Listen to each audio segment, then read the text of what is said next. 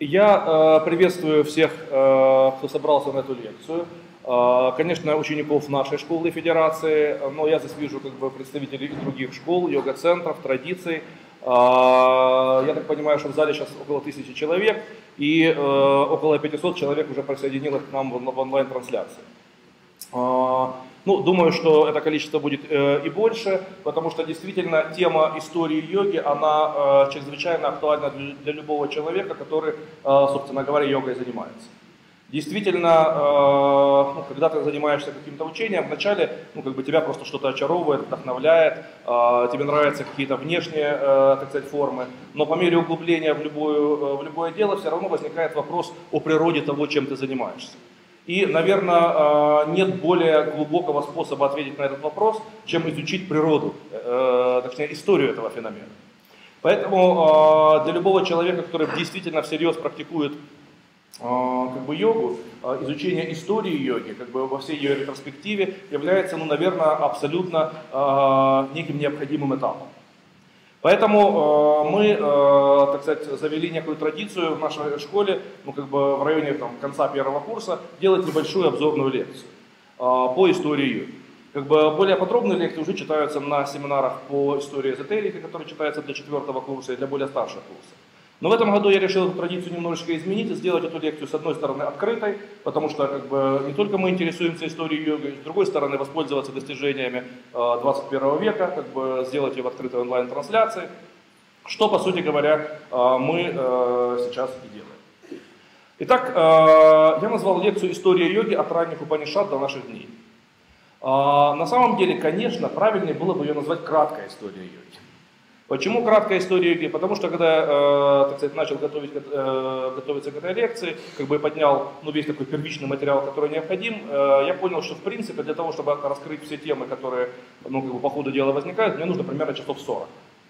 Но, а, естественно, как бы все-таки это было бы достаточно утомительно для первого знакомства. И, наверное, первое знакомство необходимо сделать такое ознакомительное, какое такое в карандаше, некоторый общий план для того, чтобы хотя бы составить некоторое представление, где что, где что искать, а, какие тексты э, читать, какие персонали иметь в виду. Поэтому а, я решил ограничиться ну, как бы обозримым объемом часов, которые мы сегодня как бы прочитаем, там три, может быть четыре, во сколько, так сказать, удастся уложиться.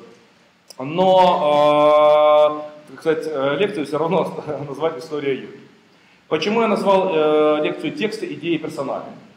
Потому что в действительности, когда мы начинаем смотреть историю йоги в ретроспективе от э, самой, как бы, что называется, древней древности, э, в первую очередь то, то, что до нас дошло от древности, это в первую очередь тексты.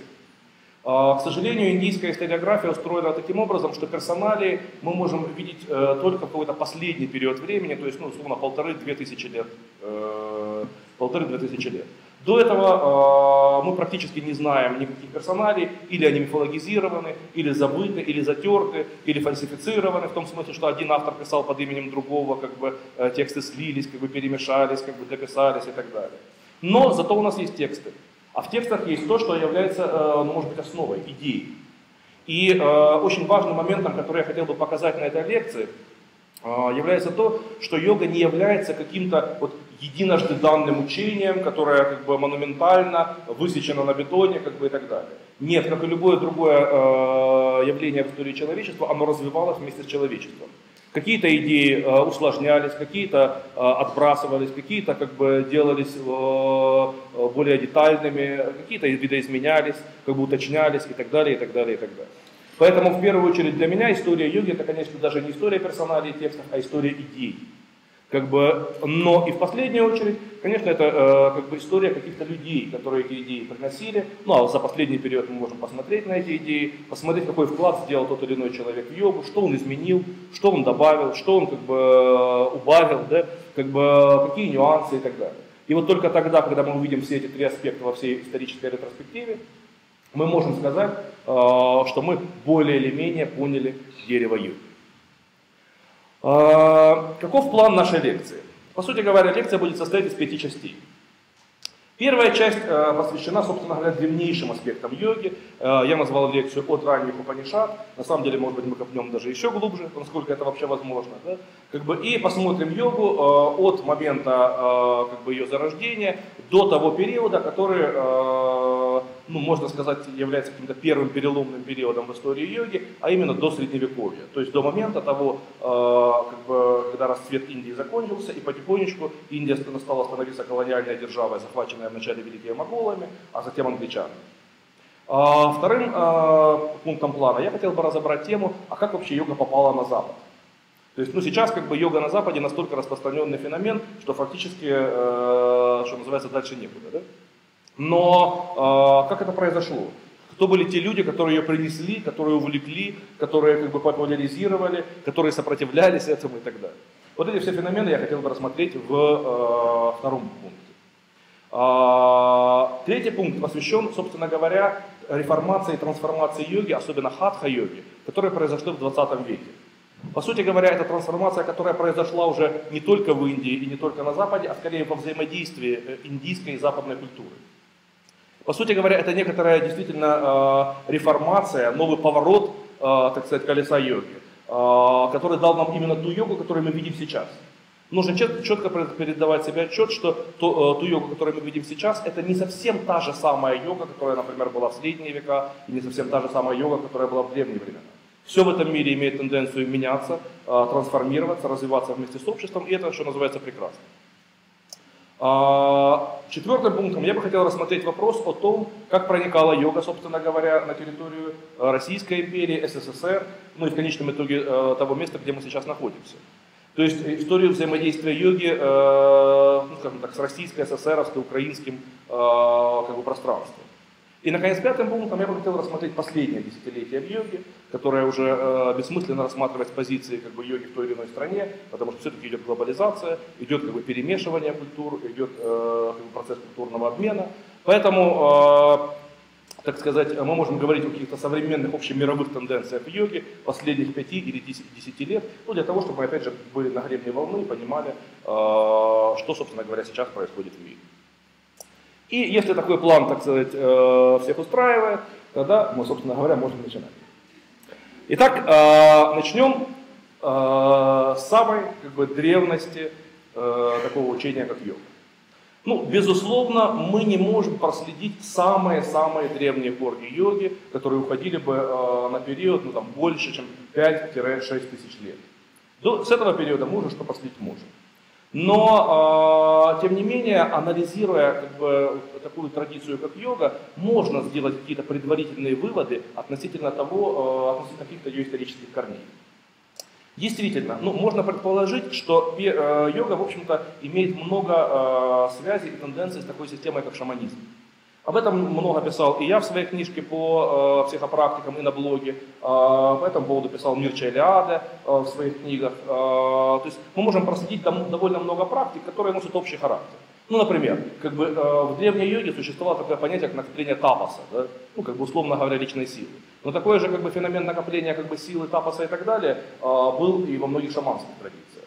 Э, в йоге есть какие-то способы работы, ну, как это называть уже сейчас в разных традициях по-разному, с врити, э, с какими-то автономными бессознательными комплексами, с идамами, если мы берем тибетскую традицию. Но э, как бы эти практики чем-то напоминают шаманские практики внуздания духов, как бы проработки э, каких-то своих внутренних э, как бы энергий и так далее.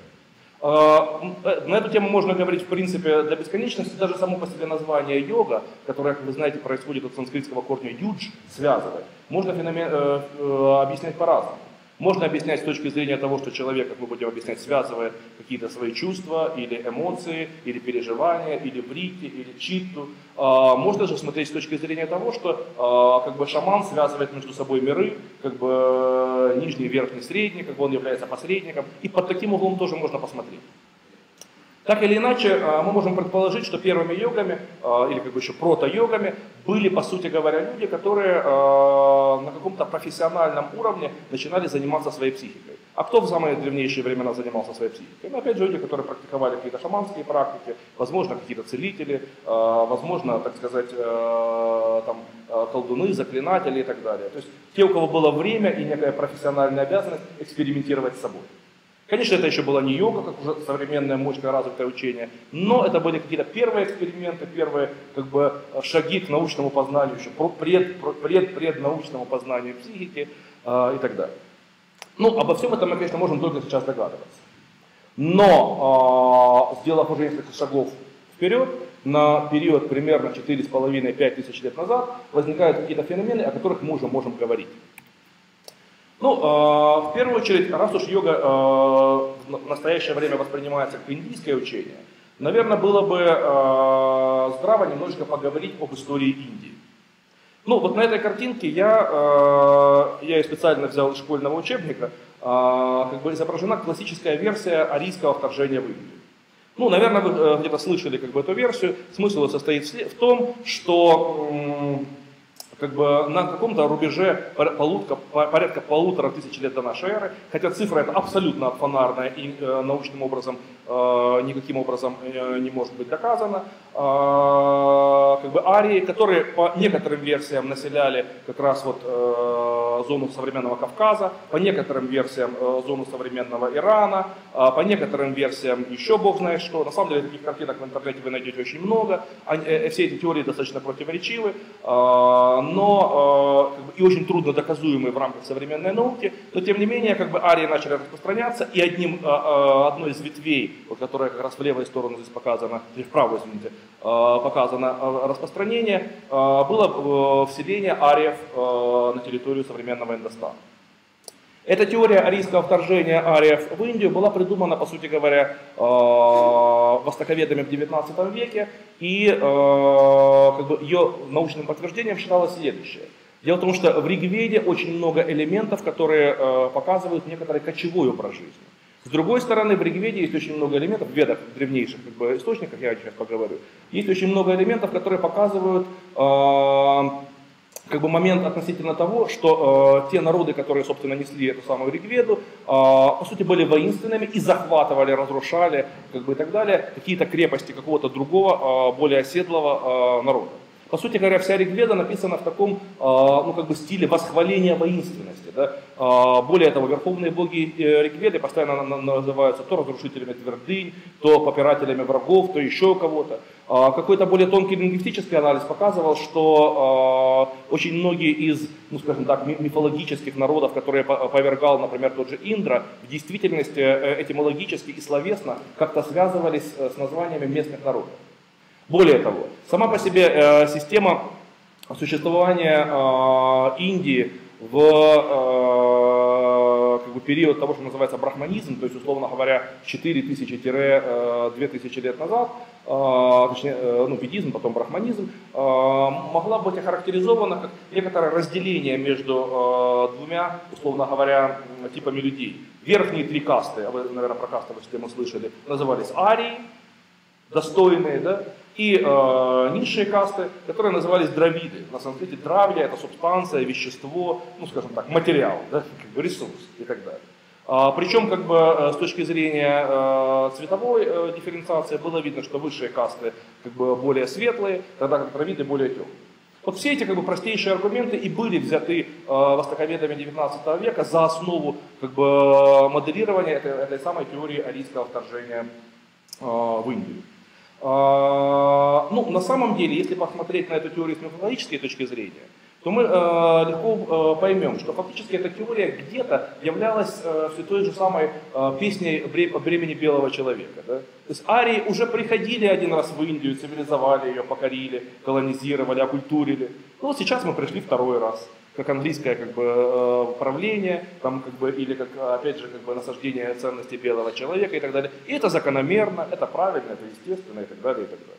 В этом смысле эта теория э, не безусловна. Сейчас с ней как бы, многие спорят, как бы, э, как бы, она безусловно в чем-то очень мифологична, но э, тем не менее как бы, иметь в виду такую теорию нужно, э, потому что во многом она объясняет многие феномены э, индийской э, духовной традиции, а именно как бы, четкое разделение э, традиций на, как бы, на арийские и дравидические, э, феномен про, про, про, проползания дравидических или прорастания обратного каких-то дравидических культов архаичных э, после уже захвата дравидами, она объясняет многие мифологические сюжеты и так далее, и так далее, и так далее. То есть эта теория, хотя и не бесспорна, но э, имеет существенное право на существование.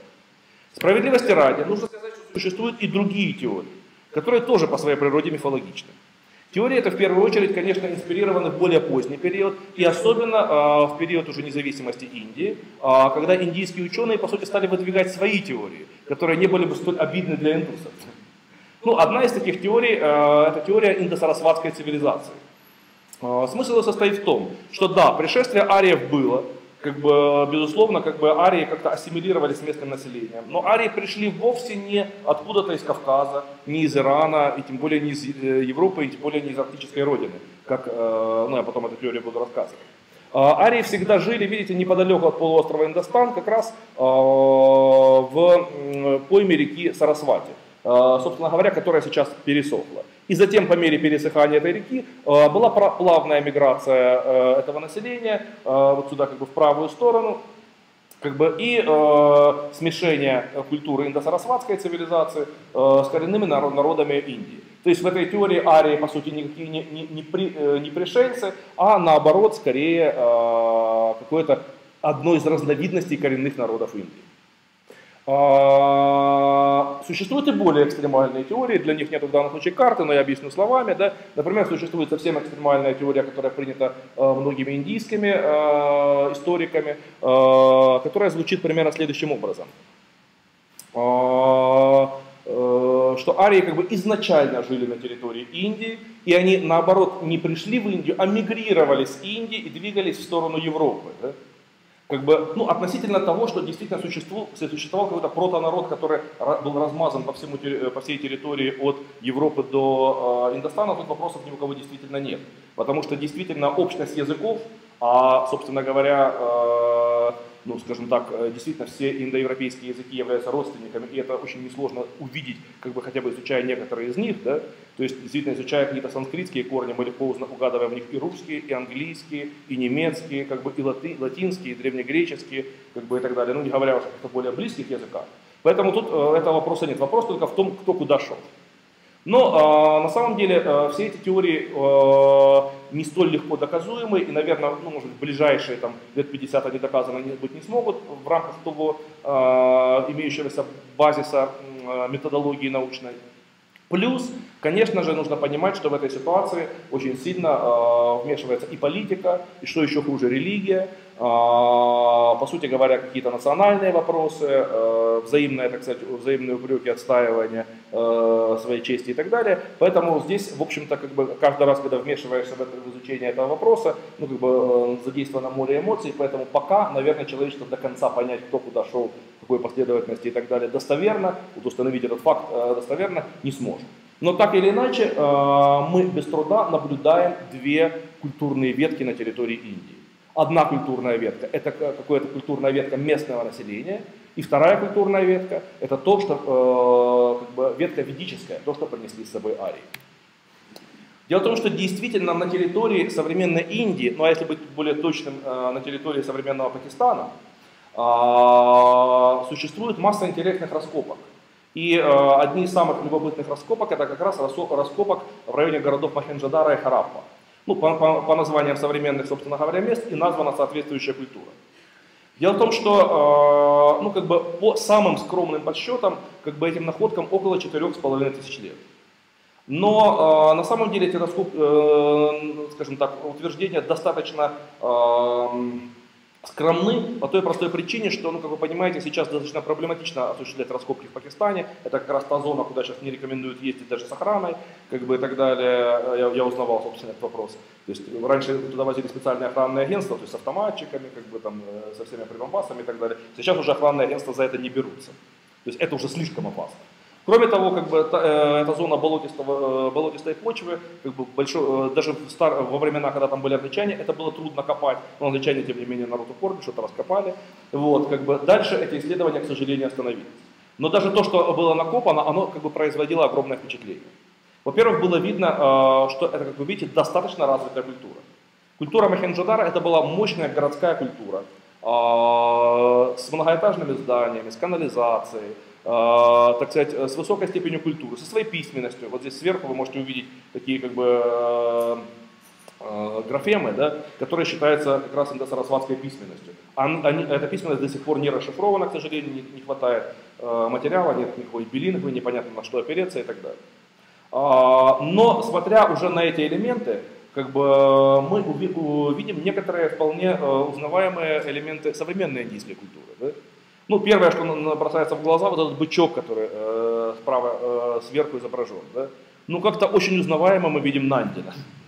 То есть, как бы, вахану ездовое животное Шивы. Да? Э, характерное такое, как бы, корова Зебу с большим горбом э, над, э, так сказать, э, над холкой. Собственно говоря, сейчас при входе в любой индуистский храм мы увидим точно такое же изображение Нандина. То есть, здесь какой-то явное, э, явный культурный параллелизм, какая-то традиционность прослеживается.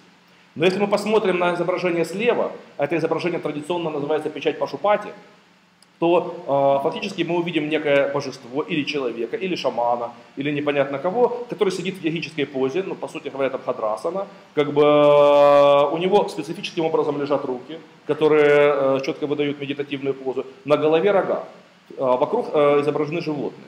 Собственно говоря, такая манера изображать животных вокруг сохранилась на изображениях Шивы.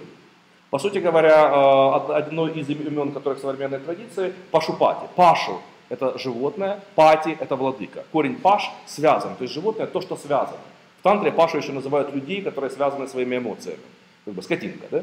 Вот. А, но Фактически вот этот как бы владыка или защитник животных Пашупати, как бы подобного рода изображения есть и в намного более поздних традициях. Более того, если мы присмотримся внимательно к лицу, э, то вот эти боковые э, торчащие в стороны штучки мы могли бы интерпретировать как э, недорисованные или схематически изображенные дополнительные лица. А традиция изображать трехликого Шиву Махакалу, то есть три лика которого связаны с прошлым, настоящим и будущим, тоже достаточно поздняя индийская традиция.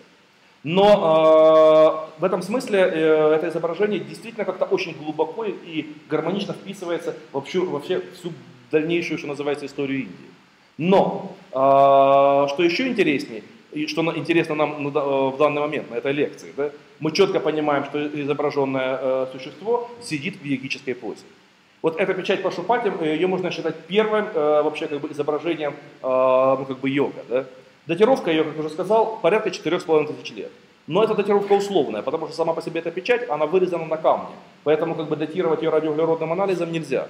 То есть радиоуглеродный анализ позволяет датировать только э, биологические объекты.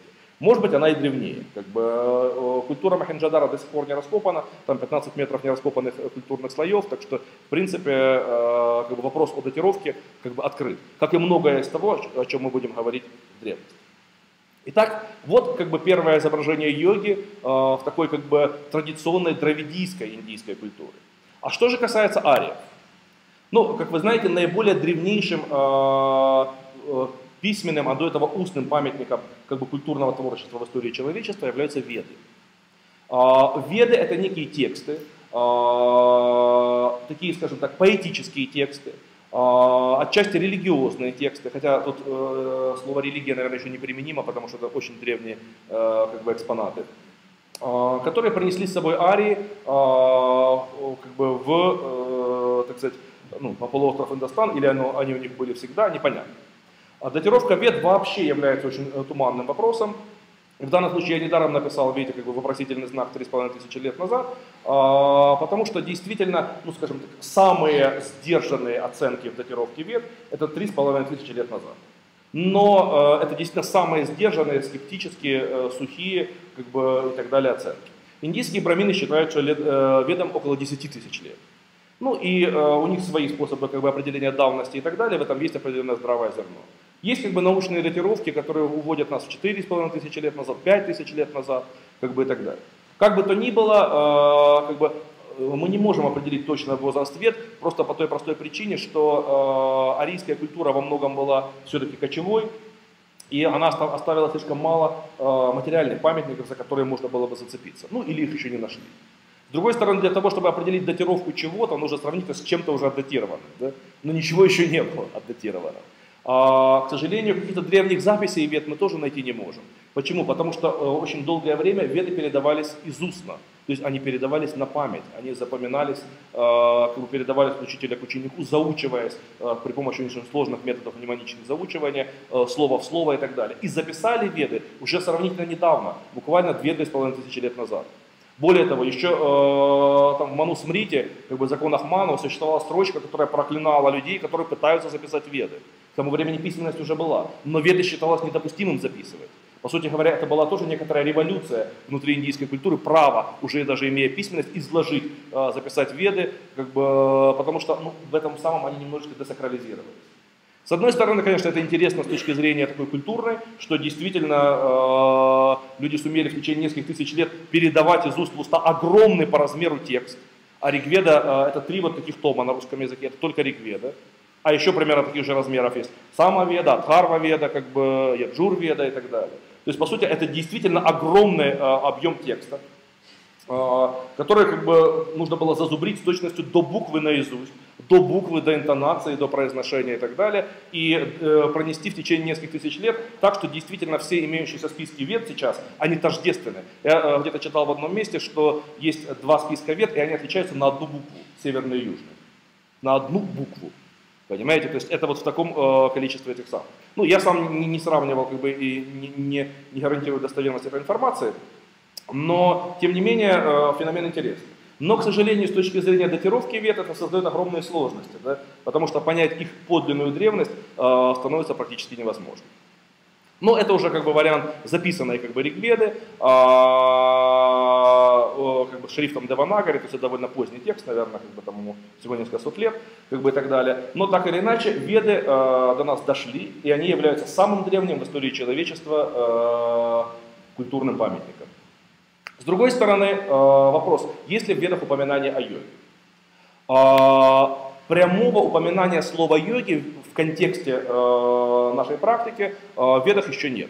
Слово йога используется в ведах, но оно используется а, немножко в другом контексте, в контексте упряжи. Да? Потому что юдж это соединять, йога это ну, как бы связь, упряжка как бы и так далее. Но зато в Ригведе, в 10 мандале, существует несколько гимнов, которые очень точно передают э, суть того, чем мы занимаемся. И вот э, один из гимнов Ригведы, который называется гимн Кешину, в русском переводе косматому аскет, а, аскету, но на самом деле кеша это волосы. Да? Кто был в Индии, риши кеш, место, где волос, э, риши э, э, мыли свои кеши, волосы. Ну, собственно, русское слово коса происходит от санскритского корня кеш, да, как бы, как бы, ну, соответственно, кешин это человек, который обладает лохматыми волосами. Даже сейчас вы, наверное, замечали такой феномен, что индийские садху, они, как правило, не бреются, да, они как бы за, за, заплетают такие специфические косички или дреды. В отличие как бы, от э, париграхинов, то есть как бы домохозяев, которые как бы в индийский э, период брились на лысо и оставляли такого типа чуба, да, типа казахского оселедца, небольшой кусочек волос, через который, который э, можно было пропустить через э, колечко, которое одевалось, э, по-моему, на большой палец. Вот. Но когда человек уходил от мира, начинал практиковаться, он переставал как бы брить голову. Поэтому, собственно говоря, вот эти как бы люди, которые ушли от мира, и назывались кишины. И вот, э, если прочитать этот гимн, надеюсь, вам его видно, нет? Если не видно, я немножко прочитаю, да? Ну, э, кишин в русском переводе косматый, да? Э, косматый несет огонь, косматый несет яд, косматый несет две половины вселенной. А, косматый делает э, мир, чтобы мир увидел солнце, косматый зовется этим светилом. Аскеты, подпоясанные ветром, одевают в коричневые грязные одежды. Они следуют порыву ветру, когда, э, ветра, когда боги вошли в них. Возбужденные состоянием аскета мы оседлали ветры. Только тела наши вы, смертные, видите перед собой. Он летит по воздуху, глядя э, вниз на все формы. Аскет каждому богу добрый друг и, на, и готовый на благое деяние. Вот если как бы посмотреть на эту поэтическую метафору, то мы увидим, что многие как бы, моменты йоги уже здесь ну, начнем с следующего. Э, Кишин несет две половины Вселенной. То есть э, все равно для э, ну, скажем, бытового человека, а тем более, наверное, для древнего человека, мир дуален. Вот есть правильное, неправильное, хорошее, там, плохое, как бы свои, чужие и так далее. Но для того, чтобы человек действительно мог развиваться, необходимо избавиться от этих дуальностей. В более поздней йоге существует и категория адвайты, недвойственности, как бы, и э, упоминание в йога-сутре по поводу того, что дела черны и белы для людей, но не, не белы, не черны для йога. Как бы, то есть, если э, для того, чтобы человек мог воспарить и выйти в некоторый метаконтекст, увидеть что-то с более глобальной позиции, Необходимо, чтобы как бы, он увидел две стороны одной медали. Вот метафорически упоминается. Тишин несет две половины Вселенной. Как бы он э, соединил в себе некоторые противоположности. Про эту тему соединения противоположностей многократно потом говорили, э, как бы, например, тоже Аурабинда уже в более поздний период, который говорил, чем выше э, крона дерева э, двигается к свету, тем глубже корни должны уйти во тьму. Да? Как бы, в общем, как бы, это очень распространенный как бы, и значимый йоговский архетип. Дальше как бы лишь, э, лишь тела наши вы смертные видите перед собой. Здесь мы видим четкую коннотацию к шаманским практикам, да, к идее шаманского путешествия, э, которое совершает э, человек в каком-то состоянии транса, да, возбужденный состоянием аскета. Но, если мы посмотрим еще внимательнее, то очень интересно, как бы он летит по воздуху, глядя вниз на все формы. Ну, поэтому не, не будем брать какое-то наивно-материалистическое трактование, что он как Бэтмен летит, так сказать, по э, небосводу, да? Но о чем в данном случае здесь речь? Я бы сказал, что о некотором как бы, способности увидеть ситуацию сверху, в метаконтексте, как бы в глобальном каком-то аспекте. Опять же, следующая строчка. Аскет каждому Богу добрый друг. Заметьте, там э, в оригинале, специальный оригинал здесь э, привел, Митрам, так и написано, друг. То есть, заметьте, э, он не поклоняется богам, он с ними дружит. Причем, заметьте, с какими? Да со всеми как бы вот это ощущение как бы толерантности, ощущение как бы э, э, сопричастности ко всему, к любой культуре, к любой традиции, как бы умение входить всюду, это же одна из глобальных ценностей йоги. Дальше, э, ну, готовы на благое деяние, тем более понятно. Он живет между двух морей, которая восточная и которая западная. Опять же, вот это ощущение космополитизма, да? Ощущение как бы э, пребывания человеком мира. Это, заметьте, сейчас легко быть человеком мира, когда ты сел, как бы полетел куда-нибудь на самолете. А в древности, когда каждый был привязан к своей общине, к своей деревне, к своей какой-то э, там маленькой как бы тусовке и так далее, это огромный духовный подвиг. Действительно, э, быть не человеком данной маленькой общины, а человеком мира, человек, э, человеком мира, человека вселенной. А, собственно говоря, вот здесь в первой строчке, там, где несет две половины вселенной, там и использовано э, слово вишва, то есть всеобщесть, вселенная, как бы и так далее. То есть в этом смысле, хотя этот гимн очень метафоричен, он уже содержит в себе, э, ну, по сути говоря, многие из ценностей йоги, которые э, тем или иным способом дошли до наших дней. Это не единственный гимн, сразу хочу сказать, в Ригведе, который так или иначе коннотирует к йоге. Про некоторые другие я вам как бы расскажу немножко позднее. Ну, э, итак, вот что мы знаем как бы о периоде э, Вед. Но как бы время идет, как бы и в рамках индийской традиции рождается новая система э, как бы, текстов, которая получила название Упанишады. Сам термин Упанишада как бы строится лингвистически следующим образом. Упа э, вблизи ни усиливающая приставка, шада, корень сад, при, присаживаться, то есть как сит, э, как бы английская, там, русская, садиться и так далее. То есть Упанишада это вблизи присаживания. Упанишады были первыми древнейшими текстами, а, которые как бы претендовали на некоторую дополнительную эзотеричность. То есть, по сути, Упанишады это были некоторые тексты, которые, в отличие от вет, которые провозглашались официально и ритуально, да, Упанишады это были некоторые частные разъяснения, которые учитель давал ученику. А, откуда, собственно, э, название «вблизи присаживания». Упанишады, метафорически говоря, как бы произносились на ушко как бы, э, ученику. Это было более глубокое разъяснение. В рамках традиции Упанишат как бы э, возникла новая идеологема относительно того, что, э, ну, если как бы веды все-таки носили характер какого-то внешнего жертвоприношения, то Упанишады как бы э, делали акцент на некоторой внутренней психической работе, которую должен совершить человек. Из этих самых Упанишат, Упанишат много. Считается, что их 108, на самом деле их больше. Просто каждая традиция выделяет свои 108 любимых Упанишат. А, но так или иначе из этих 108 Упанишат существует как бы, ну, 8, 10 или 11, в зависимости опять же от, э, от традиции, так называемых древнейших или великих Упанишат. Почему они древнейшие? Потому что они древнейшие. А, почему они великие? Потому что как бы, это те Упанишады, которые были выделены в качестве самых значимых еще э, в 8 веке Шанкарой. Он же написал на них комментарий. И, собственно говоря, очень многие потом мыслители э, более поздние так или иначе или комментировали комментарии Шанкары, или давали свои комментарии на эти самые Упанишады, признавая, что именно эти Упанишады являются основой всего остального индийского знания. Датировка Упанишад тоже непонятна, особенно от этих древнейших. А, но, э, скажем, по самым скромным подсчетам им около двух с половиной тысяч лет. По э, менее скромно, опять же, допустим, индийские пандиты утверждают, что Катха Панишаде, например, 7 тысяч лет. Как бы, ну, опять же, и то, и другое до конца недоказуемо, но факт остается фактом, как бы древнейшие Панишады существуют. И вот одно из наиболее как бы, древнейших, наиболее архетипических и наиболее интересных Упанишад является это самая Катха Упанишада. В чем сюжет Катха Упанишада? Катха Упанишада начинается э, со следующего э, пролога. Жил некий брахман, который совершил некое жертвоприношение. Принеся в жертву коров, скот, как бы там э, прочие, так сказать, э, дары, так сказать, э, сельского хозяйства. Но его сын по имени Начикетас, посмотрев на, на эту ситуацию, сказал, может ли это э, жертвоприношение э, быть ну, результативным? Ведь принесены в жертву коровы, которые уже, так сказать, давно не терятся, а, так сказать, вещи, которые уже давно не нужны. Ну, по сути говоря, жертвоприношение совершено по принципу «на тебе Боже, что мы не нагружи». Да? Ну, тогда, видимо, этот принцип уже тоже существовал. Как бы озадачен этим вопросом, как э, в Панишаде говорится, вера проникла в него, провишта как бы э, в него, как бы он подошел к отцу и выразил свои сомнения. Как бы, на что отец был разгневан, и тогда сын спросил, а кому ты отдашь меня? И, э, в русском переводе отец сказал, э, я отдам тебя яме. Но в оригинале написано, я отдаю тебя яме. То есть, по сути говоря, яме это Богу смерти а, вероятно, он его принес в жертву. То есть э, сына. А может быть, речь идет о шаманском путешествии. И э, тогда Начикетас пошел к яме, будучи отданным. Он пришел к дому ямы, но ямы не было дома. Вот, и он три дня просидел у него под, двери, под дверима. А, наконец, через три дня яма пришел, как бы, и был озадачен тем, что э, гостью брахманского происхождения не предложили ни, виды, ни воды, э, ни почетного места, ни еды, то есть нарушили обряд гостеприимства. И Яма почувствовал себя виноватым. И тогда для того, чтобы загладить вину, он спросил, чего ты хочешь на Чикетас? Для того, чтобы э, снять мое прегрешение. А в ответ на Чикетас э, попросил разные дары, чтобы отец перестал на него гневаться, чтобы он мог вернуться к отцу.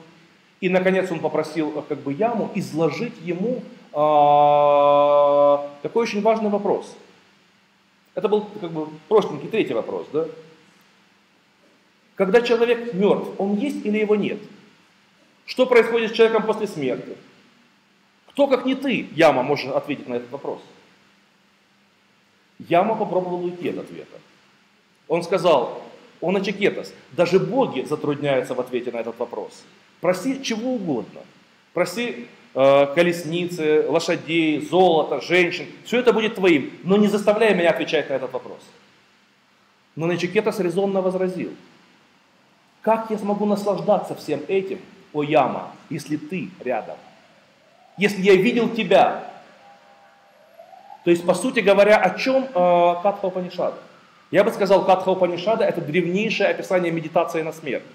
Действительно, когда человек э, размышляет о смерти, как бы или приближается к смерти, или оказывается в ситуации какого-то жизненно опасного выбора, очень часто как бы, он понимает, что для него действительно в жизни важно, а что не важно. Что действительно ценно, а что является вторичным. И Яма не смог ответить, э, уйти от ответа на вопрос, ответить на который обещал. Он был вынужден начать что-то рассказывать. Он рассказал на Чекетасу относительно того, что такое огонь духа, который пылает в человеке. Заметьте, метафора огонь духа, который пылает в человеке, впервые была произнесена в Катха Упанишаде. Не Горьким в сердце Данка, да? не Цвейгом, который использовал эту метафору, не Гессе, не средневековыми авторами. Вот образ человека как огня, о, идея горения человека внутри. Все это было как бы произнесено впервые, э, эта метафора впервые была дана в Катха Упанишаде. Вообще это потрясающий на самом деле мотив, а, ведь, э, ну я как бы когда специально пытался читать веды под таким углом, а, что очень многие метафоры, которые мы используем в современной поэзии, в современной литературе, культуре и так далее, в действительности идут из вед. Веды своего рода являются э, тезариусом, некоторым как бы базовым сборником всех метафор, на которых строится вся наша европейская культура. Ну, это огромная на самом деле работа, я ее не сумел пока проделать, но вот э, видеть эти как бы древнейшие метафоры, допустим, горение человека, там говорят, человек горит на работе, не горит на работе, да? Каждый человек, который такое произносит, он даже не понимает, что он в действительности коннектирует как Упанишаде. Так вот, э, когда э, Начекета спросил, ему было, было рассказано про огонь духа. Но самое главное, Яма начал рассказывать об учении, которое позволяет человеку избежать уз смерти. И вот впервые в Катха Панишаде используется слово йога. Более того, в третьей главе Катха Упанишады как бы дается абсолютно точное определение йоги. На санскрите оно звучит следующим образом. Там йогам ити маньяте, э, стхирам индриям, э, стхирам индрия дхаранам. Там йогам, это йога, вот, маньяте считается, стхирам, твердая, индрия, органы чувств, дхаранам, дхарана, удержание. Или, по сути говоря, на русском языке, йога это устойчивый контроль чувств. Но под э, чувствами в данном случае мы понимаем не просто, ну не э, feeling в, в английском ключе, да, в русском языке у нас слово чувство переплетается словом э, органы чувств, да, и так далее. А именно органы ощущений. Индрии это органы ощущений. Но, когда мы говорим об органах ощущения, следует понимать такой феномен, что э, в данном случае имеется в виду не просто глаза, там, глаза можно закрыть, да, уши можно заткнуть и так далее. А э, э, йога это устойчивый контроль внимания, э, которым мы наде... э, который направляет наши органы чувств на те или иные объекты. Э, развивая идею контроля, в Катхапанишаде Яма произносит метафору, которая является одной из фундаментальных метафор всей более поздней йоги. Метафора колесницы. В чем она состоит? Тело человека сравнивается с некоторой тележкой. Тело это тележка, деха на санскрите, да, или шарира. Органы чувств это индрии, это кони. Если у человека органы чувств вяленькие, да, кисленькие, дохленькие и так далее, то тележка никуда не поедет. Если органы чувств бешеные, да, э, эмоции человека бешеные и так далее, они к чертовой матери могут разнести эту самую колесничку. Поэтому для того, чтобы э, чувство, э, чувство внуздать, необходимо что? Манас, разум. Он играет роль колесничего, который управляет органами чувств. И если манас, разум человека, достаточно искусен, как колесничий, он может заставить как бы, эту колесницу ехать куда ей нужно. Да? Он управляет чувствами, он э, может направить э, достаточно активных коней туда, куда нужно, и, и колесничка все-таки поедет. Но возникает вопрос, а если в колеснице хозяин? Ведь сам по себе возница не является смыслом существования колесницы, как и колесница не является смыслом существования самой себя. Должен быть кто-то, ради кого эта колесница едет. Этот кто-то в э, Катхопанишаде назывался э, Дхира, мыслящий, от корня Дхьяй, тот, кто мыслит, тот, кто думает.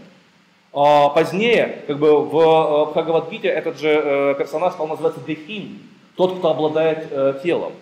В Йога-сутре он стал называться Драштар, внутренний наблюдатель и так далее, и так далее, и так далее. То есть в человеке есть что-то, в э, позднем экзистенциализме он стал называться экзистенция, зейн, как бы, и все прочие как бы, феномены. Это уже 20 век. Да? То есть, э, по сути говоря, э, сама по себе, э, сам по себе этот образ говорил о том, что внутри человека есть что-то, как бы какая-то его самая основа, которая не тождественна ни эмоциям, ни телу, ни даже разуму. Что-то, что э, как бы и составляет суть и полноту бытия. И задача этого чего-то установить контроль над всеми как бы более нижними ступенями. То есть, по сути говоря, вот эта как бы основа человека, атман, должна научиться контролировать будхи, высший разум, да, как бы та в свою очередь манас, разум, выносящий суждения, интеллектуальный разум, та, те в свою очередь чувства, и уже как бы чувства управляют телом. Вот, э, по сути говоря, метафора контроля или суть йоги, которая как бы была изложена в Катха Панишаде. Надо сказать, что точно такую же метафору использовал Платон, совсем в другой части мира. Вообще это очень интересный момент относительно того, а, ну, собственно, здесь э, это изображение, я так понимаю, фонтана из Лувра, но а, изображение в стиле Древней Греции или Древнего Рима, да, Посейдон как бы на конях, да, но очень хорошо показано, что эти кони, видите, носят даже еще и разный характер, да, как бы и так далее. То есть некоторые из них такие змеистые, некоторые, собственно, конистые, а, как бы, да еще и летят в разные стороны. Мне кажется, что это, э, эта колесница даже лучше показывает переживания человека, да, потому что разные чувства, разные как бы, привязанности тянут человека в разные стороны. И вынуждать все это сразу э, достаточно сложно. Заметьте, опять же, тот же Платон, а за ним уже Аристотель, тоже говорили о существовании человека, но Аристотель говорил, например, о существовании нескольких душ. То есть есть у человека животная душа, есть растительная и человеческая. И задача человека состоит в том, чтобы внуздать, опять же, свою животную, растительную и все прочие как бы более нижние начала. Опять же возникает вопрос, а связаны ли эти как-то учения между собой? Вопрос непростой, и э, ответа на него как бы ну, научного, по крайней мере, нет. Но э, можно заметить некоторые вещи что вообще для нас, как людей, э, которые ну, постсоветского пространстве, да, все равно вот есть такой феномен, как железный занавес, который все равно у многих в голове остался. Все равно поездка за границу для нас воспринимается как нечто такое как бы значимое. И предположение относительно того, что люди как бы ездили раньше намного легче, вот оно как бы в голове не, не в конце укладывается. Но, вот э, казалось бы, Индия, да, где она находится? Ну далеко, 5 часов на самолете. И э, там Греция, 3 часа на самолете от нас, да, 8 часов на самолете. Ну, э, на валах как бы годик как бы можно доехать, да, и так далее. Казалось бы, э, существовали ли культурные контакты? Да, культурные контакты существовали. Например, у многих э, историков, например, у Плутарха, у Апулея э, в апологии, упоминается, что Александр Македонский, когда, например, был в Индии, он привез с собой гимнософистов. Гимнос это кто? Обнаженный софист мудрецов, обнаженных мудрецов из Индии, которые оказали огромное влияние на индийских мудрецов. А, с другой стороны, а, мы можем посмотреть а, на, например, в буддийской традиции существует такой текст «Вопросы Мелинды». Но кто такой Мелинды? Мелинда это произнесение на индийский лад, на палийский лад греческого имени Менандр. Царь, который организовал диспут между монахами, который описывает этот э, текст, был греком. В санскрите существует специальное слово «яван», которое означает греков. Яван очень легко образовался. Иония. И превращается э, в ав, ну, в я, о превращается в в, яван. То есть ну, произнесение на санскритский манер. Как бы, то есть на самом деле культурные контакты были. Насколько они были глубоки, мы не знаем. Существует, например, э, теория относительно того, ну, собственно говоря, даже сами э, греки считали в своей мифологии, что Дионис, ну, который являлся э, основоположником и дионисийских мистерий, э, и участвовал как некий персонаж в орфических мистериях, ну, это как бы эзотерические традиции Греции, как бы совершил трехлетнее путешествие в Индию. Кто понимался под Дионисом, как бы был ли этот персонаж на самом деле, или это некоторый такой как бы красивый миф, мы не знаем. Но э, я думаю, что дыма без огня не бывает. И в конечном итоге мы можем еще один очень важный момент сказать. Но ведь греческий язык действительно похож на санскрит. То есть, может быть, какие-то действительно есть общие корни всех этих учений, которые, э, с одной стороны, мы видим э, в индийской традиции, с другой в греческой. Вот э, недавно вышла такая книжка, которая сравнивала, есть такой греческий поэт Пиндар, как бы она сравнивала гимны Пиндары, э, Пиндара и э, гимны Ригведы. И на, э, в этой книге показано очень много параллелей, что действительно гимны чем-то похожи друг на друга. Опять же, то ли это архетип коллективного бессознательного, то ли действительно общие корни. Опять же, доказать, наверное, в наше время уже не получится. Но так или иначе, вот метафора колесницы, я к, чему это все говорю, она была присуща не только йоге, но и в греческой философии мы тоже с этой метафорой э, как бы сталкивались. Кроме э, вот этой метафоры колесницы и идеи йоги как контроля, в Катха были провозглашены многие другие основополагающие идеи йоги. Но одна из фундаментальных идей – необходимость познания себя. То есть э, в э, Катха было сказано примерно следующее. Ведь э, если человек находится как бы, в привязанности своих внешних объектов объектов к внешним, ну, точнее, чувств к внешним объектам, то его рассеивает, и тогда он попадает э, в лапы смерти. Но если он устремляет чувство внутрь, он начинает чувствовать как бы э, то, что спрятано у него в тайнике сердца, его истинное «я». И вот это истинное «я» является ответом на вопросы. То есть, по сути говоря, как Халпанишада впервые ставит вопрос о рефлексии – о возможности э, саморефлексии. Причем саморефлексии не в духе современного психоанализа, какой-то ипохондрии, самокопания, там, как бы депрессирования и так далее, а познание э, как бы внутреннего «я», как бы активного, деятельного познания внутреннего «я». Если мы сопоставим это с современными техниками, э, то мы поймем, что как бы, когда мы познаем себя, что мы познаем? Мы познаем свои истинные желания, мы познаем как бы там, свое предназначение, как бы мы познаем, решаем в конце концов, исходя из своих собственных, а не внешне навязанных факторов, что мы хотим сделать в той или иной ситуации. Вот о чем э, речь, когда идет о познании внутреннего я. С другой стороны, если мы найдем какие-то аналогии, то необходимость познания себя сразу мы вспоминаем опять же Грецию. Кого? Сократа. Познай себя, и ты познаешь весь мир. Помните, у Сократа была теория относительно того, что все знание изначально представлено в человеке. Доказывал он это очень легко. То есть, если мы можем, задавая правильные вопросы человеку, подвести его к правильному ответу, значит, этот ответ был у него, просто он не мог на него сам добраться. Значит, душа изначально обладает всеми ответами на все вопросы. Нужно только заглянуть в себя. Похоже это на Катха Панишады? Ну, немножко похоже. Не будем говорить, что совсем похоже, но какие-то, по крайней мере, параллели в своем сознании вы простроить можете. Дальше, следующая концепция Катха Упанишады. Катха Упанишады впервые используют категорию прана в индийской традиции. Что такое прана? Как образовано это слово? Корень ан в санскрите означает дышать. Пра – всеобщее. Прана – всеобщее дыхание. В Катха Упанишаде впервые провозгласится, что в основании всего, в основании жизни, в основании мира, Вселенной и так далее, лежит прана.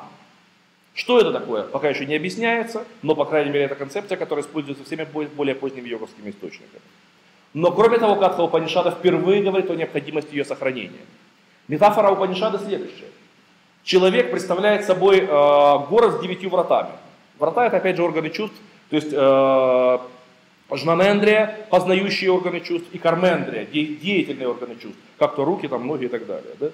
А, если человек как бы проявляет внешнюю активность, если его, э, он привязан к внешним объектам, то энергия прана уходит из этого э, города. Да? Но если он концентрирует и удерживает ее, он сохраняет ее в себе.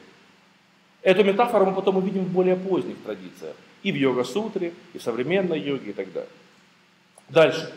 В третьей главе, в самом конце Катха Панишада, я э, писал по этому поводу в блоге, есть идея энергетических завязок, э, которые так и называются узлы э, или э, связи, которые как бы идут в сердце. И для того, чтобы человек мог освободиться из уз кармы и так далее, ему необходимо избавиться от этих привязок, завязок, и только, э, завязок, и только тогда он будет свободен. Ну и многое другое. На самом деле можно было бы, ну я читал, собственно, по Катхе Падишаду лекцию, сама по себе была три часа, поэтому я не буду сейчас дальше углубляться, но я хотел бы обозначить, насколько глубока эта Упанишада и какое значимое, э, какие значимые, ну скажем, основополагающие направления в йоге э, как бы она открыла для более поздних поколений. Ну, само слово йога, как я уже сказал, было использовано в Катхе Упанишаде э, в смысле дачи его определения. Но кроме того, слово йога использовалось и еще раз. Примером, э, строчка следующая. Когда человек познает себя с помощью йоги, то есть йога воспринималась как некоторое средство самопознания. То есть слово йога в Катхапанишаде упоминалось два раза. Была еще одна важная метафора, которая упоминалась, но мы про нее поговорим позднее.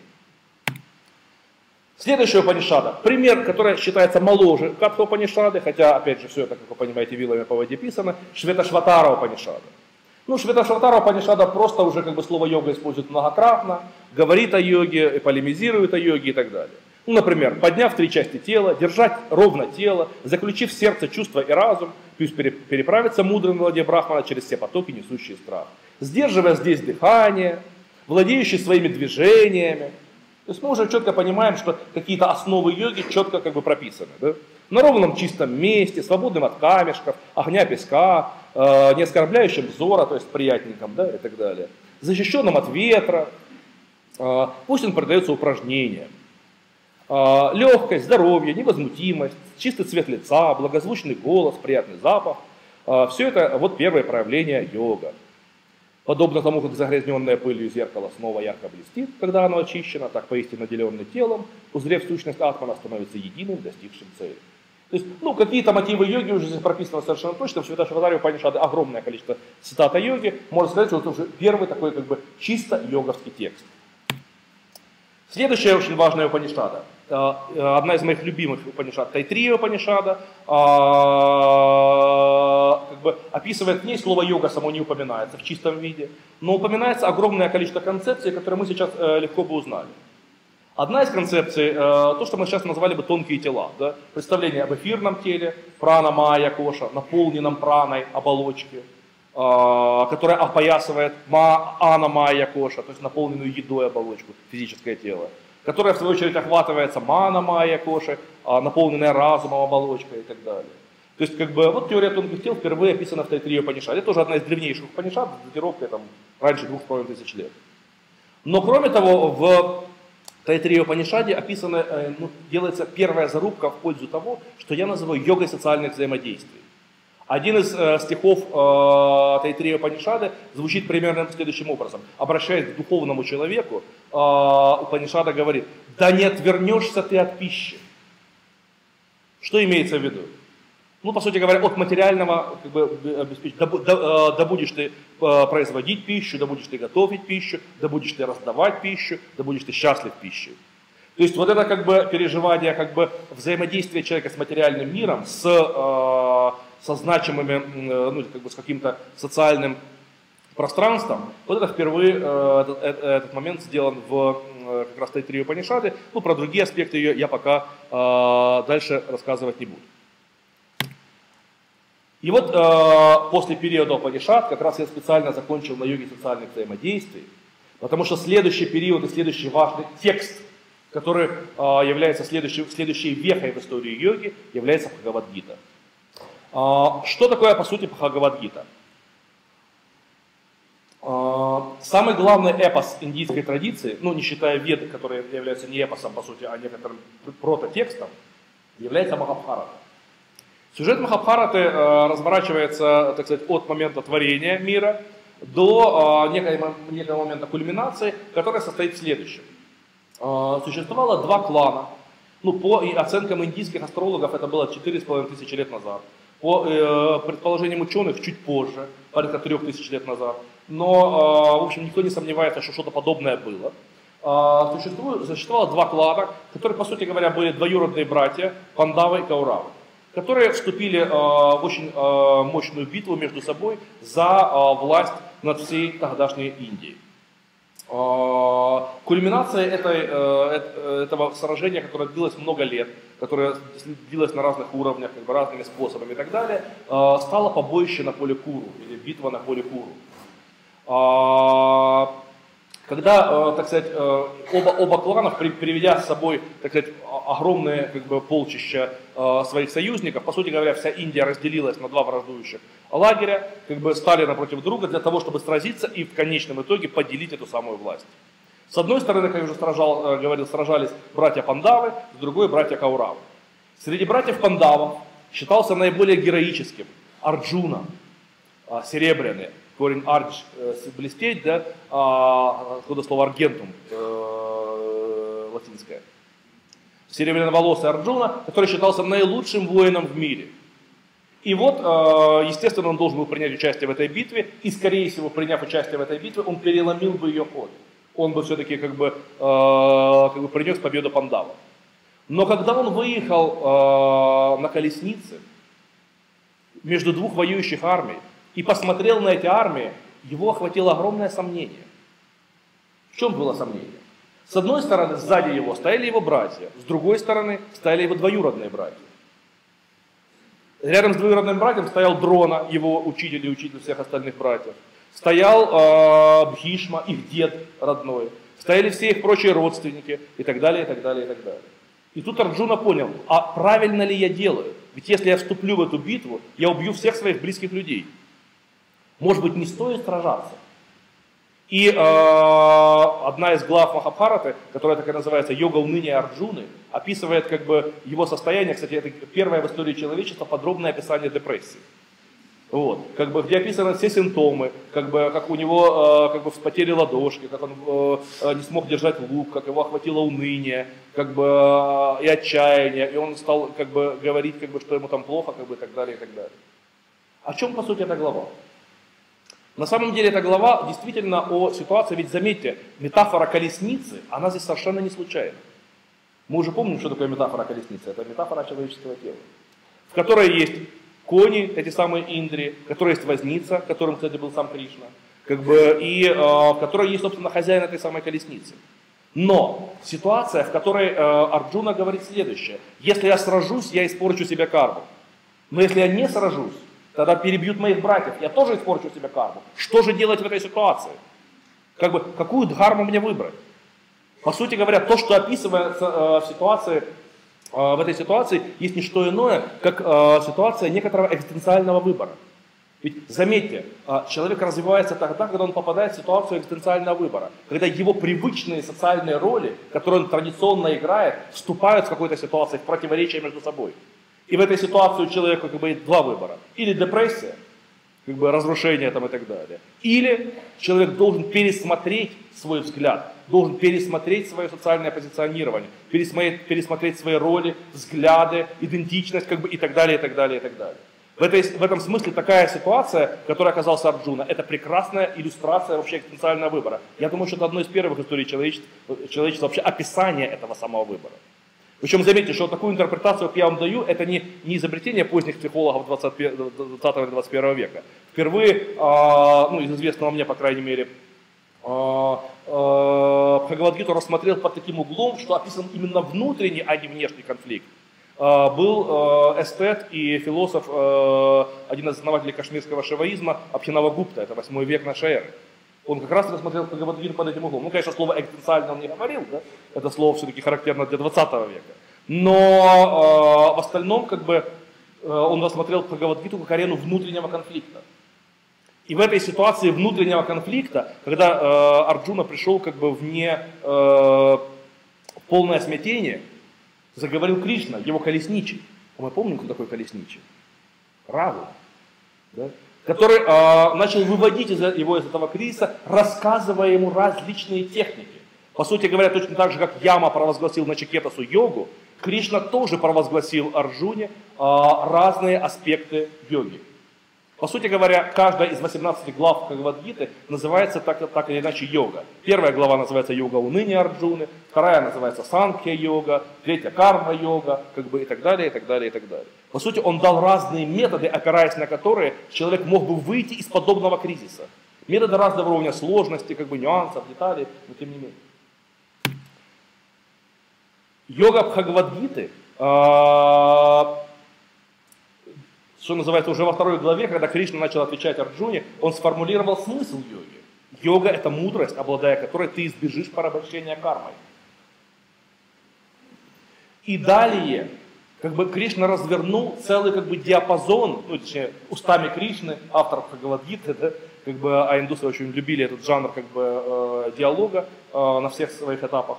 Э, устами Кришны э, э, было э, как бы объяснено много разных как бы, аспектов йоги. Некоторые нюансы Бхагавадгиты дословно повторяют уже известные нам из. Более того, в Бхагавадгите много строчек дословно скопированных с той или иной Упанишады. Ну, по-моему, из каждого Упанишада я заметил две абсолютно тождественные строчки, как бы, возможно, их больше, просто я не заметил. Но, э, э, например, как бы идея относительно того, что йога это контроль, да? вот образ колесницы, сохранился. Да? Идея относительно того, что человек должен контролировать Индрии, сохранилась. Но эта идея начала усложняться. Если, например, э, в Катхапанишаде речь шла лишь только о контроле Индрии, то есть о том, чтобы э, чувства не уходили к внешним предметам, то в, э, третьей главе Бхагавадгиты упоминается следующая строчка. Тот, кто контролирует внешние чувства, но при этом внутри привязан к предметам, все равно обманщик. То есть, грубо говоря, ты можешь закрыть глаза и делать вид, что меня это не касается. Но если ты думаешь об этом, ты на этом западаешь, почему же не касается? Касается. Как бы ты, твоя энергия, э, твой, э, твои индрии все равно там. А, но некоторые как бы, нюансы э, йоги Бхагавадгиты уже радикально отличались от Катха Панишады. В, йога, в Бхагавадгите появились принципиально новые идеи. Ну, например, Новое определение йоги. Саматва йога учьяте. Что такое саматва? Сама, как английское same, то же самое. Тва – это суффикс экзистенциальный, как русское тво. То есть э, равенство или уравновешенность йога учетая называется йогой. То есть йогой называется теперь не только э, как бы контроль чувств, но и уравновешенность. Уравновешенность между чем и чем. Здесь для того, чтобы понять эту строчку, нужно понять европейскую традицию. Традицию стоицизма, да? То есть умение равнодушного, или как бы, ну, не, равнодушно не в смысле отморожено, да, а спокойно воспринимать плюсы и минусы, успехи и неудачи, как бы э, позитивное негативное и так далее. Вот умение пройти по этой серединке, уравнове, удерживая э, равенство его своего состояния, это йога. Но это какой-то уже более тонкий э, нюанс в развитии вот этой самой идеи контроля. Следующее определение, которое дано в Бхагавадгите. Э, йога кармасу каушалам. Йога, кармасу в действиях, в поступках. Каушалам – искусность, качество, как бы, хорошесть как бы, и так далее. То есть йога это не просто некоторый внутренний контроль, а это еще и эффективность достижения своих целей. В умении ну, как бы социально простраиваться, быть успешным как бы, и так далее, и так далее. Следующее, как бы, э, ну это уже не определение, но тем не менее очень важная э, категория Бхагавадгиты. Здесь в состоянии йоги решителен и однонаправлен разум, но многоветвистые и нескончаемые мысли нерешительных, то есть не йога. О чем речь? О тотальности. Бхагавадгита, кроме идеи контроля, добавляет новую идею, идею тотальности – в каком-либо совершении действия. То есть если мы совершаем какое-то действие, то мы тотально именно в этом действии, а не в чем другом. Мы не рассеиваемся, не уходим в разные стороны, как бы не теряем себя и так далее. Мы только-только в одном э, как бы, направлении. Этого не было в Катхапанишаде, этого мы, по крайней мере, не видели в Ведах, но это очень важный мотив. Позднее в средневековой йоге этот мотив, особенно в кшатрийских стилях йоги, был очень э, как бы поднят на щит. И я э, в блоге, по-моему, писал эту притчу про царя Викраму, который э, вызвал бога Агни. Да, каким образом он вызвал? Ну, сказка такая, да? Он сказал, что если как бы, я прошу плод и э, боги не примут мою жертву, то следующим, э, следующей жертвой будет моя голова. Да? То есть вот эта тотальность, готовность как бы идти до конца, как бы быть э, сосредоточенным на одном, вот это йога. Ну, надо сказать, эта идея тоже из Бхагавадгиты. Впервые в, э, в Бхагавадгите э, формулируется идея самадхи как цели йоги. Но э, здесь очень интересный момент, потому что вот строчка, которая вводит эту категорию самадхи, звучит следующим образом. Когда твой противопоставленный писанием разум утвердится в непоколебимом самадхи, тогда ты достигнешь йоги. Заметьте, противопоставленный писанием. То есть, чтобы не... Э, Писанием это традиция. Вдумайтесь, это не сейчас противопоставить свой разум Писанием. Это тогда. То есть в ведический период, когда как бы, все находятся в состоянии как бы, какой-то дхармы, э, как бы, служения, там, ведического ритуала и так далее. И тут выясняется, что ты опираешься не на Писание, а на свое понимание, свое самадхи. Что такое самадхи, мы уже поговорим чуть позднее, когда поговорим о йога-сутре. Да? Ну, э, представляете, какая для этого нужна как бы смелость, чтобы идти, э, искать опору в самом себе, а не в чем-то внешнем. Но по поводу опоры в самом себе, как бы, э, как говорите, целых несколько шло. Выводится новая ценность йоги. Наконец, э, как бы, если рассмотреть Бхагавадгиту в таком широком контексте, а не только в аспекте йоги, хотя все, все что описано в Бхагавадгите, так или иначе имеет отношение к йоге. Вводится очень много новых идей, ну, как бы в широком ключе. Например, идея социальной ответственности. Пусть мудрый не смущает ум невежественных, привязанных к деятельности. Пусть сосредоточенные действия побуждают их любить всякое дело. То есть э, одна, э, там предыдущая строчка говорит примерно следующее, что если ты перестанешь действовать у Арджуна, да, как бы, если ты э, забьешь как бы, на свой долг, то все э, люди, которые были ниже тебя по статусу, тоже забьют на свой долг. Они тоже перестанут как бы, э, делать то, то, что им положено. Человек э, духовно развивающийся или духовно развитый должен быть образцом для остальных как бы действия, он должен побуждать остальных тоже э, к соответствующему действию. Вот вам категория социальной ответственности. Дальше, совершенно потрясающая идея Бхагавадгиты э, по поводу следования своей внутренней природы. Даже знающий следует своей природе, существа следуют своей природе. Что же даст ее подавление? Сама по себе идея, что у человека изначально есть некая природа, которую нужно лишь развернуть, которой нужно воспоследовать, которую нельзя обусловить какими-то внешними факторами, идущими от ума, или от социума, или еще от чего-то и так далее. Ну, как бы это, в общем, не очень неочевидно. По сути говоря, человечество заново пришло к этой идее э, только две с половиной тысячи лет спустя в гуманистической психологии. Вот идея Маслоу о самореализующейся личности, о самоактуализирующей личности, по сути говоря, здесь в скрытой форме содержалась уже в Бхагавадгите. Опять же, некоторая индивидуализация и идея э, дхармы. Своя дхарма, даже несовершенная, лучше, чем хорошо исполненная чужая. И опять же мы понимаем тут две вещи. Одна вещь похожа на предыдущую э, строчку, относительно того, что у человека есть личная природа, личная дхарма, которой нужно воспоследовать. И, только, э, и она отличается от дхармы других живых существ. То есть мы не можем написать единое предписание как бы для, для каждого человека. Нужно найти свою дхарму. А с другой стороны, в этой э, строфе содержится совершенно глобальный, гениальный, просто невероятный по своей мощи духовный посыл. Ведь фактически здесь изложена идея о трансцендентности социума. Ведь что такое, по сути, дхарма? Дхарма – это некоторая социальная роль, которую играет человек. Как бы некоторая функция, которую он должен выполнить. Например, профессия.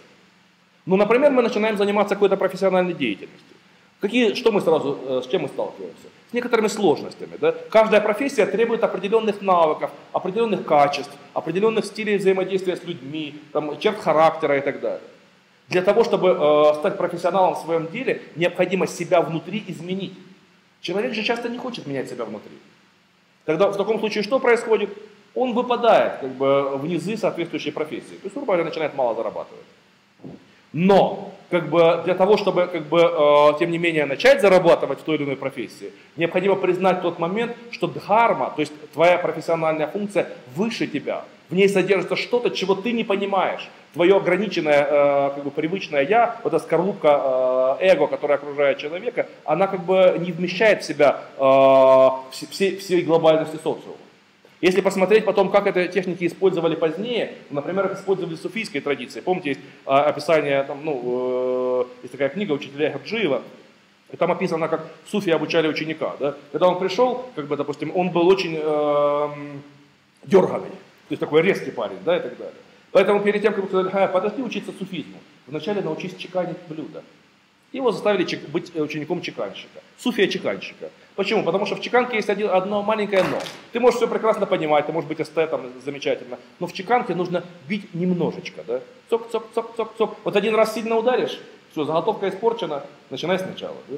Поэтому, как говорится, э, человек прорабатывает эту самую резкость, да? Когда он проработал резкость, его отправили учеником нищего, суфия нищего, да? Он ходил, бил барабан, как бы собирал милостыню, да? Почему? Потому что у него было много гордыни. Но, но нищий это тоже профессия. Если ты смотришь на людей свысока, сидя, так сказать, с подаянием, тебе никто ничего не подаст. Да? Ну, как-то по-другому с людьми общаться. Мягче, да? Он человек нарабатывал мягкость, да? Как бы через профессиональную деятельность, через новую дхарму. Потом его отправили учени, э, учеником э, в медресе э, профессора, там, условно говоря, Муэдзина, человека, который э, Мурида, а, который как бы преподавал в медресе, для того, чтобы научиться коммуницировать с людьми, еще чему и так далее. Каждая а, дхарма, каждая профессия сама по себе содержит в себе какой-то духовный потенциал. Ну, это я уже говорю о более поздних учениях. Но идея эта опять же была изначально прописана в Бхагавадгите. Впервые, а, ну, может быть, не впервые, что это Шатария Панишаде уже упоминается немножко в хатха-йоге, да? но упоминается хатха-йога впервые именно в Бхагавадгите. А заметьте такую забавную вещь, что в Катха Панишаде про Катха-йогу э, про Катха еще речи не было. То есть, собственно говоря, наше нынешнее представление о йоге как о хатхе, вообще оно появилось намного-намного позднее. Да? Оно относится к 11-12 веку нашей эры. То есть э, 3-4 тысячи лет э, до этого йога существовала совершенно в другом виде. Она воспринималась как более психическое учение, именно как способ управления эмоциями, чувствами, вниманиями, органами чувств как бы манасом, разумом и так далее. И только потом, уже как бы вместе с надхами, пришла идея хатха-йоги. Но э, какие-то основы хатха-йоги в древности уже, видимо, были. И вот э, в Бхагавадгите упоминается такая строчка. Иные последователи пранаямы, сдерживая движение праны и апаны, приносят в жертву прану апани и апани прану. О чем идет речь? Ну, по сути говоря, о задержках дыхания. Да? Когда мы в момент, когда мы хотим вдохнуть, не делаем этого, мы приносим апану э, или прану в жертву апане. В момент, когда мы хотим выдохнуть, но не делаем этого, мы приносим апану в жертву пране. То есть фактически э, написано метафорически, но на самом деле мы понимаем, что какие-то первичные пранаямы к этому времени уже были. Ну, э, асаны, честно говоря, в Бхагавадгите еще э, про них ни слова не говорится. Ну, на самом деле много еще чего описано в Бхагавадгите. Я недаром назвал слайд йоги Бхагавадгиты потому что их много. А, в Бхагавадгите описано и э, категории джнана-йоги, и категории бхакти-йоги, а именно как бы э, трансценденции посредством а, скажем, эмоциональности, да, что такое трансцендентность. То есть смысл любого, э, любой йоги, любого духовного учения в конечном итоге в том, чтобы выйти за привычные границы себя. Вот есть, опять же, некоторая панцирь, некоторая, что называется, скорлупка, да, и как выйти из этой скорлупки в что-то большее, большее, чем ты, как трансформироваться. Ну, как бы а, один из путей действительно лежит через карма-йогу. То есть, опять же, через видение духовной задачи внутри своей профессии и своей функции. Другой путь лежит через познание своего внутреннего переживания, которое глубже, чем тот, опять же, панцирь, который ты носишь на себе. Есть путь бхакти-йоги, который основан на, на том, что ты как бы через очень яркие эмоции, через как бы э, очень яркое эмоциональное отношение к окружающему миру, опять же, выходишь за рамки себя. Э, но это уже, наверное, тоже тема для, э, для отдельной истории. И по поводу йоги Бхагавадгиты мы пока э, прервемся. Я как бы хотел просто обозначить те идеи, которые в йоге появились благодаря Бхагавадгите. В этот же период, примерно в этот же период, опять же плюс-минус там много лаптей, а, как раз а, с человечеством случилось такой феномен, который называется осевое время. А, сам термин «осевое время» ввел в научный обиход Карл Ясперс, э, известный историк, психолог, психотерапевт 20 века. Он заметил такую штуку, что все самое интересное в истории человечества случилось как раз вот в период 2,5-2000 лет назад. Ну, не то, что все самое интересное, но какие-то самые значимые обороты. Заметьте, что то, что мы сейчас назвали бы э, мировыми религиями, все это возникло тогда. То, что мы, вот все девять мировых религий, да, то есть христианство, ислам, там, иудаизм, зороастризм, э, все разновидности индуизма, конфуцианства, даосизм, буддизм, э, все это возникло тогда. Дальше. А, греческая классическая философия. То, что является краеугольным камнем, камнем европейской культуры. Это было тогда. Римское право. Ну, чуть-чуть там плюс-минус 200 лет. Это было тогда. Это все тогда, да? Вот, по сути, наверное, мы сейчас не найдем ни одной толком идеи, которая не имела бы каких-то корней э, в тот период. Так вот, э, в Индии в тот период тоже как бы происходило, да, и что еще очень интересно, это происходило одновременно по всей истории Э, по, по всей поверхности Земли. То есть и в Греции, и в Индии, и в Китае. В Китае в этот же период жили Конфуций и Лао Цзы. В Индии в этот же период жили Будда Гаутама и Джида Махавира. В, э, а в это же время в Греции бродил Сократ и получал всех. Да? Ну, как-то хорошее было время. Я подозреваю, сейчас тоже примерно такое же. Вот. Но мы этого еще не поняли. Это потом будет понятно. Вот. Но э, действительно в Индии в этот момент как бы происходило качественное изменение всего. А, академик Смирнов э, писал как бы ситуацию в Индии, некоторую нестабильную ситуацию кшатрийско-брахманского противостояния. То есть на социальном уровне а, возникло некоторое как бы, противостояние между высшими кастами. Ну, это была не очень устойчивая система. Правят кшатрии, а высшая каста брахманы. Да? Как-то это не совсем стабильненько. А, плюс какие-то как бы, моменты традиции уже где-то себя отжили, где-то еще что-то. Но так или иначе в этот период начали появляться очень мощные реформаторы. Причем заметьте, что все эти реформаторы были из касты кшатриев. Ведь Кришна был кшатрием, хотя и считался богом, да? И Арджуна был кшатрием. И, собственно говоря, те стили йоги, которые провозгласил Кришна, они в более поздней традиции всегда называются кшатрийская йога. В отличие от брахманической йоги э, или шаваитской йоги, к которой относятся хатха-йога, э, раджа-йога, джнана-йога, как бы подобного рода стили. Будда и Махавира, основатели э, двух крупнейших мировых религий того времени, тоже были кшатриями. Будда был э, принцем, ну про Махавиру есть некоторые сомнения, считают, что ему приписывают и так далее. Хотя их э, биографии очень похожи. Долгое время ученые даже считали, что это одно и то же лицо. Вот, ну просто как бы трансформированный миф. Сейчас уже доказано, что это действительно разные, ну, открыты новые тексты, как бы и так далее. Доказано, что это такие разные личности. Справа э, Будда, основатель буддизма, справа Махавира, э, основатель э, джайнизма. Но э, учения, которые они создали, были невероятно похожи. Э, а вот историческая судьба их оказалась совершенно различной. Учение Будды э, вспыхнуло просто как какое-то такое маленькое сверхновое и просуществовала э, в Индии, ну практически захлестнула Индию и просуществовала в Индии примерно порядка 1200 лет. То есть где-то до 7 века нашей эры, когда оно резко начало идти на спад. Э, и буквально к 10 веку нашей эры в Индии вообще не осталось буддизма. Зато из Индии буддизм распространился практически по, всей, по всем странам э, Юго-Восточной Азии. Учение Махавиры не вспыхнуло так ярко.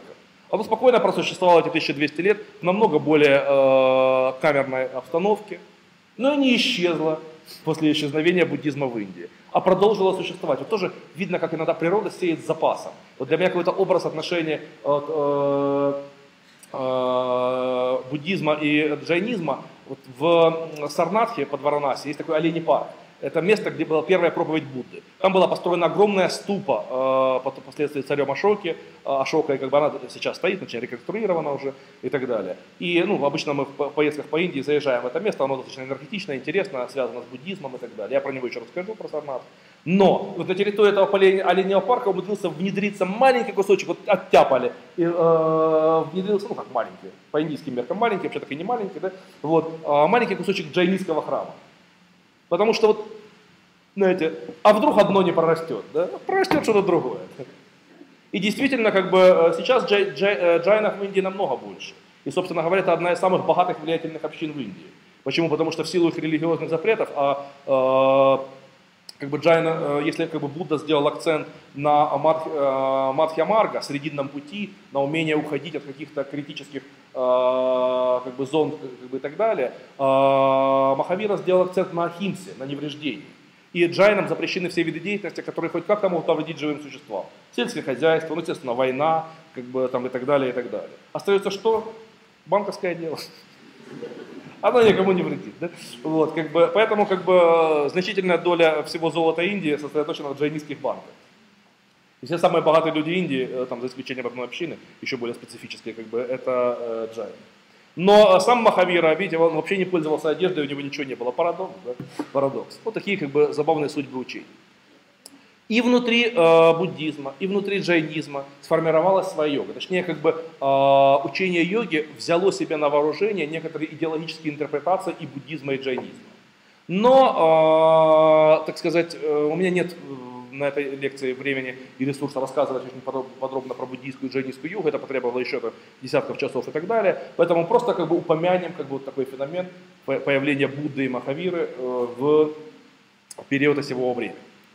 Но в это же время, естественно, как бы, поскольку осевое время было некоторой точкой сборки всей как бы, культуры соответственно, индийской культуры, жил еще один важный для нас мудрец Патанджали, который написал, ну, дальше вопрос, что он написал, как всегда, сложно.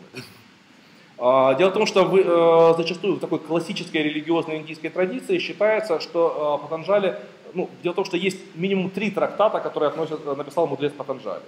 Собственно говоря, известную нам йога-сутру, а, трактат а, Махабхаша, как бы, который, э, грамматический трактат, который является разъяснением э, Аштадхья и Панини, то есть э, основы грамматики санскритской. И был еще мудрец Патанджали, который написал э, трактаты по Аюрведе.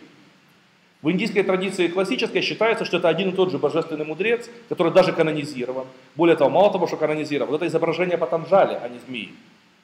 Как бы из, э, есть храм э, около Пунны, как бы южноиндийский, где как раз он посвящен мудрецу Патанджали, который считается воплощением э, вселенского змея Шеши. Даже само имя Патанджали считается, что родился он Пата, упавший, Анджали, ладошки. Он упал в ладони матери. Ну, понятно, что это уже поздняя мифологизация. Но от чего происходит такая мифологизация и канонизация? От признания колоссальной роли э, этого человека. Э, долгое время в Индии считалось, что все три Патанджали это одно и то же лицо. Сейчас уже практически доказано в науке считается, что это все-таки три разных человека. То есть был Патанджали грамматик, был Патанджали аюрведист и был Патанджали а, автор э, трактата по йоге. Нас интересует в первую очередь, конечно, автор трактата по йоге, потому что вот этот трактат по йоге, подобно тому, как сегодня время было некоторой точкой сборки вообще всего человечества, так и, и йога-сутра Патанджали явилась точкой сборки э, всей йоги. А, сам Патанджали э, в первой строфе йога-сутры э, назвал свой трактат э, Анушасана. Трактат называется после там, э, шлоки, посвященной Ганеше. Первая шлока звучит Атха йога Анушасанам. Вот разъяснение йоги. Анушасанам это последующее разъяснение. Ану. После шас разъяснять корень. То есть, по сути, анушасаном называются трактаты, которые как бы подытоживают все имеющееся. И в этом смысле можно сказать, что Патанжали подытожил все имеющееся, даже те огромное количество текстов, которые, скорее всего, до нас не дошли, или школ, которые до нас не дошли. Хотя, надо сказать, что в наше время уже довольно много до нас дошло, благодаря сбору информации и в буддийских школах, и в джайнистских, там, и так далее, и так далее. То есть сейчас уже, еще 50 лет назад, мы не могли так глубоко понимать, что происходит, э, происходило в период, например, там, 2500 лет назад. Сейчас уже довольно глубоко изучен этот э, период, э, это время, как бы, и так далее. Но, э, тем не менее, как бы, э, как бы считается, что в этом трактате Патанжали подытожил все, что было. Но положа руку на сердце, он не только подытожил, но и на самом деле, опять же, ввел в обиход огромное количество новых идей, концепций, взглядов, которых, ну, может быть, они и были в каком-то как бы прото-зачаточном состоянии, но э, они стали актуальными, они стали понятными. Ну, в первую очередь Патанжали э, дал новое определение йоги. Йога чита врита ниродха. О чем в данном случае? Я даже не стал переводить его на русский язык, потому что э, перевести его на русский язык невозможно. Вот. Но э, о чем в данном случае идет речь? Помните, э, в Катха Панишаде была метафора относительно э, города с девятью вратами, через который вытекает что? Прана. Человек может потерять прану. В э, Бхагавадгите была метафора относительно того, что человек должен контролировать Индри и Манас. Подобно тому, как черепаха втягивает в себя э, лапки, подобно этому э, человек а, ну или практикующий йог, пусть тянет себя как бы индри, совершит пратьяхару, то, что в йоге называется пратьяхара, противоположное втягивает. Но Патанжали заговорил не о, э, в некоторых текстах в качестве того, что теряется, когда у человека улетает, да, э, назывался манас. Но Патанжали теперь говорит не о пране, не о манасе. Он вводит новую категорию, читта которая на самом деле э, ну, как бы содержит некоторые новые нюансы. То есть, в принципе, чита происходит в корне чит, думать. То есть, чита это как бы ну, мысль. Но слово, э, русское слово мысль вообще никак это все не, не, не переводит. Ну, я пробовал в блоге объяснить, что такое чита, и наиболее простым объяснением является такое субстанционированная материя мысли. Вот, грубо говоря, если вы задаете себе вопрос, где сейчас я, например, я задумался о том, что там у меня происходит дома. Вот моя чита там. Если я подумал о будущем, моя чита там. Но если я как бы здесь, то моя чита здесь. Вот как бы по сути говоря, где я самоощущаю себя.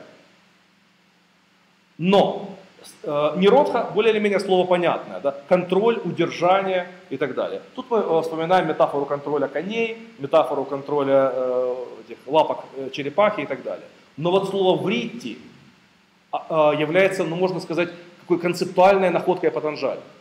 Ведь заметьте, если в, йог, э, в предшествующих йоговских трактатах, как в Панишаде, к чему могла привязаться э, мысль или к чему привязывались органы чувства? К внешним объектам. То, то, то категория врити, она шире. В э, одной из следующих строчек э, Патанжали перечисляет пять видов рити.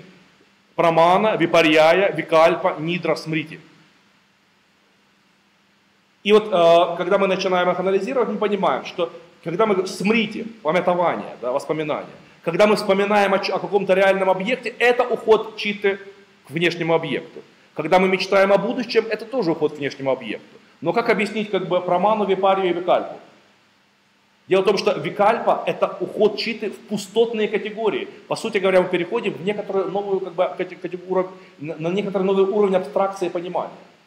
То есть, если мы пользуемся словами, сути которых не понимаем, если мы пользуемся какими-то образами, а, которые в действительности э, не можем определить, это тоже удерживает нашу читту. А не только совершенно материальные, плотные, понятные внешние объекты. Я думаю о, чашке, соответственно, моя, моя чита там. Нет, когда я думаю некорректно о каком-то философской категории, моя чита тоже там. Если я заблуждаюсь, випарьяя, как бы, если я неправильно что-то интерпретирую, моя чита там.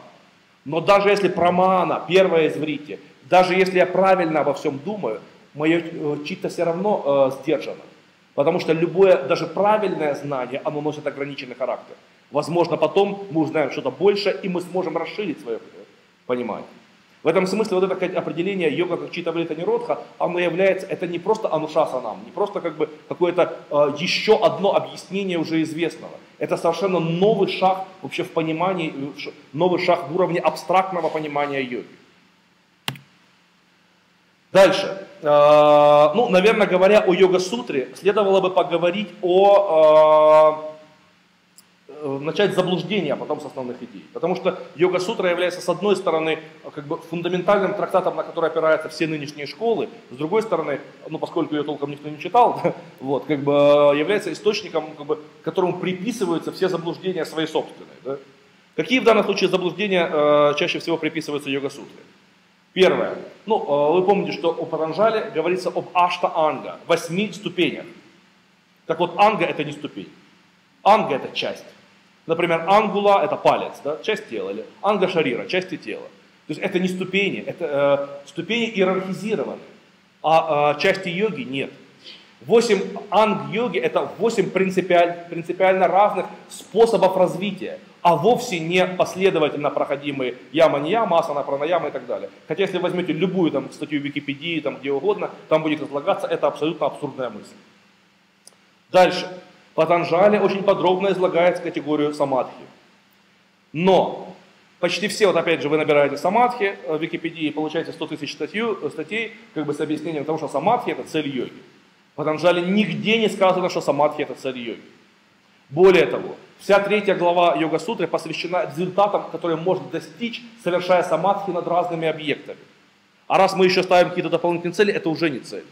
Более того, самадхи это не трансовое состояние, опять же, это не столбовой инсульт, как бы, это не э, истерический припадок, как бы, это не каталептическое, э, каталептический ступор. Но опять же, если вы взять вот такое с понимания йоги, э, ну как бы наверное дилетантское, то чаще всего мы приходим к, к одним из этих э, мыслей. Но в действительности, как бы для того, чтобы понять слово самадхи, нужно опять же понимать его этимологию и то, как его использовал сам Патанжали. Э, слово самадхи этимологически разделяется сам приставка, а усиливающая приставка, сам вместе, а э, усиливающая приставка, да корень. Э, это тот корень, который в русском языке превратился в корень де. Вот куда ты дел эту вещь, да? То есть локализовать что-то. И э, суффикс и, самадхи. То есть, по сути говоря, если э, расшифровать все это слово, то наиболее точное русское эквивалент будет собралось что-то собралось воедино. Вот ты что-то не понимал, а стал понимать. Ты о чем-то думал, как бы оно не, не шилось, а теперь ты, как бы оно прояснилось. То есть самадхи это некоторое интеллектуальное э, переживание. Более того, вот э, для того, чтобы понять э, насыщенность э, любого, э, любой системы, очень важно иногда понять, э, можно провести частотный анализ слов. Вот мы, э, наши инструктора специально сделали частотный анализ слов э, в йога-сутре и обнаружили такую вещь. Самый встречаемый корень в йога-сутре, самый частый, корень джна, знать. Э, йога Патанжали – это исключительно интеллектуальная система. Это, по сути говоря, некоторая сложная теория познания. Это э, сложная модель управления как бы, творческими какими-то силами, а вовсе не э, ну, какая-то э, скажем, система для впадания в физиологический транс как бы, или еще чего-то. Поэтому самадхи это некоторое как бы, э, интеллектуальное прозрение. Ну, э, если говорить терминами западной психологии, ситуация, когда э, завершился гештальт, да, или как бы сложился гештальт, или вырисовался гештальт, как бы, э, когда действительно сложилось, собралось, как бы и так далее. Следующее распространенное заблуждение, их много на самом деле, порядка 20, но я все не буду перечислять, э, потому что это, опять же, заняло бы несколько часов. Э, известные, ну, я э, опираюсь на ваше первичное знание йоги, все-таки, наверное, есть, да, э, категории яма и не яма. Обычно пишут, это этические ступени йоги. Это не этические ступени йоги. Корень ям, который лежит в основании слова яма, равно как и в основании слова не яма, а, потому что ни это всего-навсего приставка усиливающая. А, корень ям это контролировать. Собственно говоря, э, имя бога смерти Яма происходит от этого же корня. Яма это смерть, смерть это контролер именно сравнивая с ней, мы что-то можем принять какие-то решения. Да? Именно смерти все боятся, и поэтому как бы в мире что-то контролируется. Но э, суть категории яма и не яма – это степени внутреннего контроля. Причем те э, уровни ямы, которые дает Патанжали, а он выделяет, помните, Астея, Брахмачария, Апариграха, э, Сатья и Ахимса. Да? По сути говоря, мы очень легко можем э, понять, что каждая из этих ям э, – это контроль определенного вида энергии. Что такое астея? Не присвоение чужого. Это контроль муладхарной энергии. Брахмачария – это контроль сексуальной энергии. Ахимса – это контроль манипурной энергии, энергия причинения вреда. Э, а париграха – привязанность к дому. Это контроль анахатной энергии. И, наконец, сатья и правдивость – это контроль вишутховской энергии. Точно так же, как и нияма, тоже мы можем как бы свести к некоторому контролю разных видов энергии, но это как бы отдельная тема. Поэтому как бы вопрос здесь вовсе не в этике, вообще не в этосе, да, а в уровне внутренней простроенности. И тогда мы четко понимаем, что такое на самом деле яма не яма. Ну и наконец еще один очень важный момент в йога-сутра, хотя э, все обычно ссылаются, ну как, может, не очень грамотные люди, ссылаются, что йога описана в йога-сутре. Увы, в йога-сутре не описаны никакие хатха упражнения. Вообще, э, ну, того, что мы назвали бы хатхи, в йога-сутре посвящено 4 строчки из 186. Одна строчка, которая объясняет, что чита, э, собирание читы возможно путем сдерживания дыхания. Одна строчка определяет, что такое асана, э, стхира сукхам асанам, то есть устойчивая и стхира, мы уже помним это слово, да, и сукха, приятная, это асана положение. Еще две строчки поясняют э, смысл как бы асаны, ну пять, извиняюсь, строчек, и одна строчка объясняет суть пранаямы. Все. Все остальное посвящено познавательным процессам, медитативным процессам, творческим процессам, процессам контролирования внимания, как бы процессам осознавания и так далее. В этом смысле в период э, Патанжали, видимо, хатха-йога уже была, раз я упоминал э, Патанжали, но ее место было достаточно мало, примерно 5 строчек из 125. Понятно? Что же, э, какие же идеи Патанжали вел? Это не полный перечень, у меня есть статья э, на блоге по поводу новых идей в йога-сутре. Там я перечисляю порядка 20 идей. Я много раз уже порывался дополнить эту статью, но, э, потому что я уже нашел больше. Вот. Но, э, если так, как говорится, э, сократить басенку, то можно сказать следующее. Э, ну, я уже одну, наверное, основную идею объяснил по поводу категории вритти, которая вышла за рамки только объектного мира, перешла как бы в некоторый абстрактный мир. Второй момент. Психологическая природа кармы.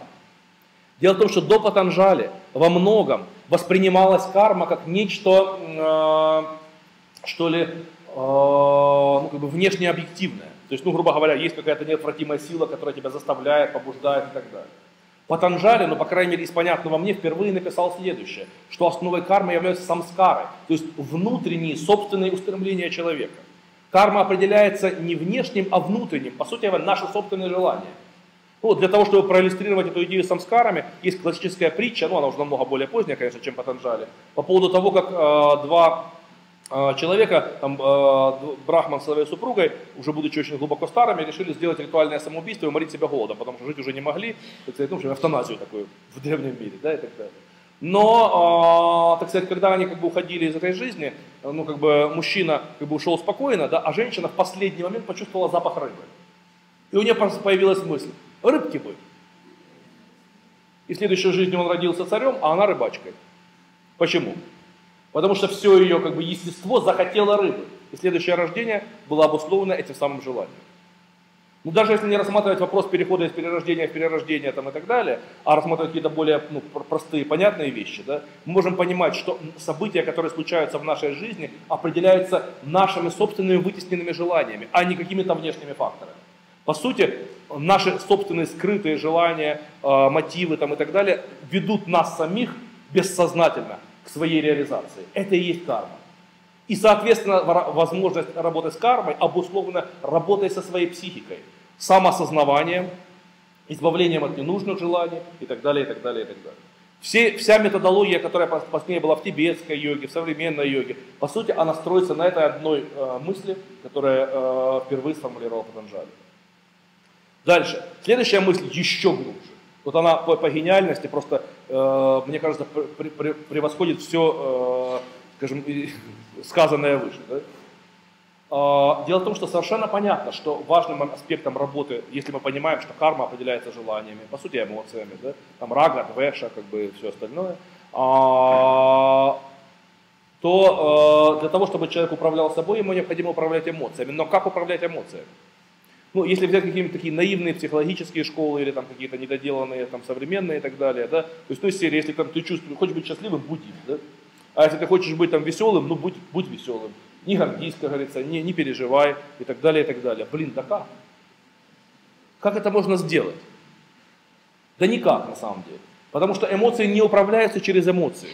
Эмоции управляются через осознавание, через более высокую э, функцию. Например, если вы там, допустим, э, человек сказал вам что-то неприятное, вы в ответ на него вызвались. Да сколько себе не говори, да нет, он хороший человек, да что я, да что я зверюсь, как бы, да не надо, не надо и так далее. Вряд ли это сработает надолго, да. Скорее это будет вытеснение в духе психоанализа. Но если в этот момент вы, например, поймете, почему на самом деле человек это сказал, Например, у него было действительно, как бы, с ним что-то неприятное случилось. Или он на самом деле обижается на вас за то, что вы сделали, но вы еще не знаете, что причинили ему этот вред. Ваше отношение к этой ситуации сразу поменяется. То есть для того, чтобы изменить эмоции, необходимо изменить понимание ситуации. Патанжали будет специальную идею, а, ну или концепцию, асампраджнята, то есть осознавание, если почти дословно перевести на русский. То есть, когда мы осознаем и смотрим на какую-то ситуацию с более высокого контекста, вот только тогда мы можем изменить эмоции в отношении этой ситуации. На мой взгляд, это гениально. Это э, превосходит ну, как бы, понимание даже большинства современных психологических школ, которые все равно, ну, наивных таких психологических, которые все равно пытаются работать с эмоциями через эмоции. Да? Следующий момент. Какова же цель йоги по Патанжали? Опять же, э, вот не самадхи, а как раз четвертая глава Патанжали называется Кайвалья Пада, или глава о Кайвалье. Патанжали вводит э, некоторую новую категорию, которая, если мы глубоко подумаем, она была и в э, Татхопанишаде, и в Бхагавадгите, но она не была названа так красиво. Что такое Кайвалья? Кайвалья это абстрактное существительное, которое происходит от прилагательного кевалом. Кевалом это э, быть одному, но не в смысле такого русского одиночества, да, что такое депрессивное, негативное, а скорее такое английское lonely, да, вот как бы в одиночку. А, то есть без какой-то негативной коннотации. Соответственно, абстрактное существительное, которое отсюда происходит, кайвалия, да, это а, ну, как бы одиночность. Ну, я бы перевел, может быть, на русский как даже не самодостаточность, а обособленность. А, вот, чтобы понять, что такое кайвалия, а, вот, мне кажется, наиболее яркую метафору э, этого состояния, хотя они не использовали это слово, дали а, Олдики в «Черном баламуте» в образе, помните, там был такой персонаж Рама с топором, которому Шива подарил топор, да? И он сказал, что когда, до тех пор, пока с тобой будет этот топор, ничья иная воля, даже моя собственная, сказал Шива, не будет властна над твоими решениями. Ты сам принимаешь свои решения, и ты сам за них отвечаешь. По сути, для нормального человека, ну, в кавычках нормального, да, как бы естественно, что его э, ну, как бы выборы, его решения навязываются кем-то извне. Его же собственными желаниями, его э, стереотипами, какими-то привычками, динамическими стереотипами и так далее. Его, э, ну, в конце концов, другими людьми, рекламой, наконец, и так далее. Получается, что до тех пор, пока как бы нами дрыгают другие люди, как бы, или дрыгают другие обстоятельства, это не мы живем, это не мы принимаем решения. Хотя несем за них полную ответственность. Ха-ха-ха, да? Вот. Но э, как бы переживание кайварии как раз и состоит в том, что человек э, отрешается от всех этих внешних факторов и начинает как бы принимать решения, которые соответствуют его внутреннему существу. Третьей главы как раз в Бхагавадгите есть э, похожая строка, но она как бы немножечко на уровне абстракции не дотянулась до э, йога-сутры Патанжали. Там тоже примерно говорится следующее, что человек, который достиг некоторого состояния целостности, да, он ничего не хочет от других людей. Как бы его решение обусловлено только им самим. Ну, ничего не хочет, в смысле не пытается на них свалить ответственность. Да?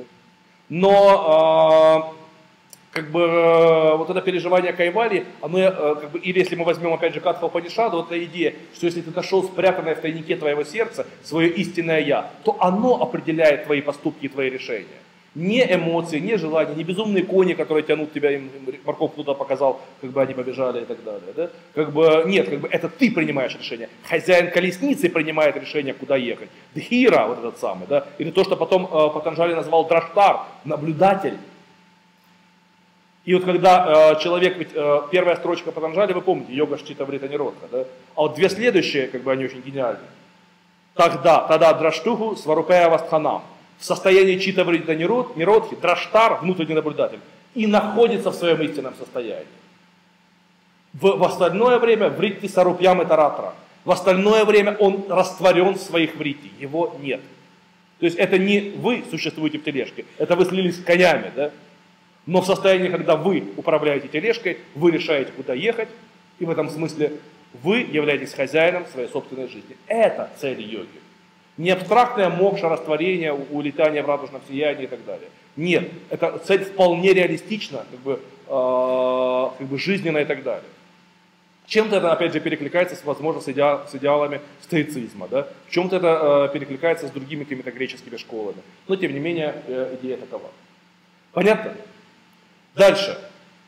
А, Патанжали, наверное, а, ну, более чем кто-либо гениально описал этапы процесса познавания. А, последние три анги, а именно Дхарана, Дхьяна, Самадхи, он объединил в некоторый как бы, общий процесс, который назвал самьяма. Корень ям контролировать. Сам, самоконтроль. Да? Но в чем состоит смысл этого переживания самьяма? Для того, чтобы познать некоторые, э, ну, что-то, да, необходимо в первую очередь достичь состояния дхарана. Дхара, корень дхр – это держать. Дхарана – это удержание. То есть удержание своего внимания на объекте. То, о чем говорили древние йоги. Ты можешь думать о том, чем решил думать, а не о том, куда тебя там эмоции разносят. Да, и так далее. Но э, первый этап ты должен научиться концентрироваться, по сути. Второй этап – дхьяна. Корень дхьяй – думать. Но думать, вот, э, в санскрите около 10 корней, корней, которые означают разные аспекты мышления. Так вот, дхьяй – это как бы мышление корректное. В отличие, например, от ман, вот я мню себе, думаю себе, что-то придумал и придумал. Да? Нет, это корректное, грамотное мышление.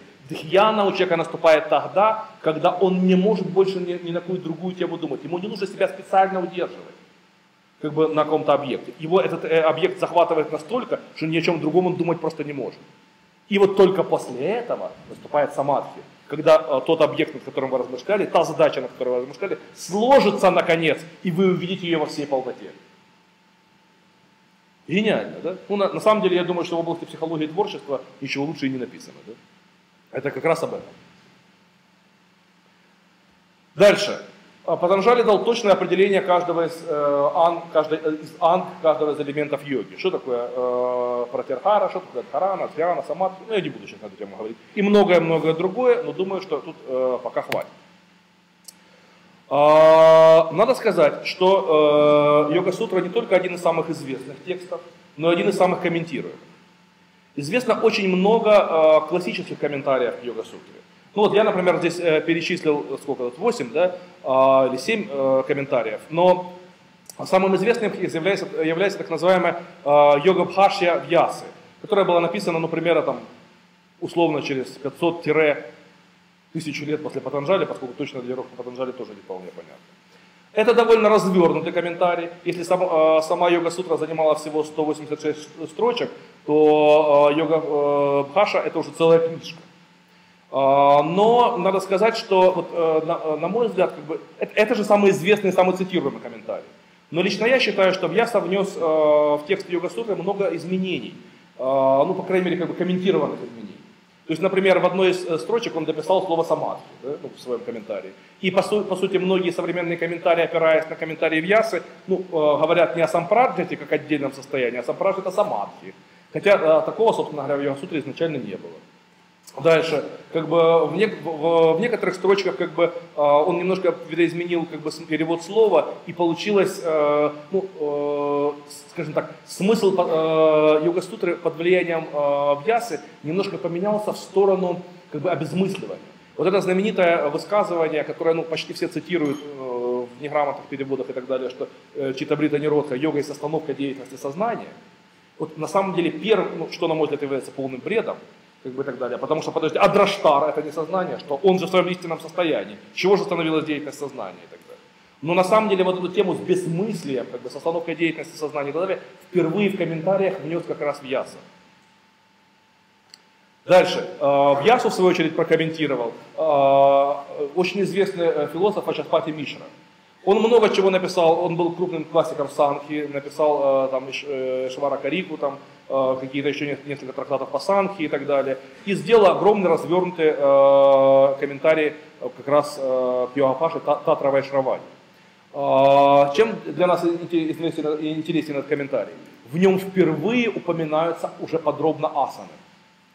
Вот по сути говоря, какой-то базовый набор примерно из двух десятков асан где-то появляется на этом этапе.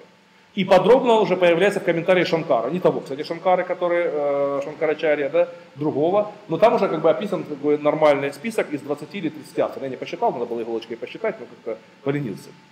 Вот. А, ну, для того, чтобы вы поняли, сколько реально комментариев к Йога-сутре, я специально сфотографировал свою коллекцию. Вот это все классические комментарии к Йога-сутре. Это целая полка, и она сюда не вся влезла. Да? Вот, допустим, вот этот двух, двухтомничек стоит желтенький такой, это комментарий Шанкары, да? А вот этот четырехтомник, четырехтомник на 186 строчек, это э, комментарий Вижняна Пхишу, э, 17 век. Вот, как бы. А вот эта большая желтая книга, это первый том комментарии в Ясы. То есть э, к первой главе комментарии и так далее. Э, то есть всего тут порядка 20 классических комментариев. А всего, если брать еще английские комментарии, около, около 50, уже более поздних. То есть, как бы, вот к вопросу о том, насколько комментируемым э, является йога-сутра. Ну, э, к йога-сутре мы, возможно, еще вернемся, а пока мы сделаем небольшой, э, небольшое отступление и поговорим о зарождении в этот же период, ну, как в этот же период, начало эры, плюс-минус 500 лет, да, такого учения, как тантра. Дело в том, что ну, Само по себе, сам по себе вопрос о зарождении тантры очень сложный и э, неоднозначный. Некоторые считают, что тантра это как бы очень древнее учение, которое еще восходит к именно дравидическим временам, доарийским и так далее. Некоторые как раз считают, что оно зародилось в этот период. Я лично считаю, что э, нужно как бы разделять два аспекта тантры. Ну, как бы, с одной стороны, конечно же, всегда существовал какой-то аспект, как бы, а, связанный с а, переживанием, как бы, там, экстатическими переживаниями, переживаниями женского начала и так далее. И это архетипически, это есть у всех народов и уходит в очень э, древнюю древность. С другой стороны, появилось некоторое интеллектуальное учение. Так вот, интеллектуальное учение все-таки не могло появиться в очень глубокой древности. Да? Для, для этого нужны какие-то интеллектуалы. И э, я все-таки связываю зарождение тантры с... М- деятельностью, ну, как косвенный или побочный продукт, деятельностью такого важного учебного заведения, как университета Наланды. Дело в том, что практически после смерти Будды в штате Бихар, ну, если представляете себе Индию, вот Варанаси чуть-чуть э, туда, правее, да, как бы и так далее, а, возник первый буддийский университет. Чтобы вы понимали масштабы этого университета, а, он просуществовал, он просуществовал 1200 лет. То есть примерно, э, да нет, даже, наверное, чуть дольше, 1500, где-то в X веке был разрушен э, мусульманами. Э, ну, в общем, где-то 1500 лет. Для сравнения, самый древний нынешний университет Сорбонна, да, какого там, 1100 какого-то года, да. То есть э, самому древнему нынешнему университету около 900 лет. Тогда, в тот период, в нем обучалось до 10 тысяч студентов. Вы представляете вообще масштабы этого учебного заведения? В тот период, когда 10 тысяч, это было очень много. С Батыем на Русь пришло 25 тысяч человек, арты. А тут 10 тысяч студентов. Понимаете? По сути говоря, он э, создавал вокруг себя очень мощную прослойку интеллектуальной элиты. И, естественно, э, да, плюс надо сказать, что это был период, ну, скажем, одного из расцветов вообще Индии как страны, как бы и так далее. А любой расцвет, он всегда э, э, связан с утолщением прослойки интеллектуалов. Да? Когда как бы, ситуация стабильна, когда людям есть возможность подумать, когда существует пространство как бы, а, коммуникации. Ведь будем реалистами, Индийская традиция – это не а, ощущение, что там сидит себе брахман в своей хижине, там получает студентов, все, и пошли, да. Это огромные диспуты, которые собирали цари, так называемые брахмаваки, да. Как бы это школы, гурукулы, э, из, из которых ученые перемещались э, из одной в другую. Это традиция, как бы, типа ученых советов, одобрения новых ученых трактатов, как бы это э, традиция переписчиков, это огромная интеллектуальная традиция. То, что мы видим сейчас в Индии, это интеллектуальные осколки той гигантской традиции, которая только была. И вот одним из эпицентров этой традиции как раз и был университет Наланда. А, с одной стороны, это был, безусловно, буддийский университет. С другой стороны, как всегда в университетской среде возникает что? Поражение и смута. Потому что когда интеллектуалы начинают задумываться, они все равно приходят не совсем каноническим выводам. И вот вокруг э, ну, э, этого университета и начала э, формироваться такая традиция, которая как бы выходила за рамки традиционной догматики. Ну, на самом деле, многие из тех, кого мы сейчас называем махасидхами тантрическими, ну, по сути, в буддийской традиции или в индуистской традиции, так или иначе были связаны с этим университетом. Вот один из первых, например, там, условно, тантриков, безусловно, это мифологическая личность и так далее, Сараха, ну, правильно говорить, Шараха, как бы стрела, почему атрибут стрелы, да? Как бы, вот, э, рассказ про него очень интересен. Он был традиционным брахманом из брахманской семьи, но э, как бы, э, при этом полюбил женщину из низшей касты. Она была дочерью кузнеца. Мало того, что он полюбил ее, мало того, что у него э, были с, ним, с ней сексуальные отношения и так далее, так он еще считал ее своим учителем что было вообще для Брахмана немыслимо. Да? И когда народ как бы возмутился и пришел как бы разбираться, да, а он был известным ученым, как говорится, уважаемым человеком там, и так далее, он э, спел так называемую песню Сарахи. Которая э, э, звучала примерно следующим образом. Вы действительно ли уверены, что от ваших всех как бы, ритуалов и так далее есть какая-то польза? От внутреннего переживания на самом деле есть польза, а не от внешнего соблюдения ритуала. Э, как бы чувства дают человеку освобождение, а не забирают его. То есть, по сути говоря, он создал какой-то совершенно ну, как бы новый дискурс, который потом как бы неоднократно тантрики по тем или иным углом э, как бы повторяли. Э, чуть в другой части Индии как бы э, рождается другой текст, примерно в тот же период, плюс-минус 300 лет, э, который как бы фактически сейчас является один, одной из основ вообще современной тантры и, э, безусловно, основой такой тантрической традиции, как кашмирский шиваизм. Э, текст этот называется Шива-сутры. Это вообще совершенно потрясающий текст. Почему? Потому что он невероятно короток. Вот, э, он содержит несколько десятков всего э, строчек, и каждая строчка ну, буквально содержит 2-3, максимум 4 слова. Я для себя этот текст назвал «Манифест мистика интеллектуала». Вот а, то ощущение, которое читая, э, испытываешь, когда читаешь йога сутру, понимаешь, что такое мог написать только человек, который действительно, а, как бы он воспри... это не, не а, религиозная мистика, это не базарная мистика, это не экстатическая мистика, это глубочайшее прозрение человека, который как бы всю жизнь как бы мыслил и как бы очень тонко отрефлексировал свое мышление. А, свои э, мысли он изложил невероятно коротко, что, по сути говоря, позволяет, э, ну, скажем, воспринимать этот текст как некоторый медитативный текст. Я бы сказал, как такими слоганами специфическими. Кстати, я тоже э, не сказал такую важную вещь, когда говорил о йога-сутре. В чем вообще состоит жанр сутры? Дело в том, что сутра на санскрите это нить.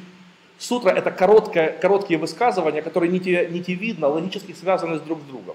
По сути говоря, сутра это краткий конспект, смотря на который ты можешь ну что ли, э, как бы вспоминать какие-то основные элементы. Может быть, конспект для преподавателя или конспект для студента, который кратко записал за преподавателем, чтобы потом подумать.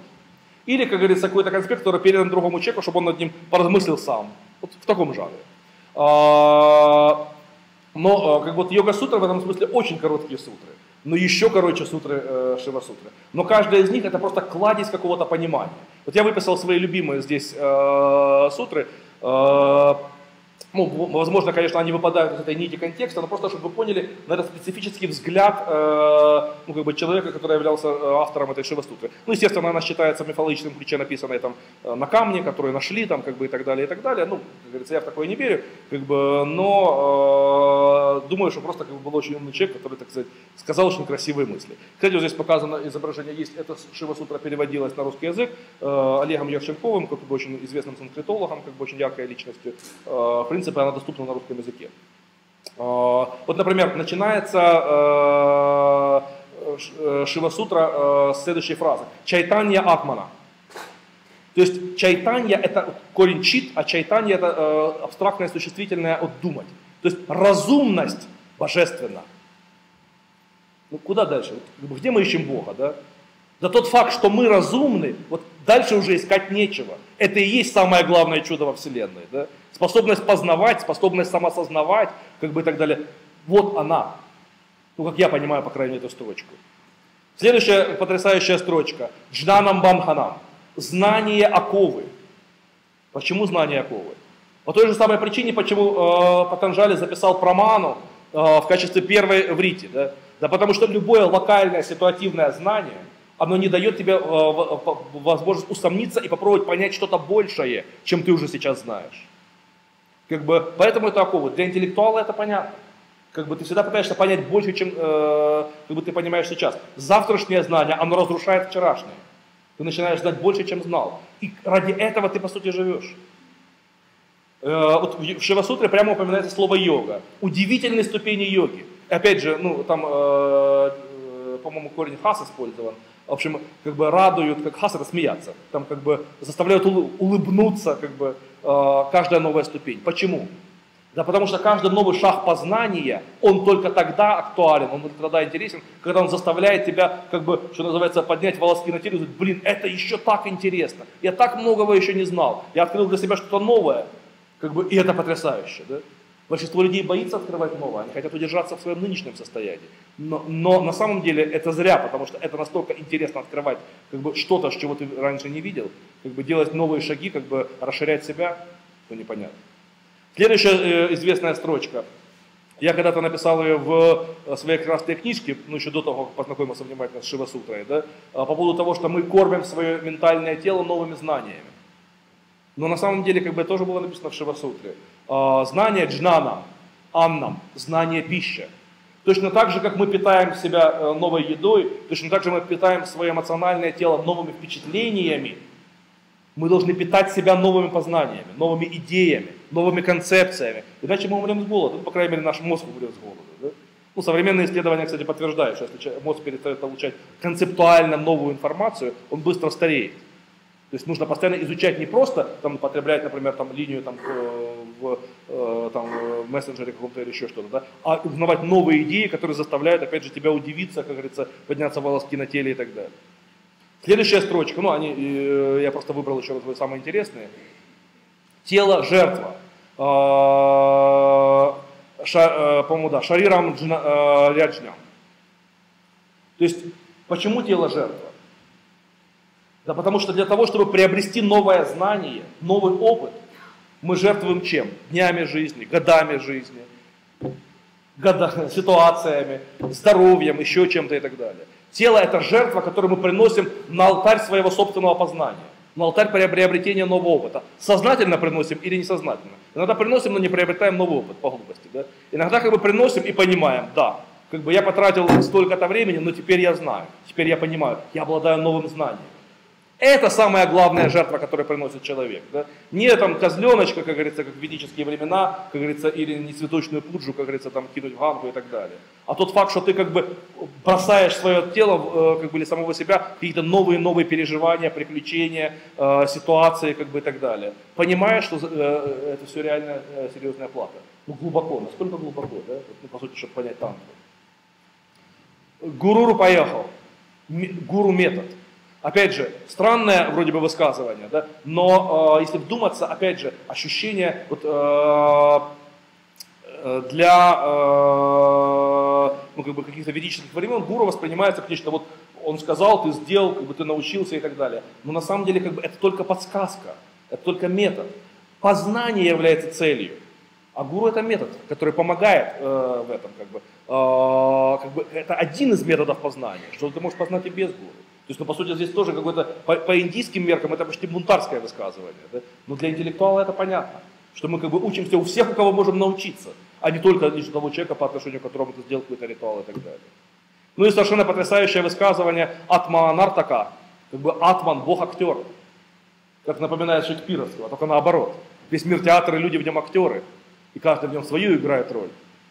Но здесь как бы по-другому. Ты зритель, а мир это театр, в котором происходят какие-то события, да, которые тебя восхищают, как бы, которым ты аплодируешь, которые ты вовлекаешься и так далее. Ярко? Ярко. Вот для, э, насколько глубокий текст, ну, э, это я, я привел просто для примера какие-то вещи, надеюсь вас как бы удивить, как бы вдохновить, как бы и так далее. Но для того, чтобы понять еще один как бы, э, ну, как бы этап в развитии йоги, вот теперь уже со стороны тантры. Кстати говоря, о манифесте мистика интеллектуала, ну, я, я здесь уже не стал эту информацию приводить, пример, есть, как бы, ну, как бы, на мой взгляд, э, родная сестра Шива Сутры, а именно Виджняна Бхайрава Тантра. Хотя написана она была на самом деле на 400 лет позже э, и так далее, но я бы сказал, что это манифест мистика гедониста. Огромное количество техник, которые там описаны, это техники именно чувственные, переживательные, как бы, в частности, там описана куча сексуальных практик и так далее, да, то есть проживание э, каких-то эмоциональных состояний и, и в опоре на эти эмоциональные состояния познавания себя. Так что, ну вот такова она была там, про такие новые идеи. А, в период, это вот мы а, закончили периодом примерно 6, 6 и 8 век нашей эры. Примерно в этот же период, плюс там 100 лет, а, начала формироваться новая традиция – которая получила название традиции надха. Ну, надх это дословно хозяин, мастер, как бы вот, руководитель, ну что-то такое. А, в чем а, интересность традиции надха? А, надхи как бы практиковали йогу. Как бы один из первых надхов был Горокшанатх, или ну, в санскритском произнесении Горокша, Гаракша, а, в бенгальском Горокха. А, это, видимо, реальная историческая личность, потому что ему приписывается куча трактатов, ну кто-то же писал в конце концов, да, как бы, например, известный еще трактат Харакша Шатака, как бы и так далее. Более того, от него происходит целый, э, целый народ, который называется гуркхи, э, считаются бойцами непальскими, как бы и так далее. А, есть огромные ордена, которые, ну, йоговские как бы, традиции, которые происходят от него. Но, то есть, ну, э, сомневаться в историчности личности не приходится, хотя, безусловно, личность потом канонизирована, мифологизирована, там, обросла легендами, сказками там, и так далее. Но в чем была основная идея традиции надхов? Идея на самом деле очень здравая. А, вот вдумайтесь, мы, безусловно, практикуя йогу, ищем освобождение. То есть э, ищем кайвалью. Как бы ищем какую-то мокшу, еще что-то, сказали надхи. Но как-то бестолково все это происходит. Вот вдумайтесь. Первые, там, условно, там, лет 20 жизни, человек бестолковый. И так далее. Он пока раздуплит, пока родится, пока молока насосется, пока ходить научится, пока раздуплится, пока веды выучит, пока, так сказать, э, тело освоит. Уже 20 лет как не бывало. Последние 20 лет жизни тоже, в общем, идут достаточно бестолковые. Нужно лечить то это, то это, то то золотуха, там как бы и так далее, и так далее. Остается довольно мало. Тем более, если вы вспомните, что в те времена, так сказать, люди жили довольно короткой э, продолжительность жизни была, как бы и так далее. А, ну, как бы там не, не все так запущено, конечно, но тем не менее короче, чем сейчас. И получается, что, собственно говоря, на практику йоги остается очень мало времени. Вывод. Надо удлинять жизнь. Надо удлинять жизнь, подумали Надхи и этим занялись. А, по сути говоря, они занялись проблемой работы с физическим телом. Для того, чтобы удлинить вот этот самый активный период практики.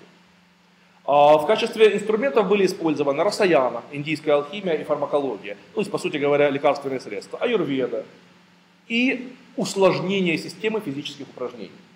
По сути, в этот период надхи создали то, что мы и знаем сейчас как хатха-йогу. Как а, хатха-йогу, как оздоравливающую систему упражнений. В рамках э, этой традиции существовала своя идеология, да, то есть откуда, собственно, взялись перевернутые позы. Например, как бы а, в надхической традиции считалось, что перевернутые позы способствуют накоплению там, жизненного эликсира, бандхи, которые способствуют несжиганию этого эликсира, а, более сложные асаны, которые э, способствуют там, э, прогонянию энергии, управления ваю, более сложные пранаямы. Вот все, что мы сейчас знаем как изощреннейший мотив, изощреннейшую тему хатха-йоги, в действительности было изобретено надхами именно с вот этой самой целью. Но более того, а, когда они э, начали более серьезно заниматься проблемами хатха-йоги, а, они а, как бы, предположили, что как бы, управление телом оно дает не только физическую пользу, но и пользу духовную. Вот э, Гаракша Шатака, Шатака это специфический жанр э, в индийской традиции, Шата это сто, Шатака это соточка. То есть Гаракша Шатака, Шатака это э, жанр, при котором человек пытается изложить какое-то учение или какую-то мысль в 100 строчек ну 100 шлок, если быть точным. Вот Гаракша Шатака это как бы один из главных э, текстов э, Гаракшо, э, Гара, э, Гаракши, который э, как бы излагает основы его йоги. А, вот как бы одна из таких, э, ну, вторая часть, в, то, в 100 он не уложился, поэтому написал вторую часть Гаракша Пададхати. А, но э, вот шлока, которая очень четко выражает отношение надхов э, к практике физического тела. Регуляция дыхания есть огонь, сжигающий семена проступков. То есть теперь мы воспринимаем, если Патанжали установил связь между кармой и эмоциями, то, по сути говоря, надхи сделали следующий шаг. Они установили связь между кармой и физическим телом. И, соответственно, появилась идея, что управляя физическим телом, ты управляешь и кармой, и эмоциями, и многим другим. Поэтому фактически надхи сосредоточились на этом самом физическом теле. Чему мы еще обязаны традиции? То есть мы обязаны традиции надхов современной хатха-йогой. Если посмотреть на более поздние хатха-йогические трактаты, например, на ту же Дхиранда Самхиту, на э, хатха-йога Прадипику, то мы опытным взором там без труда обнаружим, что очень многие шлоки э, откровенно скопипощены с надхических трактатов. То есть фактически средневековая хатха-йога это было какое-то позднее, э, позднее перелопачивание э, хатха-йоги надхов. Но еще чем мы обязаны э, надхам? Традицией чакральной системы. То есть э, именно надхи, вот и в, как раз в горах Шашатаки, впервые, настолько, по крайней мере, из известных мне текстов, настолько подробно изложена чакральная система. Э, более того, там уже даются названия практически те же самые, функции чакр практически те же самые, свойства дхараны, то есть какие э, результаты мы получаем при разных видах дхараны, то есть удержания на разных чакрах и так далее. А, ну, правда, в более ранних э, надхарских трактатах э, чакры еще назывались не а, чакры, а адхары, то есть места удержания. Ну, смысл это не меняет. На самом деле, конечно, чакры упоминались и раньше в индийских трактатах. Вообще, как бы самое первое косвенное упоминание э, чакр я вижу в Ригведе, в этом знаменитом гимне Апуруши, там упоминается о э, то ли восьми, то ли семи оградах, которые существуют внутри него, э, э, ну, Пуруши человека, да, внутри которых, которые горят огни. Я считаю, что это есть символическое упоминание чакр. Э, тем более э, концепция ограды, да, э, пуры, как бы и так далее, ну, осталась в одной из названий чакр, манипура. В э, Адхармаведе тоже есть упоминание о восьми городах, которые э, ну, символически как бы, э, существуют внутри человека и так далее. Тоже, ну, как бы Манипура тоже очень напоминает. А, но уже откровенное упоминание чакр есть в тантрических трактатах. Вот э, есть такой трактат Гухи Самаджа Тантра, это ну, примерно там, 6-8 век нашей эры, где описано уже 5 чакр, и по сути описано Ида и Пингала, техники работы с ними, как бы способы прогоняния ваю, то есть энергии через воздух и так далее. Но так, чтобы вот эта система практически полностью совпадала с тем, что мы знаем сейчас, вот, э, это тоже как бы было сформулировано в трактатах надховских. Ну, про Нанхов пока хватит. Что у нас происходило дальше?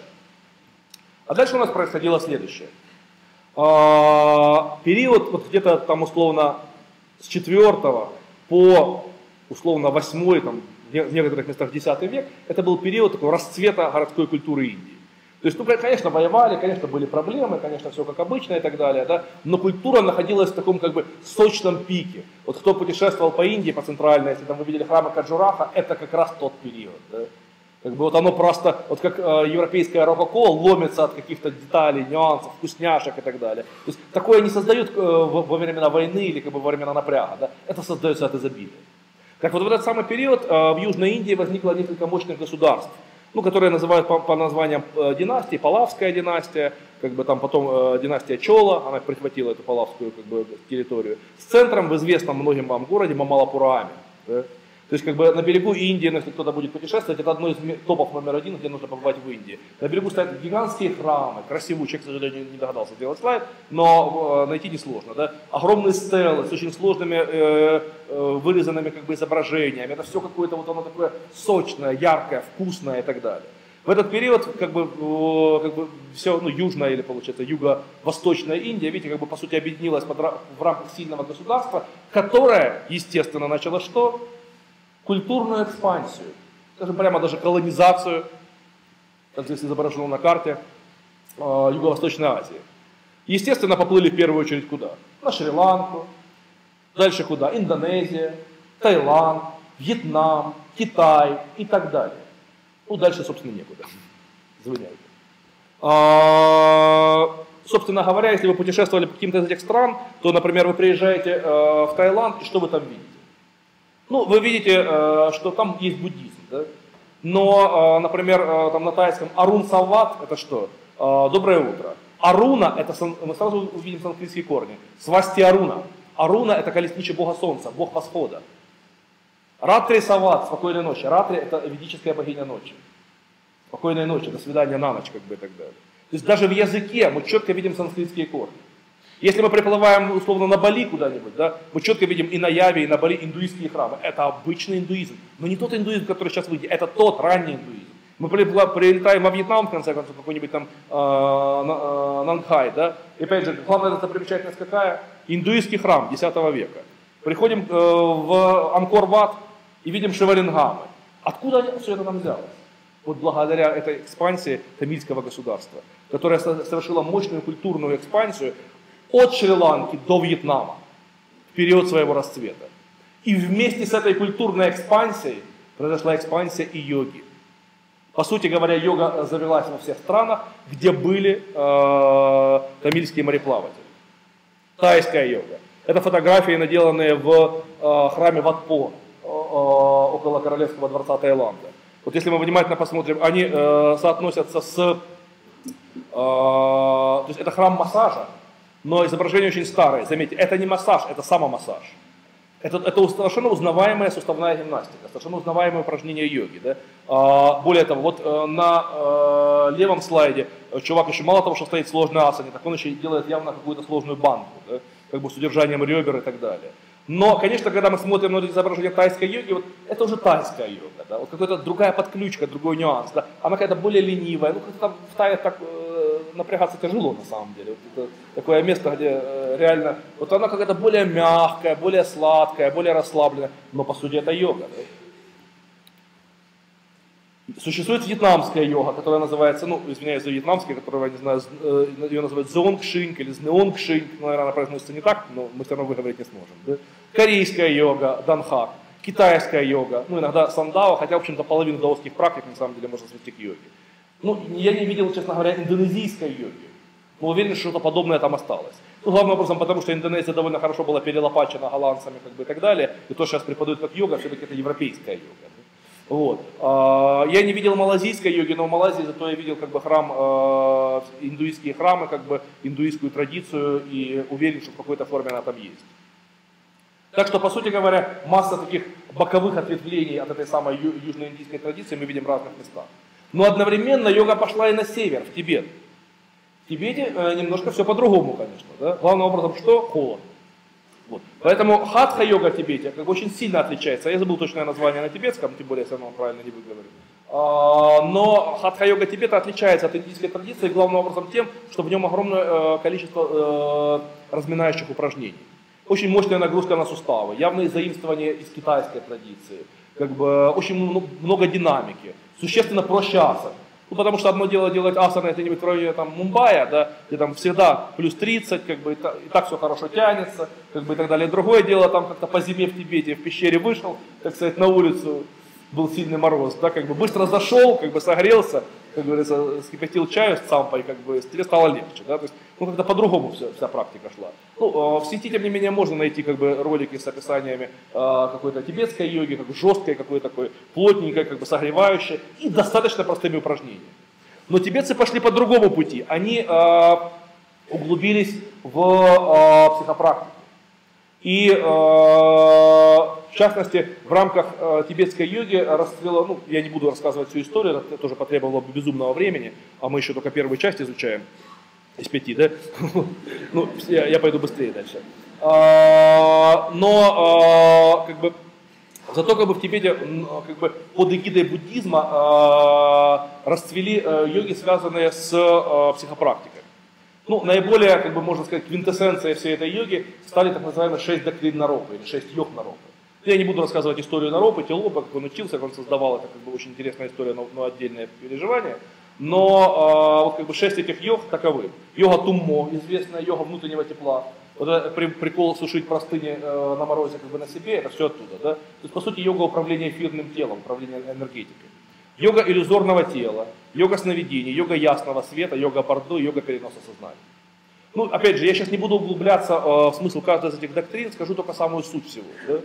Что, по сути говоря, э, смысл всех этих йог состоял в том, чтобы укрепить свое внутреннее переживание своей энергетической целостности до такой степени, э, что... Нет, не кончается. Чтобы в состоянии чтобы быть в состоянии хранить осознанность даже в момент переноса из одного тела в другое. То есть, по сути говоря, вот эта пятая йога, йога Бордо, Бордо это состояние между смертью и следующим рождением. То есть тибетцы пошли по э, следующему пути. Еще в Бхагавадгите была сказана потрясающая мысль, да, что подобно тому, как э, человек сбрасывает э, одну одежду и находит старую одежду и находит новую, так и э, душа сбрасывает старые тела и находит новые. Да? То есть бессмертие недостижимо. Но для чего нам физическое бессмертие, если можем сохранить как бы интеллектуальное бессмертие? Если мы можем перейти из одного тела в другое, не потеряв э, единство потока сознания. В принципе, это уже и не нужно. Да? Поэтому, а что нам мешает не потерять единство потока сознания? Аффекты, которые разрушают наше, э, наше как бы, тонкое тело. Поэтому тибетцы пошли по пути как бы, укрепления тонкого тела до такой степени, чтобы можно было как бы, переродиться, не теряя потока осознавания. Собственно, их традиция э, тулку, э, перерожденцев, как бы, как бы реинкарнирующих как бы, в одном и том же монастыре и так далее. Вся, вся она, традиция строится на этих йогах. По сути, а что для этого необходимо? А, что нужно для того, чтобы человек стал осознанным? ну, как бы в момент смерти, да, хотелось бы, чтобы он при жизни стал осознанным. Если человек при жизни не контролирует свое сознание, которое разбросано и так э, фиг знает где, да, то в ситуациях, где у него не будет физическое тело, физического тела, он будет еще менее осознанным. То есть человек после смерти не умнеет, а глупеет. Да? А, тибетцы сравнивали это переживание с состоянием а, пребывания в сновидении. Можете ли вы контролировать себя в состоянии сновидения, свое сновидение?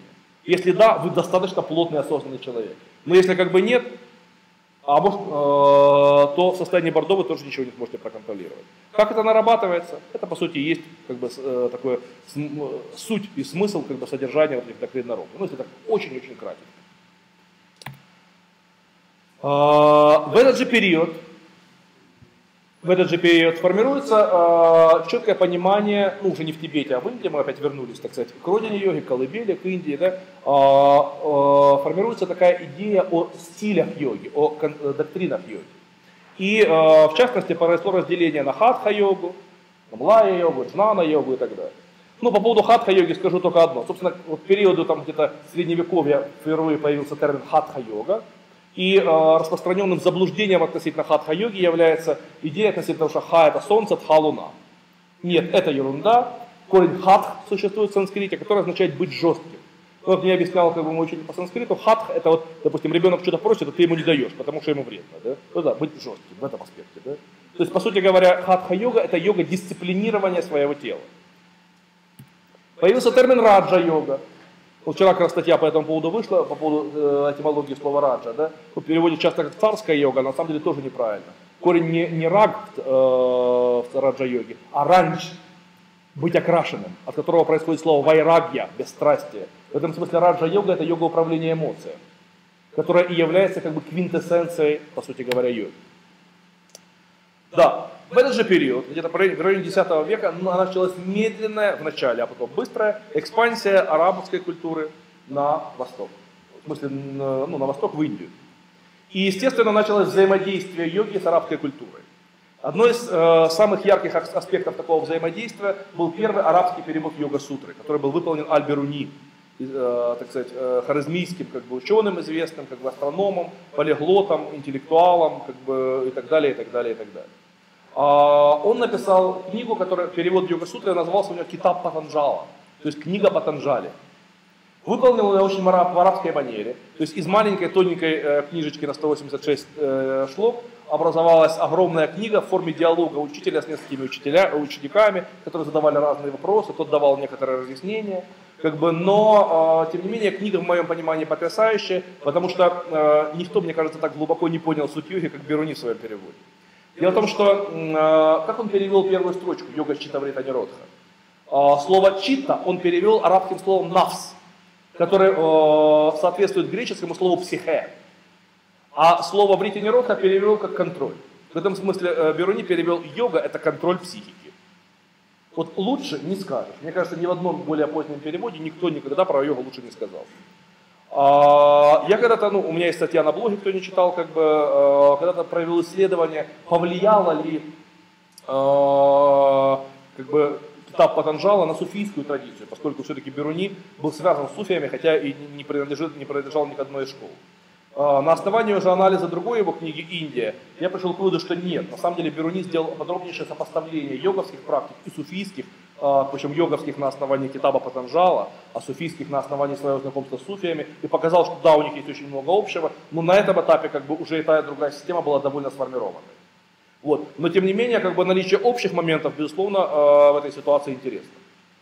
Но надо сказать, что э, были и другие э, э, влияния йоги на арабскую культуру. В данном случае здесь э, текст, который, видите, написан арабскими письменами, хотя я подозреваю, что он написан не на арабском, а на урду, но не могу проверить этого факта. Э, то есть видно, что как бы в арабской традиции четко было, ну, э, ну, письменами урду пользуются сейчас в Пакистане, да? Что тем не менее, как бы люди практиковали йогу и внутри араб, и внутри э, исламской культуры.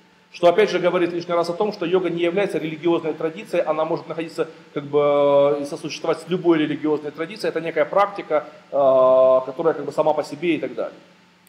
Еще более интересные картинки э, соотносятся с учением надхов.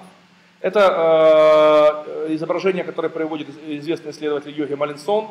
барон, кстати, и человек, который имеет одну из высших ступеней тантрических посвящений в традиции Кулу, как бы и так далее, но, Каулы в смысле, но одновременно он профессор Оксфорда. Вот, как бы. Но э, в данном случае в статье он привел э, ситуацию, где на одной картинке изображены и арабские дервиши, и йоги. Вот видите, как бы со связанными ногами, то есть человек, э, такая веревка пашу, которая позволяет э, дольше находиться в асанах, ну или как бы стабилизатор такой, пропс, как бы мы сейчас сказали. Да? Э, более того, как бы э, Малинсон доказывает, что на этом изображении изображены э, Матсиендранат, учитель Гаракхо, и сам Гаракханат. Но изображены они, как видите, в арабской и суфийской одежде. Хотя э, на, на э, э, шеях у них висят суфи, э, свистки, которые являются символом как бы надхов, атрибутом надха. И э, уши пробиты специальными кольцами, которые тоже носили только э, высшие посвященные надхических орденов. Но при этом суфийская одежда. То есть на самом деле очень интересный момент, что э, йога совершенно спокойно проникала в арабскую культуру и явно и на поздний период оказывала существенное влияние и на суфийские ордена, и вообще э, на арабскую культуру. Более того, э, вот, э, уже я когда-то читал э, ну, такой типа переписи населения в начале 20 века, там, э, которая проводила английская администрация. И она проводила это по э, орденам. И в частности, там исследование ордена Надхов, ну, на начало 20 века было и так далее. И в ордене Надхов четко было написано, сколько из участников ордена, ну, это йоговский орден Надхов, сколько из них были индуистами, сколько из них были буддистами, сколько из них были мусульманами, как бы и так далее, и так далее, и так далее. То есть, видите, несмотря на религиозную принадлежность, люди совершенно спокойно принадлежали к э, одним как бы религиозным школам и так далее. Что происходило в Индии дальше? Ну, события трагические, завоевания как бы, мусульманами как бы, Индии, установление э, империи великих моголов, но йога не исчезала в этот период. А, были написаны самые известные йогические произведения, которые дошли до наших дней. Гиранда Самхита, Хатха Йога Прадипика, Шива Самхита, которые по сути являются уже компиляторами а, всего йоговского учения, как бы именно Хатха йоги, в основном с акцентом на хатха йога, куда добавлены к асанам пранамам всевозможные очистительные процедуры, как то там всевозможные э, шаучи, э, басти, насти, там как бы и всякие прочие э, очистительные процедуры, которые тоже э, стали неотъемлемой частью йога, йоги, которые, собственно, вошли в йогу благодаря как раз традиции надха. Были написаны йогические упанишады, такие как Теджа Бинду, Джнана Бинду э, Упанишада, Кшурика Упанишада и многие там десятки текстов, э, ну, которыми сейчас тоже нет времени заниматься. Ну, в общем, как бы традиция йоги, тем не менее, стала переходить на более такое сдержанное положение, ну, в условиях все-таки как бы чуждо ей э, изначально культуры. И э, на этом мы как бы завершили первую часть нашей лекции, как бы познакомились с истоками как бы йоги. Да? И э, теперь мы попробуем понять, как же йога попала на Запад. Ну, э, по сути, мы начинаем там же, где закончили. Да? Примерно в тот же самый период. Период колонизации Индии. А, вообще, э, скажем, колонизация Индии, конечно, для Индии, ну, как бы, наверное, оказала не очень приятную услугу, да, как бы разрушив традиционную индийскую культуру, смешав ее там с чем-то еще, как бы высосав Манипуру, безусловно, из индийского эгрегора и так далее. Но для Запада это был, конечно, э, колоссальный прорыв и экономический, и весь остальной, потому что вообще э, было давно замечено, что э, Восток, Запад, когда ему становится хреново, всегда обращается на Восток. Да? ну, будь то э, какая-то традиция э, путешествия там, крестоносцев, ну или, скажем, э, крестовых походов, благодаря которым крестоносцы принесли те утраченные благодаря э, средневековому христианству элементы за, э, греческой культуры, которые были переведены на арабский, как бы там э, вернули традицию, там, грубо говоря, мыться в бане, э, так сказать, лечиться нормальными лекарствами э, и так далее, и так далее. Вот период как бы обращения э, Индии, э, то есть, э, Европы к Индии тоже был как бы таким некоторым специфическим обращением э, к этой самой индийской традиции. Надо сказать, что в это время в Европе уже была своя эзотерическая традиция. А эзотерической традицией э, Европы всегда было что? Масонство. Вот, э, опять же, если отбросить всякие как бы, представления о масонском заговоре и прочей белиберде конспирологической, да, что такое, по сути говоря, масонство? Масонство – некоторая эзотерическая традиция трансформационного типа. Э, эзотерическая в смысле скрытая, трансформационная в смысле ставящая целью трансформацию личности. Вот масонские символы, которые э, как бы, являются традиционными масонскими как бы, изображениями, да, об этом примерно и говорят. Молоток, вот у человека есть некая старая личность, пирамида, да, которую необходимо разрушить, отмерить при помощи уголка и мастерка новую и построить новую. То есть мы меняем себя. Мы меняем общество, как бы считали масоны. Да? Вот в чем э, как бы заслуга масонства вообще перед европейской культурой? Э, масонство было трансформационной системой не только в рамках индивидуальной личности, но и в рамках социума. Можно сказать, что все революционные идеи, которые существовали в рамках европейской культуры, всеми этими идеями мы обязаны масонам. Идея либерализма, идея как бы, э, естественных прав человека, идея свободного рынка, идея э, как бы незакрепощения человека, идея конституции в конце концов. Все, это, э, все эти идеи зародились внутри масонской традиции. Я как раз, э, ну, ВКонтакте, наверное, видели, я э, путешествовал там где-то пару месяцев назад в Петербург, и там э, была конференция по эзотериологии, то есть, ну, как бы науки, которая изучает эзотерику. Вот а, одно, одним из основных посылов, который как бы там стал понятен, хотя, в принципе, для меня он и так был понятен, что действительно, в чем смысл как бы эзотерики как таковой, вообще в мировом масштабе, в каждой эзотерике в своей традиции и так далее, в своей культуре. Эзотерика генерирует новые идеи, которые лежат за пределами текущей социальной реальности но потом как бы эти идеи принимаются и поглощаются социальной реальностью, и реальность таким образом развивается. Я потом, потом покажу это на, на многих более поздних примерах, но пока э, вот как бы остановимся на как бы, э, кратком упоминании о э, масонах и либерализме. Собственно говоря, даже идея о масонском заговоре, почему она существует. Собственно говоря, она же возникла в период ну, как бы, царизма, да, как бы консервативного. Да, и под масонами понимали людей, которые хотят свергнуть царя и установить демократию или либерализм или что-то такое. Да. Поэтому они делают заговор, мы против них. Ну, такое традиционное знаете, общество традиционного типа, которое боится впускать в себя что-то новое новое, какие-то новые, э, более демократические, более свободные ценности, как бы и так далее. Вот, собственно говоря, сейчас эту идею просто повторяют по привычке, да, как бы и так далее, а, ну, не, разобравшись с историей. Почему, а, собственно говоря, я про это говорю? Потому что масонство к периоду, вот, а, скажем так, конца 18 века где-то уже немножко подостащилось. И в качестве способа добавления каких-то новых идей оно сделало очень интересный э, шаг. Оно как бы проложило дорогу на восток. В чем это проявилось? Вот два, а, две уникальные личности, которые во многом открыли для нас первые, как бы, даже не форточки, а, наверное, какие-то а, замочные скважины на восток, Анкетиль Дюперон и Чарльз Уиткинс. Чем они интересны? Расскажу вначале про Анкетиля Дюперона. Он был как бы весьма таким как бы пытливым, интересующимся человеком. И в молодости пристроился, в общем, для того, чтобы посмотреть мир, пристроился в Остинскую компанию. Рядовым. Пока он плыл э, к э, Индии, кто-то, кто-то заметил, что как-то человек явно превосходит возможности нормального рядового. Вывод был сделан необычный. Ему дали увольнительную, свободную, выделили пенсию, ну как бы э, денежное содержание, и предложили шляться по Индии. Что он сделал? Надо сказать, люди, которые выделили, это были, безусловно, масоны, да? Как бы э, отпустив человека в свободное от фонарное плавание, да? Э, были очень тонкими знатоками человеческой натуры, потому что их вложение окупилось на 100%. Это был человек, который при, э, нашел первые Упанишады. Он нашел первые Упанишады даже не на санскрите. Он не смог освоить санскрит, он освоил фарси, персидский язык. Как бы, и он же э, нашел э, первый текст Авесты. Он перевел э, в 801 году э, текст Авесты и текст, текст Упанишат и впервые издал его в Европе. На первом европейском языке, на французском, естественно. Когда он приехал во Францию, его опять нашли. И дали ему новую пенсию э, в качестве переводчика и хранителя текста в каком-то, какой-то небольшой библиотеке. Что его вполне устраивало уже на старости лет, он занимался переводами как бы, и так далее, и так далее. Какую от этого пользу получили масоны, неизвестно, но какую от этого пользу получила европейская культура, колоссальная. Как бы под впечатлением этих Упанишад писал Гегель.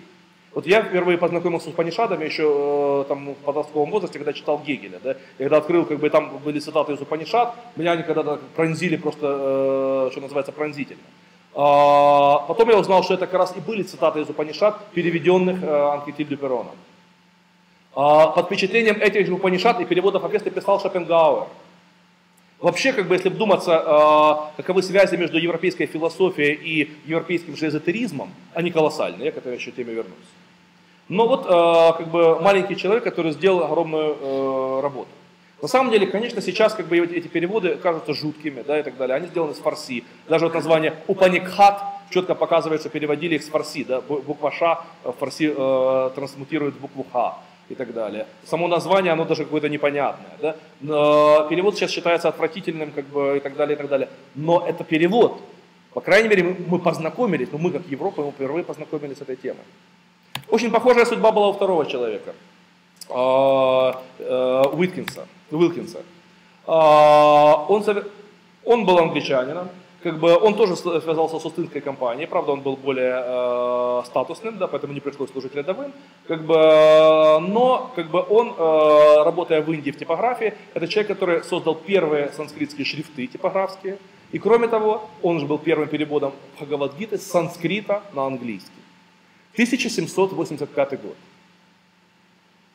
А уже через три года Бхагавадгита переводится на русский язык.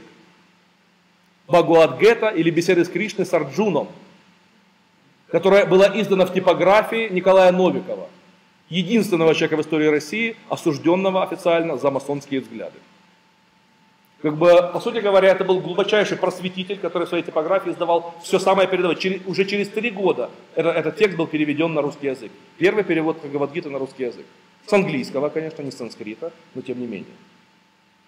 Вот э, каково влияние, то есть, по сути говоря, чем занимались масоны в этот период? Они занимались просветительством. И любые новые идеи, которые попадали в европейскую культуру, они создавали пространство для существования этих идей. За что им, как говорится, отдельное человеческое спасибо. Да? Значит, наступил 19 век, и появилось научное востоковедение. А, насколько переплетена европейская интеллектуальная тусовка – ну, э, таких переплетений много, но я потом про теософское общество буду говорить, как бы э, расскажу, да. Сэр Манье Вильямс, выдающийся востоковед. Его цитата «У настоящего аристократа должно быть два хобби – востоковедение и разведка». А, причем разведка не только пассивная. Манье Вильямс, как бы это человек, который с одной стороны создал э, самый лучший до сих пор словарь санскрита, это два вот такенных размера тома и так далее, 100 тысяч слов, причем, как, это вообще можно было сделать без компьютера, как бы я до сих пор не то есть только с гусиным пером, да, и усидчивостью. Вот, ну, э, с другой стороны, это человек, который принимал участие в проекте, который создавало английское правительство, а именно, ведь большинство индусов, вы удивитесь, но большинство индусов не знает санскрит. Они читают свои тексты или на английском, или на, или на хинди. Даже Махатма Ганди познакомился с Бхагавадгитой вначале на английском, в Лондоне, вот в этом переводе. Понимаете? И только потом он смог прочитать ее на, на каком-то из родных языков. Я, кстати, даже не знаю, не на санскрит, скорее всего, на хинди, да? потому что он был вайшей по касте, как бы он, скорее всего, санскрита не знал. Но, э, как бы, что делало английское правительство? Оно, э, как бы, выдающиеся английские востоковеды, это описывает Синглтон, один из исследователей йоги, английское правительство начало аккуратным образом трансформировать классические индийские тексты, внося в них некоторые элементы христианства, убирая аспекты Манипура и Сватисхана. Собственно говоря, Манипур и Сватисхану э, удаляли и жесткими путями. Например, одно из первых, что запретили в Индии, это традиционные боевые искусства. А, Калари Праят, тамильское искусство, сохранилось ну, в ничтожных вариантах да, и так далее. Хотя совершенно понятно, что индусы были очень воинственная нация. И э, Дхармаша, э, Дханур Веда да, и э, Дханур Шастра, как бы тогда, Веда Лука и так далее, это были целые огромные произведения. Как бы более того, именно индийская армия остановила армию э, Александра Македонского. То есть индусы умели воевать. А сейчас, как бы, когда смотришь на индусов, понимаешь, что они не смогут воевать. Это сделали англичане, будем реалистами. А, но из Ватисхана тоже удалялось. То есть, ведь, а, ну, наверное, многие из вас видели индийские танцы, бхаратнатьям, да? Видели, в чем танцует сейчас современная танцовщица?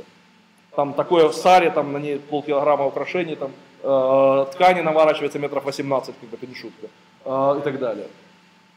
Так вот, Паратнатим танцевался в древности, но он танцевался практически обнаженный. Вот как вы видели э, на изображениях Анкора, да, то есть грудь обнаженная, легкая набедренная повязка и так далее. Зачем вся эта ткань в Индии? Это уже э, влияние англичан, которые пытались перекрыть в Индии Сватисхана. Как бы из текстов извлекались, даже перевод э, Камасутры, вот если кто-то видел перевод Камасутры с английского на русский, а потом сравнивали с академическим переводом, там половина текста нету. А русский перевод, который делал сразу Сыркин с санскрита, на порядок лучше, чем английский. Только сравнительно недавно, лет 20 назад, заново перевели, по Малинсон же и перевел, э, заново перевели Камасутру полностью. То есть Сватхисхана изымалась из эгрегора. Ну, э, честно говоря, в этом участвовал и, к сожалению, Маньявилин. Вот, как бы аккуратненько переведя, потом переведу примеры таких переводов и так далее. Но, э, с другой момент, конечно, человек для исследования Востока равно сделал очень много. А э, по поводу переплетенности тусовки европейских интеллектуалов, видите, фотография Манье Вильямса, сделанная Льюисом Перровым. Да? Потому что тусовка была одна. Э, другая известная личность, Макс Мюллер. Не только э, выдающийся санкретолог, но и выдающийся э, востоковед и историк философии.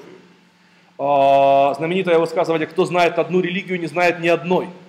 Религии можно понять только сравнивая друг с другом, сравнивая с их истоком. Вот э, я показывал количество переводов или там вариантов йога-сутры, да, но, э, к сожалению, у меня нет этой фотки, я не сделал ее. Чтобы понять, сколько сделал Макс Мюллер, нужно зайти в академический магазин индийский. Там обычно верхняя полка, вот такая, знаете, там на два моих обхвата. Это все Макс Мюллер, Макс Мюллер, Макс Мюллер, Макс Мюллер. Он перевел все веды, он перевел самхиты, он перевел то, перевел все, написал кучу учебников и так далее. То есть даже непонятно, э, учебников по английскому, э, по санскриту, учебников по философии, там шесть систем индийского брахманизма. Это какой-то колоссальный объем работы, который человек проделал. Вот э, тоже как бы человек, который как бы проложил для нас путь в э, понимание индийской культуры. Наконец, первый перевод йога-сутры Патанжали.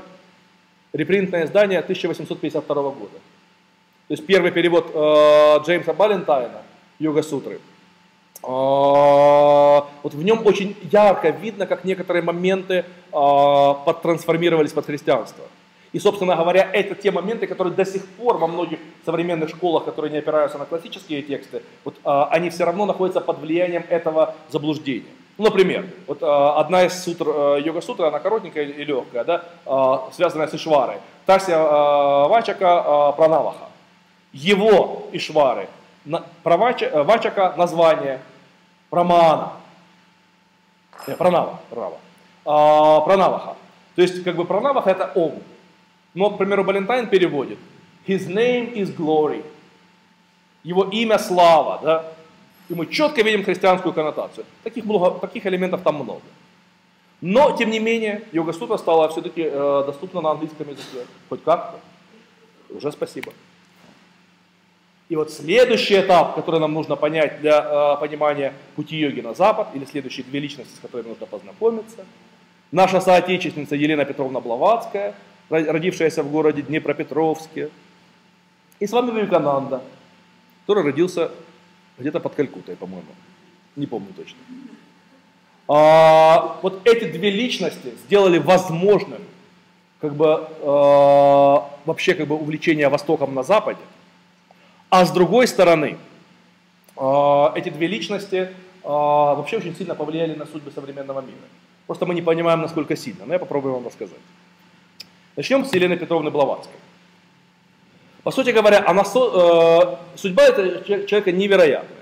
Как бы ее невероятно ругали в Советском Союзе, сейчас по традиции ее ругают, говорят, что она авантюристка, там, как говорится, шарлатанка, неуч и так далее, и так далее. Но если кто-нибудь попробовал прочитать ее книгу «Разоблаченная Изида», например, два вот таких тома у меня на полочке стоят, как бы и так далее. Ну, я человек достаточно образованный, но когда я читаю, у меня голова пухнет. Да? Не потому, что там все правильно и так далее, просто по степени эрудированности человека. Ну, у нее много и других книг. Но, э, по сути говоря, что сделала Елена Петровна Блаватская? Ну, еще в 16 лет, да, в 16 лет она поняла, что она хочет путешествовать, путешествовать в Индию. Для этого она быстро вышла замуж за какого-то генерала и прямо из-под венца, уже будучи замужней женщиной, укатила в Индию. Ее путешествия, э, результаты первого путешествия описаны в первой ее книге э, «Из пещеры Дебры Индостана». Книга читается увлекательно. Безусловно, там много как бы и лажи, ее разводили где, где не попало, как бы индусы, как не попало, как бы и так далее. Но в целом великолепный приключенческий роман.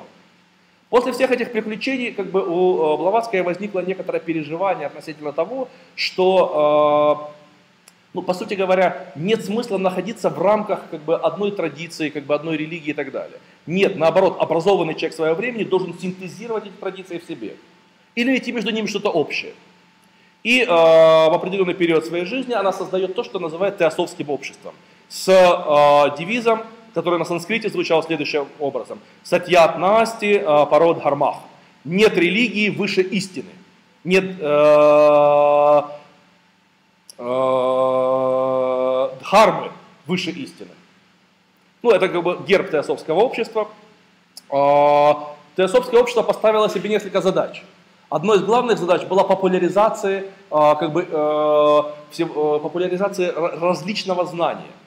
В сотрудничестве с Еленой Павловной э, Блаватской начал работать, как бы он был точнее, председателем Теософского общества, она считалась как бы вице-председателем, хотя он считал ее своим учителем, и у него есть описание, как он в течение два месяца мы изучали, он помогал э, переводить э, разоблаченную Зиду на английский, да, как бы сидя там по 20 часов в сутки и так далее. Все, что за два месяца я изучил больше, чем как бы там за весь свой курс в ВУЗе, да.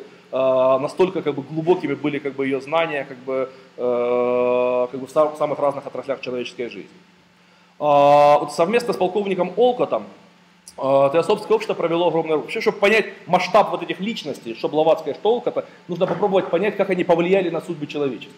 Вот, например, а, полковник Олкот, человек, который практически официально признан святым внутри э, шри-ланкийского буддизма, который он, по сути, заново создал. Большую часть современного буддийского канона хионического написал именно этот человек, по которому молятся как бы в храмах как бы, и так далее, и так далее. А, а, в результате его деятельности возникло минимум два города. Города. Сарнат, про который я уже упоминал, и Бадгая. Это человек, который, хотя фактически он ничего не делал, он просто ездил и читал лекции. Но когда он приехал к буддистам и рассказал им про буддизм,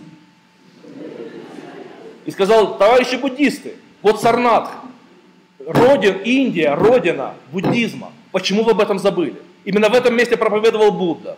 А в этом он достиг просветления.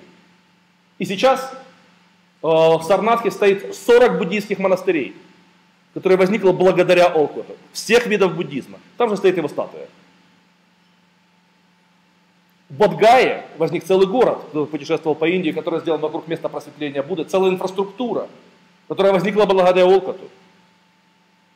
Когда он заехал в Бомбей и прочитал лекцию зарастрийцам о зарастризме, и объяснил, что зарастризм это же первая религия Ария. Это как бы первая идея дуальности. Это самая древняя, это самая классная и так далее. То э, иранские зарастрийцы, которые всегда считали себя людьми второго сорта по сравнению с мусульманами, воспряли духом.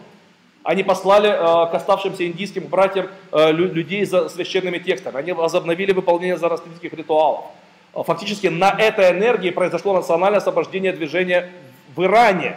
И пришла к власти династия Пехлеви, шахов иранских. А он просто читал лекции. А, ну, скажем так, а, если посмотреть какие-то, да, это единственный человек в мире, которому индийские брахманы официально, которые презирают все и всех, будем реалистами, да, официально присвоили статус брахмана. За заслуги перед индуизмом. Понимаете? То есть на самом деле, как бы он оказал на Восток влияние не меньше, чем другой скромный лектор на Запад и на весь мир. Пьер де Кубертен. Основатель олимпийского движения. Который просто у него была идея фикс. Давайте возродим Олимпиады в античности, древним богам. Возродили. Сейчас как бы олимпийское движение, э, вся спортивная катавасия 20 и 21 века, наверное, по финансам она больше, чем военные расходы. Да? А это был просто скромный лектор, который двигал свою идею. Ну, как-то очень привлекательно. Да? Что еще делал, по сути говоря, а, Иолкот и Блаватская? А, одна из их главных идей была заново возрождение индийской духовности. Дело в том, что э, Индия находилась к началу 19 э, века в очень плачевном состоянии в духовном смысле этого слова. То есть, по сути, да, какие-то оставались брахманские школы, гурукулы, которые вот теперь уже стали хижиной, в которой как бы сидит учитель и ученик, и они там что-то друг другу рассказывают. Да? Никакой централизованной системы образования нет, никаких брах, брахмаваки уже нет, как бы, э, так сказать, э, издания книг уже нет и так далее. И тогда они сказали, что? А давайте сделаем. И сделали. Практически любой текст, который вы сейчас можете найти, вот даже вот первое издание я показывал Йога-сутры, да, но второе издание Йога-сутры – 1882 года. Сверху написано Theosophy Society.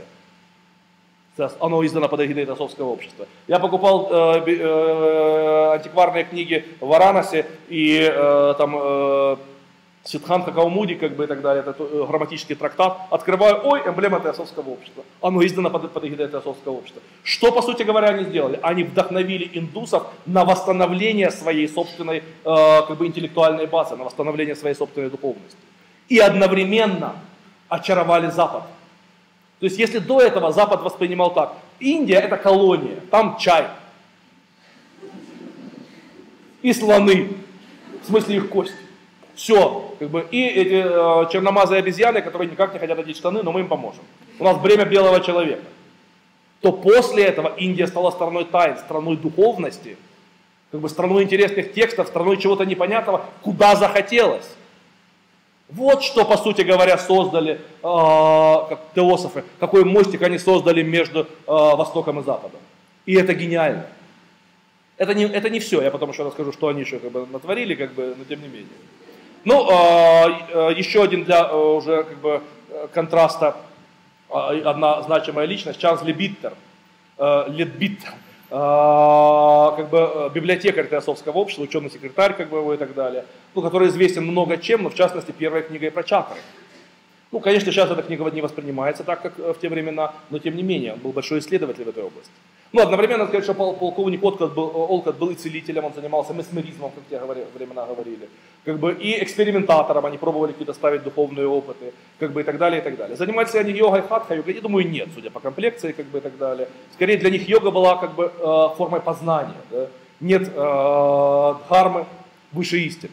Как бы сейчас многие, конечно, их тексты воспринимаются, ну, может быть, наивно с востоковедческой точки зрения. Но влияние, ну, как бы, грубо говоря, если мы сейчас попробуем динамики, э, механику Ньютона применить к квантовым системам, тоже наивно воспринимается. Но в своем как бы, ключе применения оно сработало очень хорошо. Теософское общество проложило, по сути говоря, путь с востока на запад. Оно увлекло запад востока. Надо сказать, опять же, не без контакта с масонскими кругами, которые, по сути говоря, э, начали плотно вплетаться э, в круги теософского общества и тоже все больше и больше увлекались восточными идеями. Благодаря Теософскому обществу возникло еще две интересные личности. Их возникло, конечно, бесконечно много, это отдельная тема, можно было бы читать, 5, э, часов 5 читать, но эти две личности нужно знать. Рудольф Штайнер, основатель антропосовского общества, которое откололось на определенном этапе от Теософского. Ну, про него когда-то Стефан Цвейх писал, что это самый яркий оратор 20 века, и ярче в этом веке не будет. Потому что когда Штайнер говорил, замолкали толпы.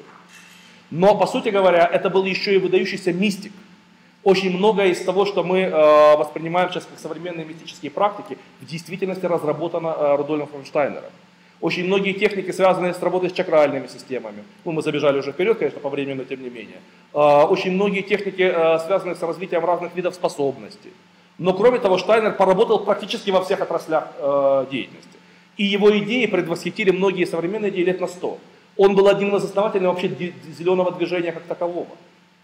То есть а, он первый, кто написал об экологическом ведении хозяйства в 900 году, когда только-только придумали э, э, удобрения, еще не было этой проблемы. Сейчас во многих европейских странах внедряют э, те идеи по сельскому хозяйству, которые внедрил Штайнер. Штайнер был одним из основателей идеи, то, что называется вальдорфская педагогика. То есть педагогика, основанная на развитии творческих способностей ребенка, а не на подавлении его, вальдорфская школа и так далее. То, что сейчас внедряется в передовых странах Европы. Штайнер был основателем а, то есть и одним из концептуализаторов теории театра, которая потом получила название системы Станиславского. Ну, о взаимодействии Станиславского с антропософией я потом расскажу. И так далее. В общем, это была совершенно яр, ярчайшая, потрясающая личность, один из выдающихся мистиков 20 века, воспитанный теософами. Вторая, э, вторая личность, Ани Бизант, э, которая была э, после смерти Алкота э, президентом теософского общества долгое время – Кроме того, ведь она была масоном-мартинистом, она здесь в костюме верховного магистра этого ордена, как бы и так далее. Но, э, как бы, чем, что дала миру Ани Бизант? Ани Бизант, ну, много чего дала. Но одно из самых главных ее достижений – это создание Кришнамурти. Она создала э, выдающегося э, ну, мыслителя 20 века Джиду Кришнамурти. Это был ее проект, она его вырастила. Который, э, идеи которого легли в основание Э, революции 60-х. Сексуальная революция, идеи хиппи, э, демократизация и так далее. То есть фактически без этого человека той, той степени либерализма и демократии, в которой мы сейчас живем, скорее всего бы не было. Потому что сами по себе эти идеи во многом э, были заложены именно философами и антропософами.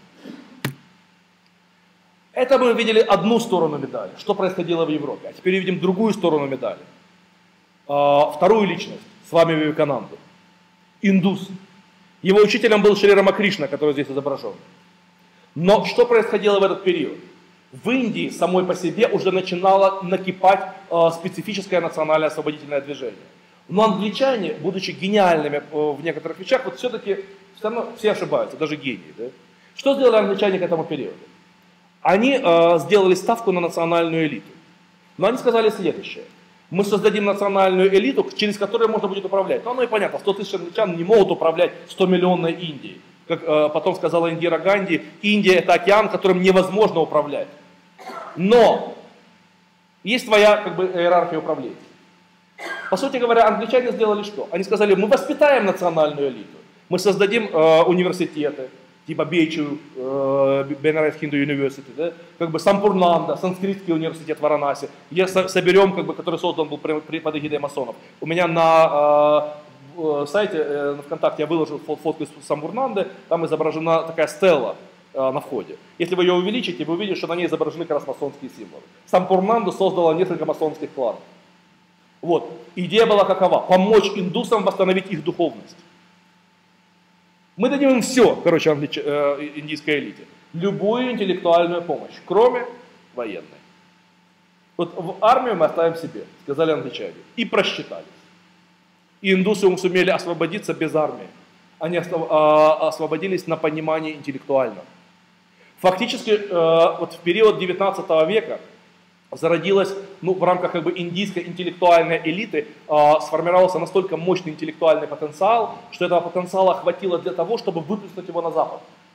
По сути говоря, э, что сделал э, с вами Викананда?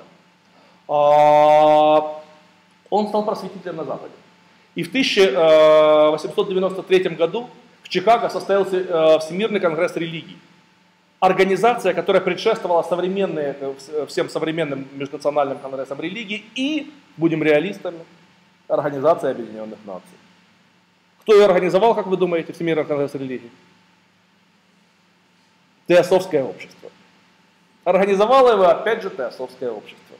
Но туда поехал с вами Викананда. Молодой с вами Викананда который, к сожалению, не мог. Он практиковал йогу под эгидой э, э, Шри Рамакришна, но прочитать про это можно у Ромен Ролана, известного э, французского писателя. У него есть великолепная книга «Жизнь Рамакришны и жизнь Вивекананда», где он подробно описывает все эти события.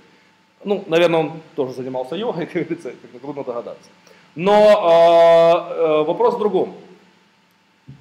Когда э, Вивекананда э, поехал для того, чтобы, э, для того, чтобы рассказать на всем Всемирном конгрессе религии об индийской духовности. Но он не мог попасть на конгресс религии. Почему? Потому что никакой религии он не представлял.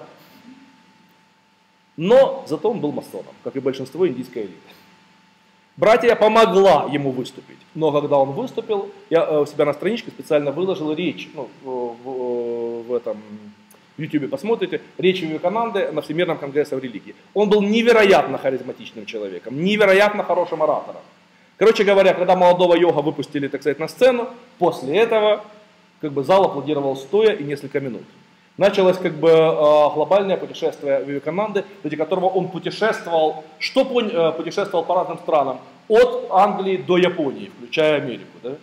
И Россию, как бы, и так далее, где он э, выступал, как бы, постоянно неся какие-то идеи. Он, по сути, рассказывал об идеях э, индийской духовности. Э, его лекции э, стали э, основой нескольких книг, которые так и назывались. Карма-йога, бхакти-йога, раджа-йога. Есть еще джнана-йога, но я не нашел обложку этой книги, как бы, э, джнана-йога. То есть, по сути, он начал популяризацию йоги на Западе. Вот благодаря кому как бы, это произошло. Как э, сам Вивекананда относился к хатха-йоге? Ну, э, сложно сказать. Э, существует цитата Вивекананды относительно э, того, как вы будете бороться со своим умом, ну, то есть контролировать свой разум, если ваше тело не будет сильным. Вероятно, он занимался и практиковал хатха-йогу, по крайней мере, в современных ашрамах Шавананды. Э, Вивекананда я был, допустим, в Каньякумаре, там практикуют йогу сейчас. Хотя именно как бы уровень практики хатхи не очень высокий, ну по нынешним, по крайней мере, стандартам. Вот. Но э, место и роль Вивекананды в популяризации как бы, Индии в мире и, и йоги в Индии настолько велика, что, э, чтобы вы понимали, насколько они, она велика, вот эта фотография верхняя, это фотография из Каньякумари. Это самая южная точка Индии. А южнее только маленький островок. И на этом островке, это вид с берега, стоит огромная, просто нечеловеческих размеров статуя Вивекананды. Это место, где он считается достиг первого своего просветления самадхи. Да? Он доплыл до этого острова, несколько дней медитировал и пережил там свой первый как бы, мистический опыт. Но если мы посмотрим на восточную или на западную Индию, допустим, ворота Индии э, в Бомбее, то стоят ворота Индии, это ворота, через которые ушли англичане. А смотрит в ворота буквально в 200 метров, вот прямо по прямой, еще одна статуя Вивекананды. Как бы говоря, до свидания. Такая же статуя есть на Западе. Вот ощущение, что Вивекананда, он настолько уплотнил индийскую самоидентичность, он настолько уплотнил индийское эгрегор, он настолько популяризировал Индию э, в Европе, что не считаться с Индией, считать, что это просто обезьяны, обмотанные в дходе, уже было просто нельзя. Как бы возросла популярность Индии и возросла популярность йоги. Он же сделал второй перевод йога-сутры. Ну, я не знаю, может быть, еще какие-то промежуточные, но тем не менее. Ну, естественно, под эгидой кого? да, Тесловского общества, да, как бы и так далее. Но э, второй перевод Йога-сутры, который, в общем-то, ну, до сегодняшнего дня, я считаю, одним из самых лучших и самых здравых переводов Йога-сутры э, санскрита на английский. Ну и так далее, и так далее, и так далее.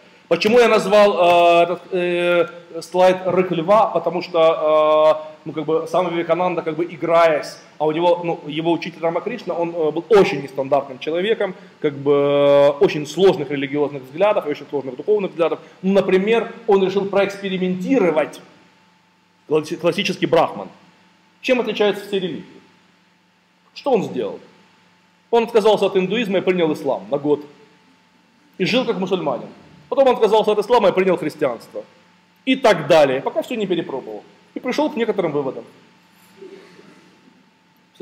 Это вообще немыслимо в то времена, это даже сейчас сложно представить, да? но тогда это был вообще как бы супер эксперимент. Да?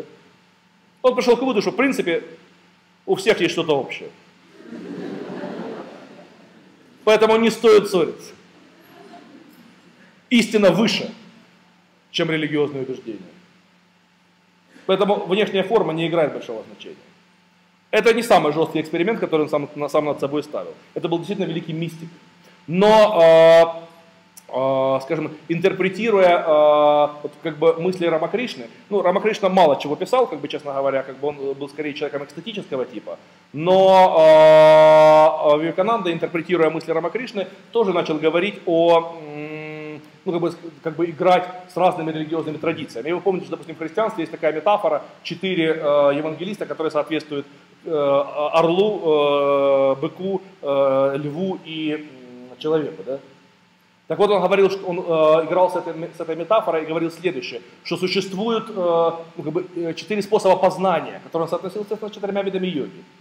Как бы способ познания подобно орлу, когда ты паришь как бы над э, всем миром, как бы смотришь в метаконтексте, э, видя глобальные связи и так далее. Способ познания подобно льву, когда ты вырываешь знания, как бы э, опытом, как бы и так далее. Человеком, который э, как бы э, как подобно Гюрджиевскому пути хитреца, как бы ищет, разбирается и так далее. И э, быку, когда ты э, впахиваешь, как бы медленно, шаг за шагом продвигаешься к истине. Да?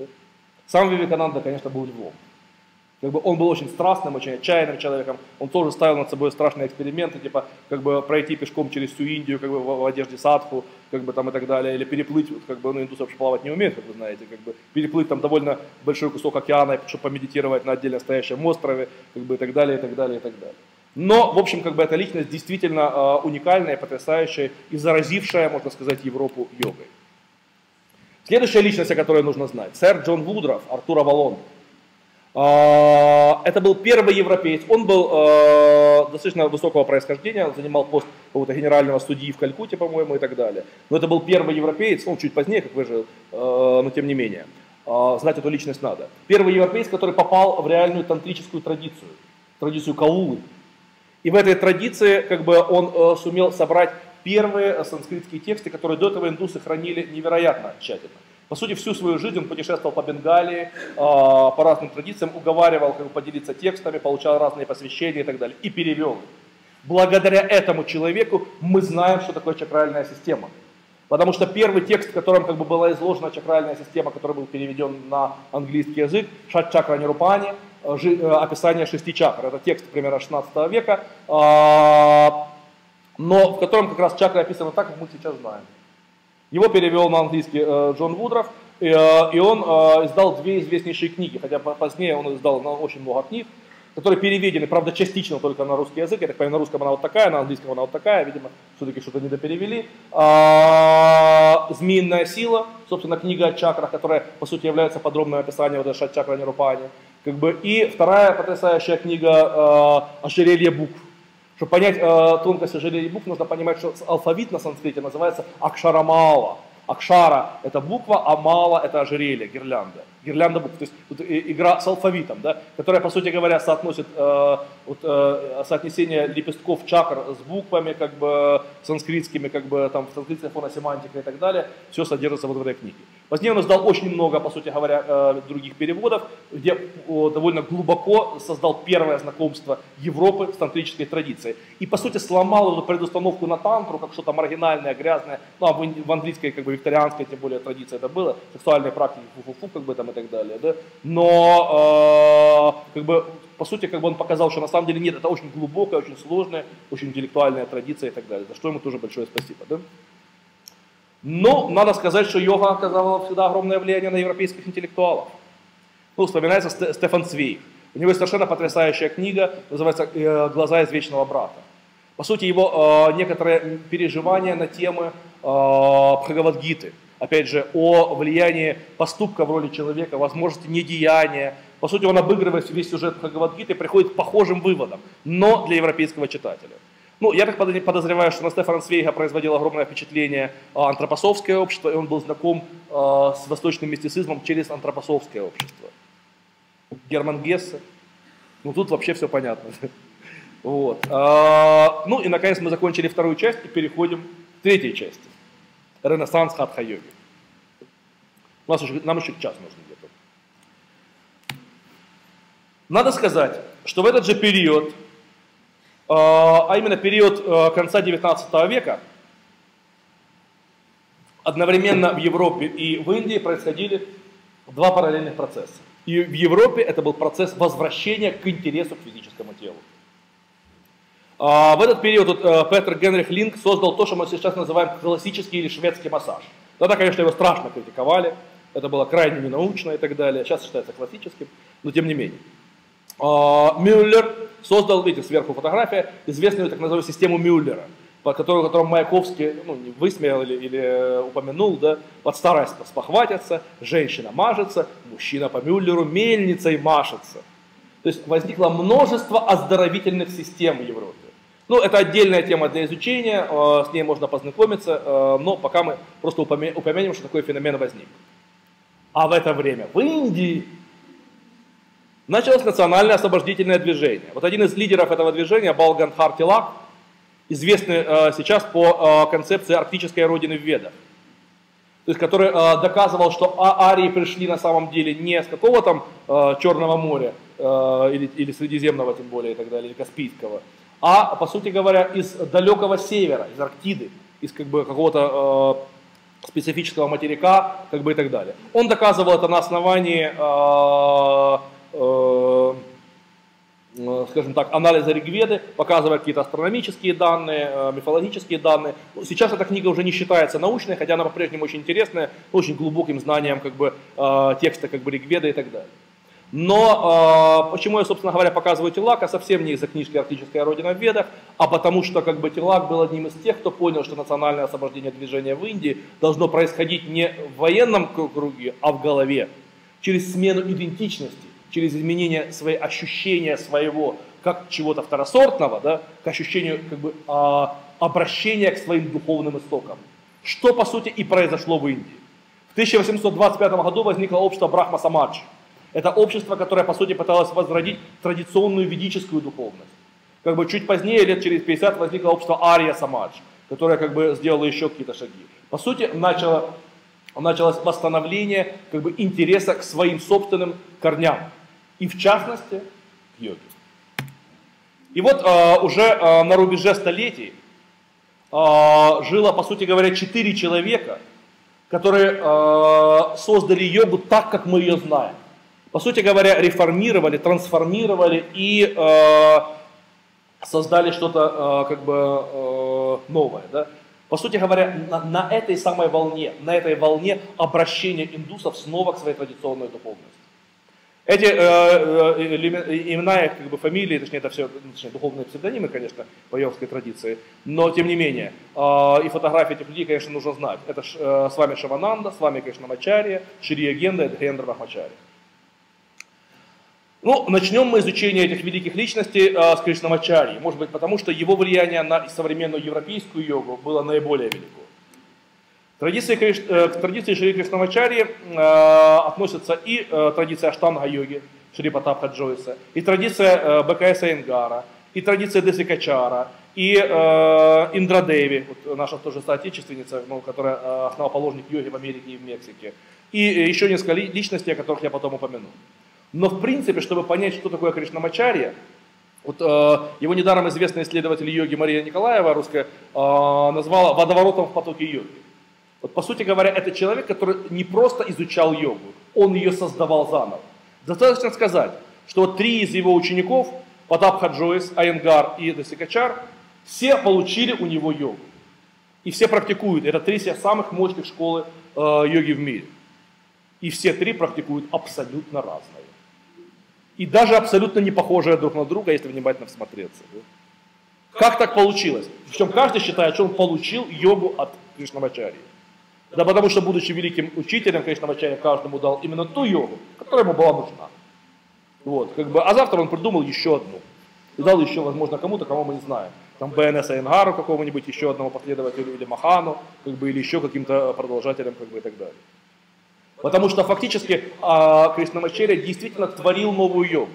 А, его реформаторский как бы, дух был просто поразительным. Начать с того, что он сумел синтезировать а, южную и северную ветвь йоги. Южная ветвь, это э, ветвь, э, сам Кришнамачарья происходил из древнего рода Альвара. Э, его одним из предков был один из известных э, мистиков тамильских, э, по-моему, сейчас, нет, точно забыл имя, э, не, не буду врать, э, но тем не менее, э, который считался автором легендарной йога Рахаси, известного произведения по йоге.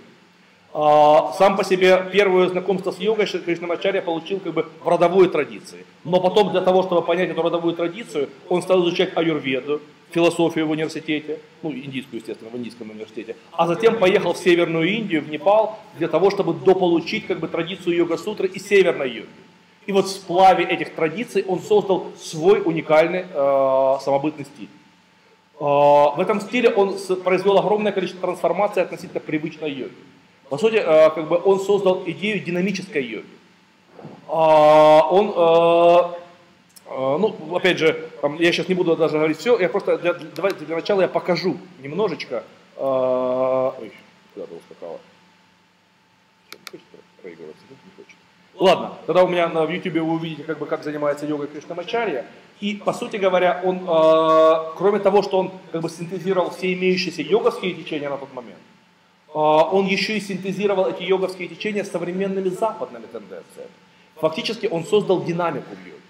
Но, если посмотреть, вот, ну, э, посмотрите этот файл сами, да, но если посмотреть, как занимается йогой Кришнамачари, это великолепный файл и так далее, мы видим, что хотя он делает очень сложные э, упражнения динамические, это именно йога. Так как он их делает, наверное, может сделать любой гимнаст. По крайней мере, то, что он делает. Но сделать это настолько же плавно, чтобы в его движении не было ни одного рывка, для этого нужен глубочайший контроль психики. Попробуйте сделать, и вы поймете, что там, где у вас чакральный зажим какой-нибудь, э, все равно как бы э, ноги чуть дернутся. Да? Там, где есть какое-нибудь напряжение, напряжется дыхание, еще что-то и так далее. Движения же Шивананды, будучи одновременно, э, Кришнамачари, будучи одновременно силовыми, одновременно э, невероятно плавны и э, связаны с глубочайшим как бы, э, расслаблением психики. А... Сейчас. А вот. Заработал.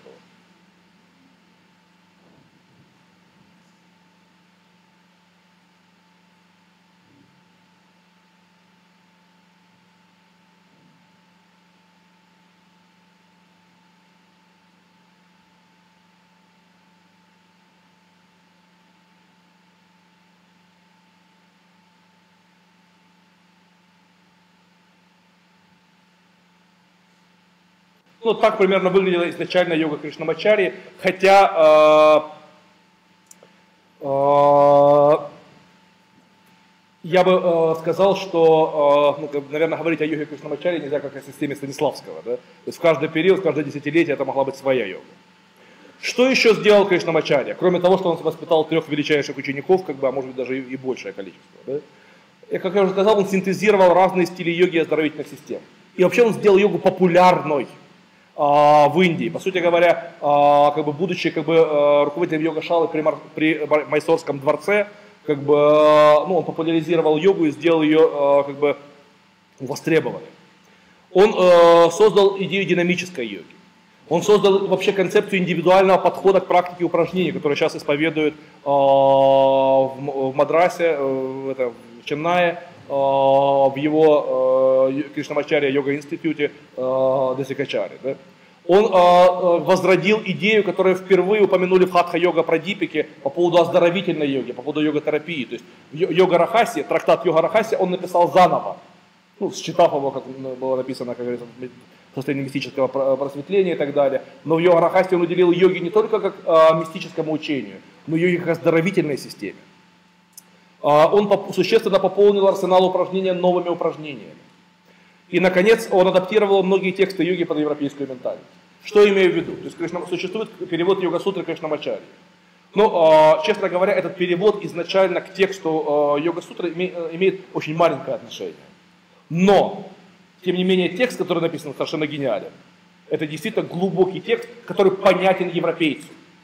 Как бы, который говорит о проблемах современного европейца и так далее. И в этом смысле он невероятно полезен. Хотя э, и очень далеко уходит от оригинала. Но вообще Кришнамачарья, я подозреваю, был великим учителем, он не боялся творить. Например, когда ту же самую Йогарахасию, которую он просто написал заново, да, сказав, что это как бы э, и есть та самая древняя Йогарахасия, для этого нужна определенная смелость. Да. Равно как э, смелость нужна для многих других его вещей, например, когда например, э, внедрение динамических упражнений в йогу через э, текст Майсторского дворца, который до сих пор никто не видел, как бы и так далее. Но он сказал, что такой текст есть, как бы и был период как бы динамических упражнений в йоге. Сейчас как бы это считается почти общепринятым. Идея виньясы динамического упражнения. Но я подозреваю, создал-то это Кришнамачарья. Как бы внедрение силовых упражнений в йогу. По сути говоря, Синглтон, известный исследователь йоги, пишет такую э, интересную вещь, что одновременно в Э, рядом с э, Йогашалой Кришнамачари был, э, было место, где, ну, типа, качалка по-нашему, да, где качались. И Кришнамачарья, посмотрев на эти упражнения, добавил некоторые упражнения в арсенал йоги. То есть он творил йогу. Почему и водоворот в потоке йоги? Да? Он сосал все, что было возможно. Да? Как бы перемешал это и создавал много-много-много йога направлений. Конечно, сам Кришнамачарья, по всей видимости, был человеком невероятным. То есть, ну, он прожил до 101 года, причем практиковал до последнего года. Фактически там, в 1980 каком-то году мы еще могли его застать, как бы, ну, не так было просто выехать в Индию, да.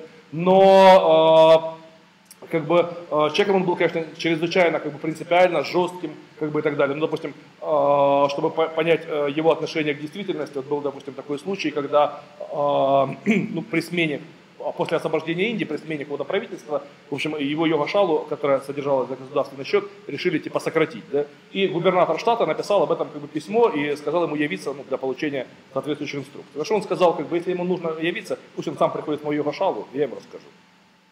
Есть он даже не, не пошел к губернатору. Да? Губернатор, как бы, э, так сказать, озверел и, естественно, как бы йога-шалу пытался сократить. А студенты устроили Э, под э, воротами губернатора, типа, ну, как бы, пикет, забастовку или что-то в этом духе, да, на что губернатор вышел и решил им сказать, что так делать не надо. Но по дороге что-то себе сломал. Вот. Сломав, он, как говорится, как всякий, так сказать, здравомыслящий индус понял, что, наверное, он был неправ. Вот, как бы, и э, извинился перед Кришнамачари, попросил его вылечить. Кришнамачари его вылечил.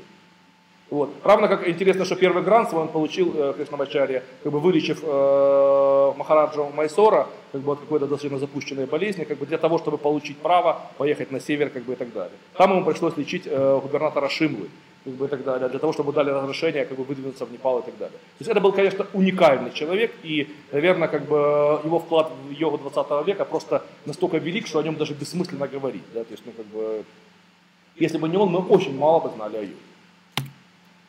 Следующая персоналия. Один из главных учеников э, Кришнамачари БКС Айнгар. Я хочу умереть, зная, что делал со своим телом все, что возможно.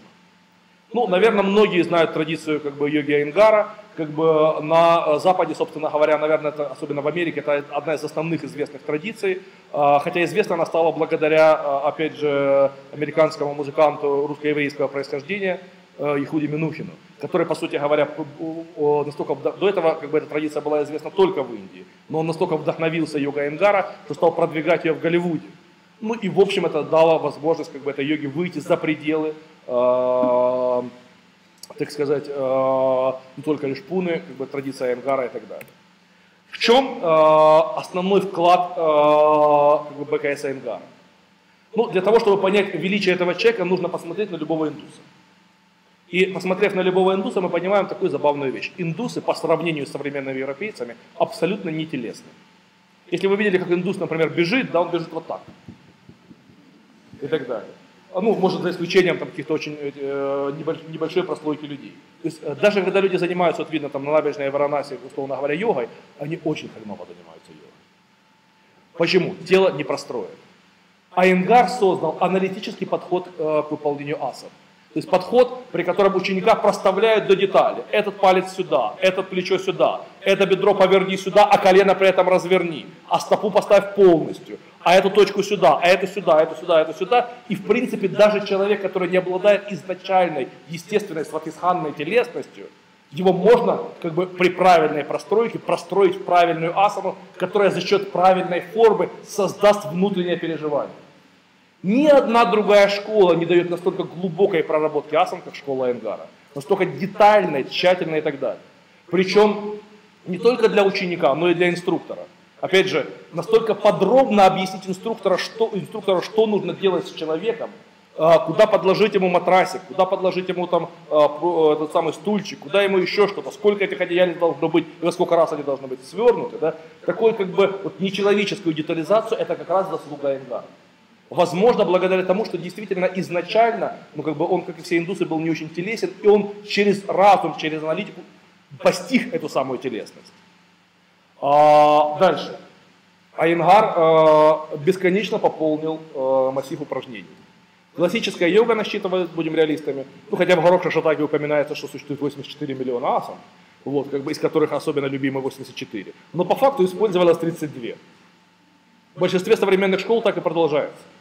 А Энгар дополнил этот список еще там, ну, пара сотен как бы асан добавил, который сам придумал, вот, или не придумал. Но, в общем, как бы он создал как бы существенно более широкий диапазон асан, которые позволяли более глубоко работать с физическим телом. А, он придумал им санскритские названия, как бы асаны стали красивые, показал, как их делать, рассортировал по ступеням сложности, но в общем как бы это более широкий диапазон, больше можно сделать. Дальше. Айнгар создал идею стандартизации процесса обучения. То есть, по сути говоря, там э, люди, которые сертифицируются в Айнгаровской школе, примерно, то есть, придя в любой Айнгаровский центр, ты, в общем, примерно можешь догадываться, что там будет. Да? Почему? Процесс хорошо и качественно стандартизирован. Как бы, причем именно для инструктора стандартизирован. Что инструктор должен знать, уметь делать с человеком. Это правильно и гениально. Да? Внедрение пропсов, вспомогательных средств. Кирпичики, одеялка, стульчики, в конце концов, йога-стенка, как бы веревочки, там, и все, что, как говорится, э, только можно, все это, опять же, как бы позволил себе вернуть в йогу Айнгар. Ну, опять же, там веревочка Паша и так была, конечно, как бы там вместо стенки, конечно, традиционно йога использовали дерево, э, но, э, опять же, стандартизировать и э, довести это до ума, это сделал Айнгар. Почему? Да потому что Айнгар во многом работал с больными людьми, не только со здоровыми.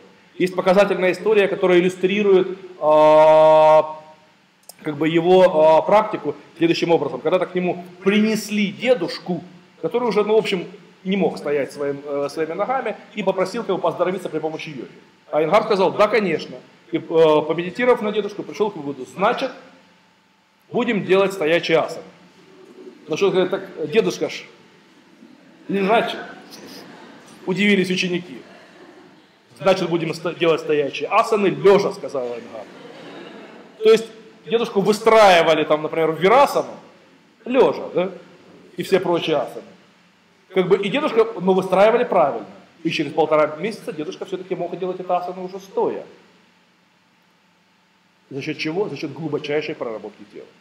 Ну и, конечно, огромный вклад, который необходимо упомянуть по поводу Айнгара, популяризация йоги на Западе.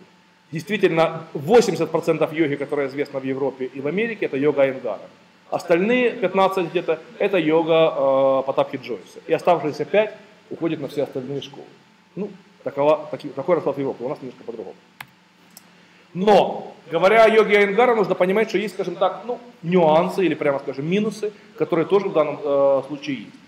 Первый нюанс – недостаточное внимание к пранаямам. Сам Айнгар э, по этому поводу официально говорил следующее, что э, пранаямам имеет смысл переходить только тогда, когда физическое тело уже полностью простроено, лет через 10. Но в своей автобиографии, которую я показал вам на, на предыдущем слайде, как бы Айнгар честно писал, что Кришнамачарья не передал ему пранаяму. Он изучал пранаяму, подглядывая за Кришнамачарьей. И, по всей видимости, правильная передача под ключки э, не произошло. Дальше. Ну, йога Айнгара не интеллектуальна. То есть э, проработка медитативных аспектов слабая. И то, что Айнгар называет, например, дхьяна, я бы назвал это просто молитвой. Э, к оригинальной дхьяне это не имеет никакого отношения. А, в общем-то, йога Айнгара далека от классической модели. Если честно, йога Айнгара это именно йога Айнгара. Это отдельный э, вид йоги. К классической йоге это имеет очень-очень мало отношения как по духу, так и по содержанию. Хотя это не говорит о том, что это плохо. Это как бы просто отдельный класс йоги. А, показателен тот факт, что, который сам Айнгар описывает в своей автобиографии, что когда он привез свою йога-дипику а, Потапхи Джойсу, как бы попросив, чтобы он прочитал, дал рецензию и по возможности написал предисловие, Потапха Джойс начал читать, а потом отказался и выбросил ее. А, не Потапха Джойс, а Кришнамачарья. Кришнамачарья отказался как бы, писать, как бы, ему не понравилась йога Айнгара, как бы, хотя, так сказать, возможно, это, это можно интерпретировать и по-другому. Ну и, наконец, следует понимать, что э, э, йога Айнгара весьма показана для людей, как мы сказать, капхистого типа, да, то есть если по аюрведе. Да?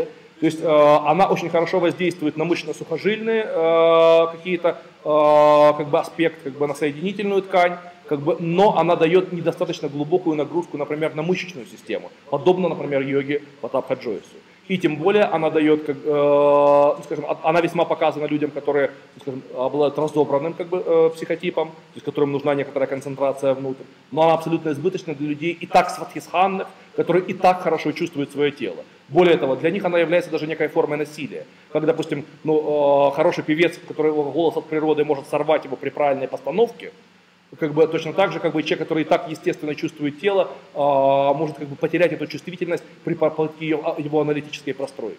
В этом есть некоторые, э, ну скажем так, нюансы э, при использовании йоги Айнгара. Ну и еще один нюанс, который описывает э, Синглтон в своей книге «Тело йоги». Ну, она на английском, но тем не менее.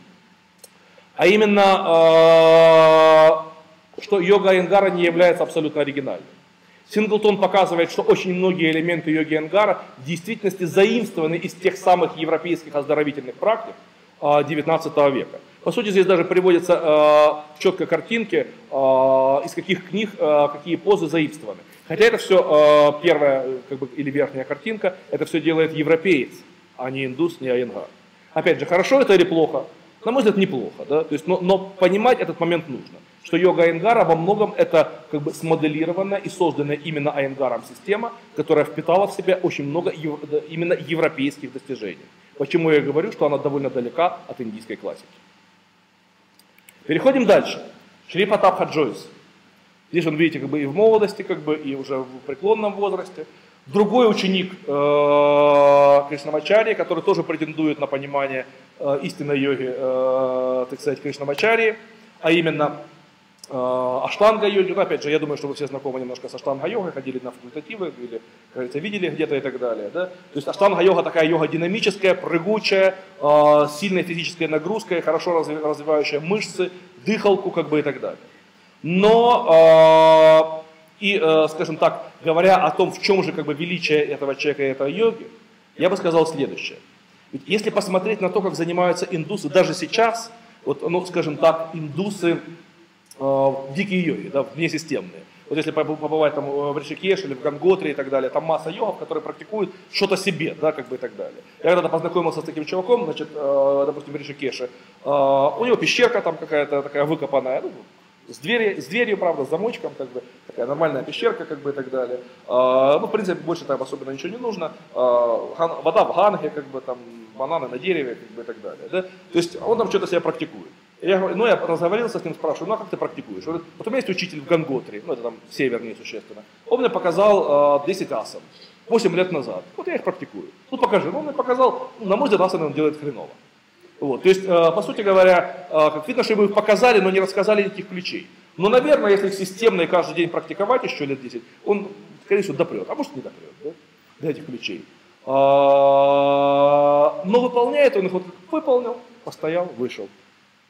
Я ему говорю, слушай, а почему что ну, с учителем-то не живешь своим, как бы, а учителю 101 год, он практически ничего не ест, как бы, там, одним тапосом питается и так далее. Как бы, он говорит, а ты понимаешь, он живет в Ганготере, там холодно, там снег, у него внутреннего огня много, ему не холодно. А я не могу, у меня тумо нету, внутреннего огня нету, как бы, а в Ришикеше плюс 30, там нормально. Вот, ну, говорится, аргумент. Вот, как бы и так далее. А, но к чему это я говорю? Потому что вот как бы э, во многом как бы в йоге такой внесистемной, внетрадиционной, а, как бы выполнение упражнений зачастую стало принимать характер некой ритуальной деятельности. То есть я сел, посидел так, потом посидел так, потом посидел так, потом поставил на минуту на голове, вышел, все, я йогой позанимался. Это как некий ритуал. Но Потап Хаджойс э, вел отношение к йоге как к тренировочному процессу. По сути, идея, которая была э, сформирована в рамках европейской традиции, и, а, так сказать, возник понятие тренировочного цикла, как бы продвижения в тренировке, как бы системности тренировки и так далее. И для индусов, которые к этому моменту, э, этого момента не имели, это был колоссальный шаг, колоссальный вклад. Дальше. Э, Потап Хаджой создал как бы связки асан, ну, некоторые циклы. Ну, утверждается, что их создал Кришнамачарья, но это вопрос, как обычно, э, э, сложный метафизически. Но, э, как бы, которые как бы последовательно переводили человека. Ну, первая связка, вторая связка, третья связка. То есть, по сути говоря, уже созданные готовые комплексы с правильными переходами, с правильным дыханием. Все, которые бери как бы и практикуй. Безусловно, это плюс. Ну и, конечно, Потапха Джойс оказался тоже э, крупным популяризатором йоги. Если вы сейчас приедете в Майсор, то любую школу, которую вы увидите, так или иначе, она будет завязана все равно на школу Потапха Джойс. Но, как обычно, есть нюансы. Какие нюансы? Э, ну, первый момент, который нужно иметь в виду, что э, бренд Аштанга Йога, который использует э, Потапха Джойс, то есть Аштанга, восьмиступенчатая йога там и так далее, никакого отношения к йоге Патанджали не имеет. Более того, само по себе отношение э, или переживание, которое ну, э, достижение Читаврита Ниродхи, которое а, Потап Хаджойс описывает как ну, некое переживание, которое наступает после выполнения упражнений, ну, понятно, что если прокрутить вот эти аштановские комплексы, да еще, как говорится, там много раз, да еще два часа подряд, как да еще в плотном ритме там, и так далее, то, в общем, безмысленное состояние достигается. Но при чем здесь читаврита неродха? То есть, э, грубо говоря, так если и дрова пилить, как говорится, 24 часа в сутки будет то же самое безмысленное состояние, ты тоже офигеешь. То есть, ну, собственно говоря, эффект спортсмена, если ты нагружаешь мышцы, энергия идет в мышцы, а не в мозг. Мозг вроде бы успокаивается, но он не становится острым э, в духе йоги Патанджали. Драштар не находится в своем истинном состоянии, и ты не можешь совершить самьяму. Будем реалистами. Поэтому как бы э, бренд Аштанга, который использует э, ну, как бы, школа Потапа Джойса, это, это именно бренд. Как бы, и э, связь с Патанджали здесь очень-очень условна. Следующий момент, э, который, на мой взгляд, э, в системе э, Потапха Джойса является шагом назад относительно, конечно, Мальчарии, это уход от индивидуализации комплекса. По сути говоря, э, существуют стандартные комплексы э, Майсора, да, стандартные комплексы школы Потапки Джойса, где люди, как бы, вот они знают, что ты прошел с первой ступени, начинаешь крутить вторую. Пока не прошел, крутишь эту же, да, и так далее. Но, может быть, человеку нужны какие-то специфические упражнения, как бы, которые можно было побрать. Может, ему нужен вообще другой стиль занятий йогой. Нет, все крутим это, да. А там э, practice, practice, all, all uh, will come, да, и так далее. И все в конечном итоге придет. 99% э, э, практики, 1% теории. Девиз Потапха Джойса. Я думаю, что э, как бы это потеря. Следующий момент. Сокращение времени пребывания в асане. То есть с точки зрения общей физической нагрузки аштанга великолепна. То есть взбодрить и загонять себя – это прекрасный способ. Но с точки зрения некоторой внутренней рефлексии, равно как и с точки зрения именно как бы управления сознанием, равно как с точки зрения длительного э, статического влияния асаны, э, майсторская школа это потеряла. Пять вдохов в асане – это мало. Ну, э, Синглтон э, в теле-йоге считает, что идея пяти выдохов была придумана Кришнамачарией как бы, э, во время демонстрационных упражнений. То есть, когда надо было показывать асаны э, во дворце, и этому обучали детей, чтобы это было красиво и зрелищно, но не очень прикольно, если человек сел в асаны и завтыкал там э, на 40 минут, да, как бы там, ну или даже хотя бы на 10. Да. 5 выдохов, следующая красивая асана, следующая красивая асана. То есть, на самом деле, в этом не было терапевтической идеи, это была идея показательная. Но э, в школе Потапха Джойс, как бы э, Потапха Джойса на этом сконцентрировались. Дальше. Ну, э, что характерно, кстати, и для школы Айенгара, и для школы Потапха Джойса, неодобрение творческого подхода со стороны практикующих. То есть идея относительно того, что ты можешь придумать свой комплекс, или свое понимание асан, или еще что-то, все это рубится. Ну, опять же, э, в угоду, что называется, канону. Ну, мне кажется, что это неправильно. Ну, есть какой-то элемент оспортивливания, отказ от медитативных практик, которых тоже практически, ну, настоящих медитаций там нет. И, опять же, ограниченность применения все-таки э, для людей, для, скажем так, невротического типа, то есть которые просто долго и не могут находиться в одном положении. Как бы э, они очень любят заниматься аштангой, потому что прыг, прыг, прыг, прыг, кошка, собака, кошка, собака, прыгнул там и так далее. Да? Но если человека попросить постоять вас, а не долго, вдруг выяснится, он не может, его там вытелепывает и так далее.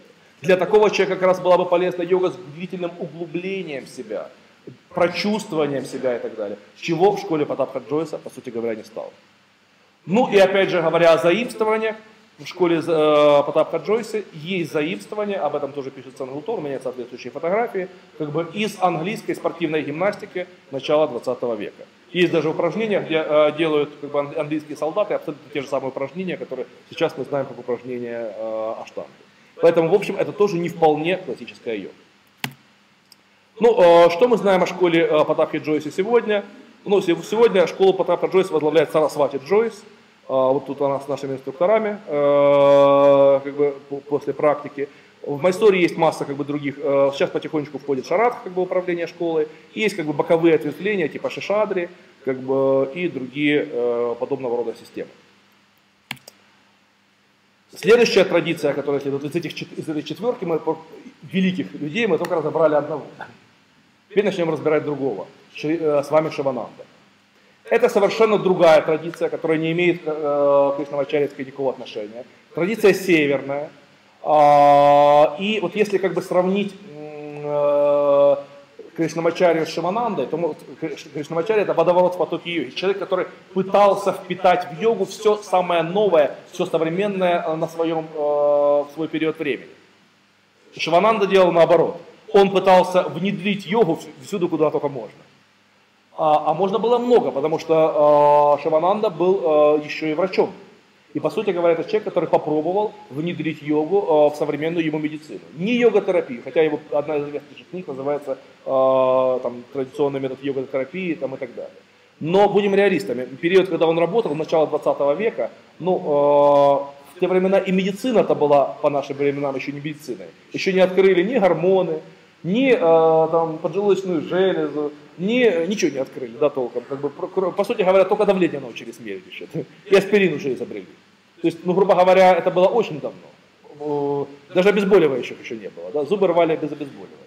Вот. Но, э, по сути говоря, Шивананда, который, э, ну, скажем так, путешествовал по Малайзии, был долгое время директором госпиталя, а потом вернулся в Индию, как бы увлекся йогой, как бы в Ришикеше а, пережил как бы первые свои мистические переживания, а, создал некоторый стиль йоги, который принципиально как бы отличался по даже способу нагрузки от стилей э, в стиле Кришнамачари.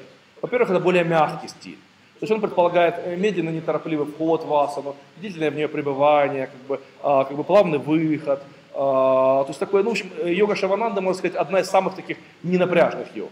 Во-вторых, как бы у Шавананды намного больше внимания уделялось именно проблеме медитативных практик. Сам э, Шавананда был большим, так сказать, э, специалистом как бы, по медитациям, как бы удалялся для длительных ретритов, медитации. Есть пещера Шавананды в Анготре, маленький домик Шавананды, в котором, наверное, были те, кто были в Ришикеше или еще будут, как бы, и так далее. В общем, э, вот такова традиция. А, из а, великих последователей э, Шавананды нужно выделить две линии. Один из них, который стал, собственно, последователем э, и распространителем школы Шивананды на Западе, а особенно в Америке, с вами Вишнудевананда. Он написал одну из первых книг, которые были переведены по йоге на русский язык, полная иллюстрированная книга йоги. И э, с вами Сатянанда Сарасвати.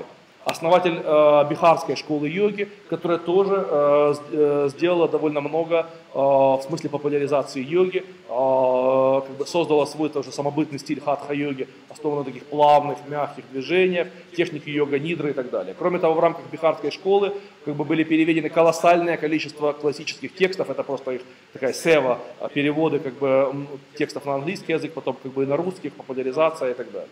Ну, надо сказать, что школа достаточно закрытая, Хотя нашим инструкторам в духе Аленки удалось туда попасть в Мунгир, как бы пожить какое-то время в этом ашраме, чтобы познакомиться с этим стилем, как бы и так далее. А, хатха довольно сильно отличается от привычной нам хатхи, но тем не менее вполне э, узнаваем. Ну и говоря еще о европейских учениках Шавананды, нельзя не вспомнить одну великое, великую личность, я считаю, величайшую в европейской культуре, э, Мирча Илиады который э, три года провел на берегу Ганги э, в рамках традиции Шавананды, изучая санскрит, как бы изучая э, традиции йоги. И у него, видите, как бы в одном из его романов поздних он сделал такое признание, что если бы я остался в моей хижине на левом берегу Ганги, в моем скрытном, скрытом джунглями убежище, о котором я думаю не иначе, как о потерянном рае, может быть, там меня и настигла бы разгадка тайны, которая, может быть, после долгих лет приготовления и упорных попыток я бы нащупал путь, ведущий в невидимую страну. Но мне в народу было написано лишь до самой смерти лелеять ее в своих печалях, не узнать никогда. По сути говоря, кто такой Мир Чайляда? Человек, который является основателем феноменологии религии, а, одного из э, фундаментальных направлений современного религиоведения, э, компаративного сравнения разных э, религий между собой, выделения мифологических основ как бы и так далее. Кроме того, как бы Мир Чаляда написал совершенно потрясающие книги, посвященные и йоге. Вот знаменитая книга «Йога бессмертия и свободы» в переводе питерского э, исследователя йоги, тантры э, Сергея Пахомова. Э, и великолепные книги, посвященные шаманизму, э, там, техникам экстаза, и книги, посвященные современному э, эзотеризму и оккультизму. То есть, по сути, это был действительно как бы выдающийся человек, который прожил очень долгую и плодотворную жизнь, больше 90 лет, то есть он уже как бы в старости как бы, и так далее. Ну, оказав очень глубокое влияние на европейскую культуру. Но начал он в 18 лет, написав письмо Махараджи какому-то. Сказал, я хочу учиться в Индии, дайте мне грант. Представьте себе, ему дали. И он поехал из Бухареста в Калькуту, а потом в Рижикеш, где я практиковал три года под влиянием Шавананды, который сказал про него следующее, что этот человек второй Вивекананда. Ну, вторым Вивеканандом он не стал, но как бы, э, как бы масштаб э, приобрел э, все равно как бы, в своей сфере все равно огромный. Следующая э, личность из этих тех четырех э, китов метров современной йоги – это э, Шри Гендра. Это тоже совершенно отдельная ветвь йоги, а, которая, ну скажем, чем поразителен Шрия Гендра, да он тоже синтезировал, я не буду говорить про его учителей, как это все произошло, это все можно найти информацию соответствующую, но он интересен двумя вещами. По сути говоря, это был йог-материалист. Причем такой воинствующий материалист. Говорят, что в детстве у него был неприятный случай. Его чуть было э, не, не увели за собой странствующие копалики. С тех пор именно к мистическим традициям йоги он относился крайне негативно но зато он четко хотел поставить йогу на научную основу. Это человек, который, по сути, заложил основание начала современной йога-терапии. Насколько это было возможно в начале 20 века. А, а в начале 20 века, опять же, ну, слишком мало люди знали о теле, чтобы делать научные исследования. Да, что-то было уже известно о мышцах, что-то было известно об анатомии, мы уже знали там, про, про кровяное давление, еще что-то, но не более того. Но даже на основании этих исследований Шрия Гендра пробовал провести научные исследования по э, первой, по сути, в истории человечества, по механизмам влияния йоги на человека. Э, ну, его знаменитая книга э, «Йога. Э, личная гигиена», которая и сейчас вполне актуальна, она прекрасно дает гигиену, он был популяризатором гигиены йоги, тоже прожил очень долгую, очень плодотворную жизнь, как бы это не единственная его книга, хотя на русский переведено мало. Вот. Ну, его цитата тоже великолепно иллюстрирует как бы, образ этого человека. Следует вывести йогу э, из самоотмирающих культов и других ревностных хранилищ окончательной истины и наделить ее мятежной силой против вековых традиций, чтобы добиться э, практики реформирования, концепции практики йоги. Ну, прямо такой как бы призыв броневика, да, как бы так далее. Он создал действительно институт йоги, он существует до сих пор, там были наши йога-терапевты, э, как бы изучали их практику и так далее, но надо сказать, что сейчас она немножко морально устарела. Но на тот период это была действительно революция э, в системе йоги, в отношении к йоге, как к чему-то, что может стать объектом научного анализа. Ну и, наконец, еще один, э, одна, четвертая, э, четвертый столб современной йоги, э, школ, Дхиренда Брахмачари. Почему он особенно интересен нам, ну, как бы нашей школе? Потому что, по сути, школа Дхиренда Брахмачари – это дедушка нашей школы. Как бы школа Геннадия Григорьевича Стаценко во многом была инициирована именно школой Дхиренда Брахмачари. И многие элементы как бы, по поводу хатхи заимствованы как раз у нас были именно из этой школы. Как, я расскажу уже, когда буду говорить о йоге в СССР. А, чем интересна эта личность? А, как бы, по сути говоря, это тоже человек, который сплавил несколько традиций йоги. А, его традиция была более северная, и мы видим очень много заимствований из тибетской традиции. Огромное внимание, которое уделяется суставной гимнастике, сукшмавьяме. Огромное влияние, внимание, которое уделяется очистительным процедурам синтез э, дыхательных техник с пранаямами, э, в смысле с э, асанами, то, чего, например, нет в школе Айнгара и, в общем-то, подзабыто, э, ну, не так глубоко использовано в школе Кришнамачарьи. Э, ну, много таких, э, не, не, необычная система малых пранаям, которая как раз является визитной карточкой э, школы Дхренда Брахмачари и так далее. Ну, масштаб этой личности тоже достаточно велик, достаточно сказать, что он был э, э, гуру э, премьер-министра Индии Индиры Ганди что э, сыграло как бы и положительную, и отрицательную роль в его жизни.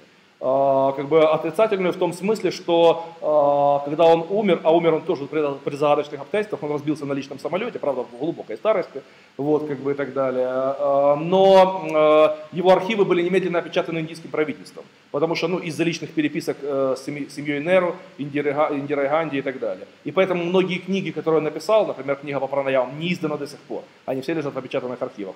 Ну, а у индусов, если что-то опечатал, то уже, как говорится, считай, погибла, да, и так далее. Там целый сборник э, тамильской поэзии был опечатан, потом съеден муравьями, как говорится, 100 тысяч шлок, да, тут как бы одна книга, точно кто-нибудь съест, как бы, и так далее. Вот, но, э, короче говоря, вот э, такая, как бы, э, достаточно яркая личность. Он же фактически зародил йогу в СССР, как расскажу позднее.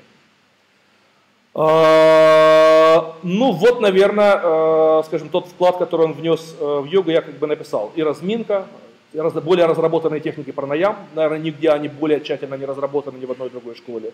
Сложное согласование асан с дыханием, сложные очистительные процедуры, которые намного более сложные, чем в других школах. Ну, разве что Шрия Гендра сопоставим по сложности очистительных процедур и популяризация йоги в Индии. Школа Дхиренда Брахмачари мало известна в Европе и в Америке, есть только один такой известный его ученик, как бы, но в Индии как бы, э, Национальный институт йоги в Дели – это именно институт йоги Дхиренда Брахмачари. Возглавляется он учеником Дхиренда Брахмачари Балмухун Синдхам.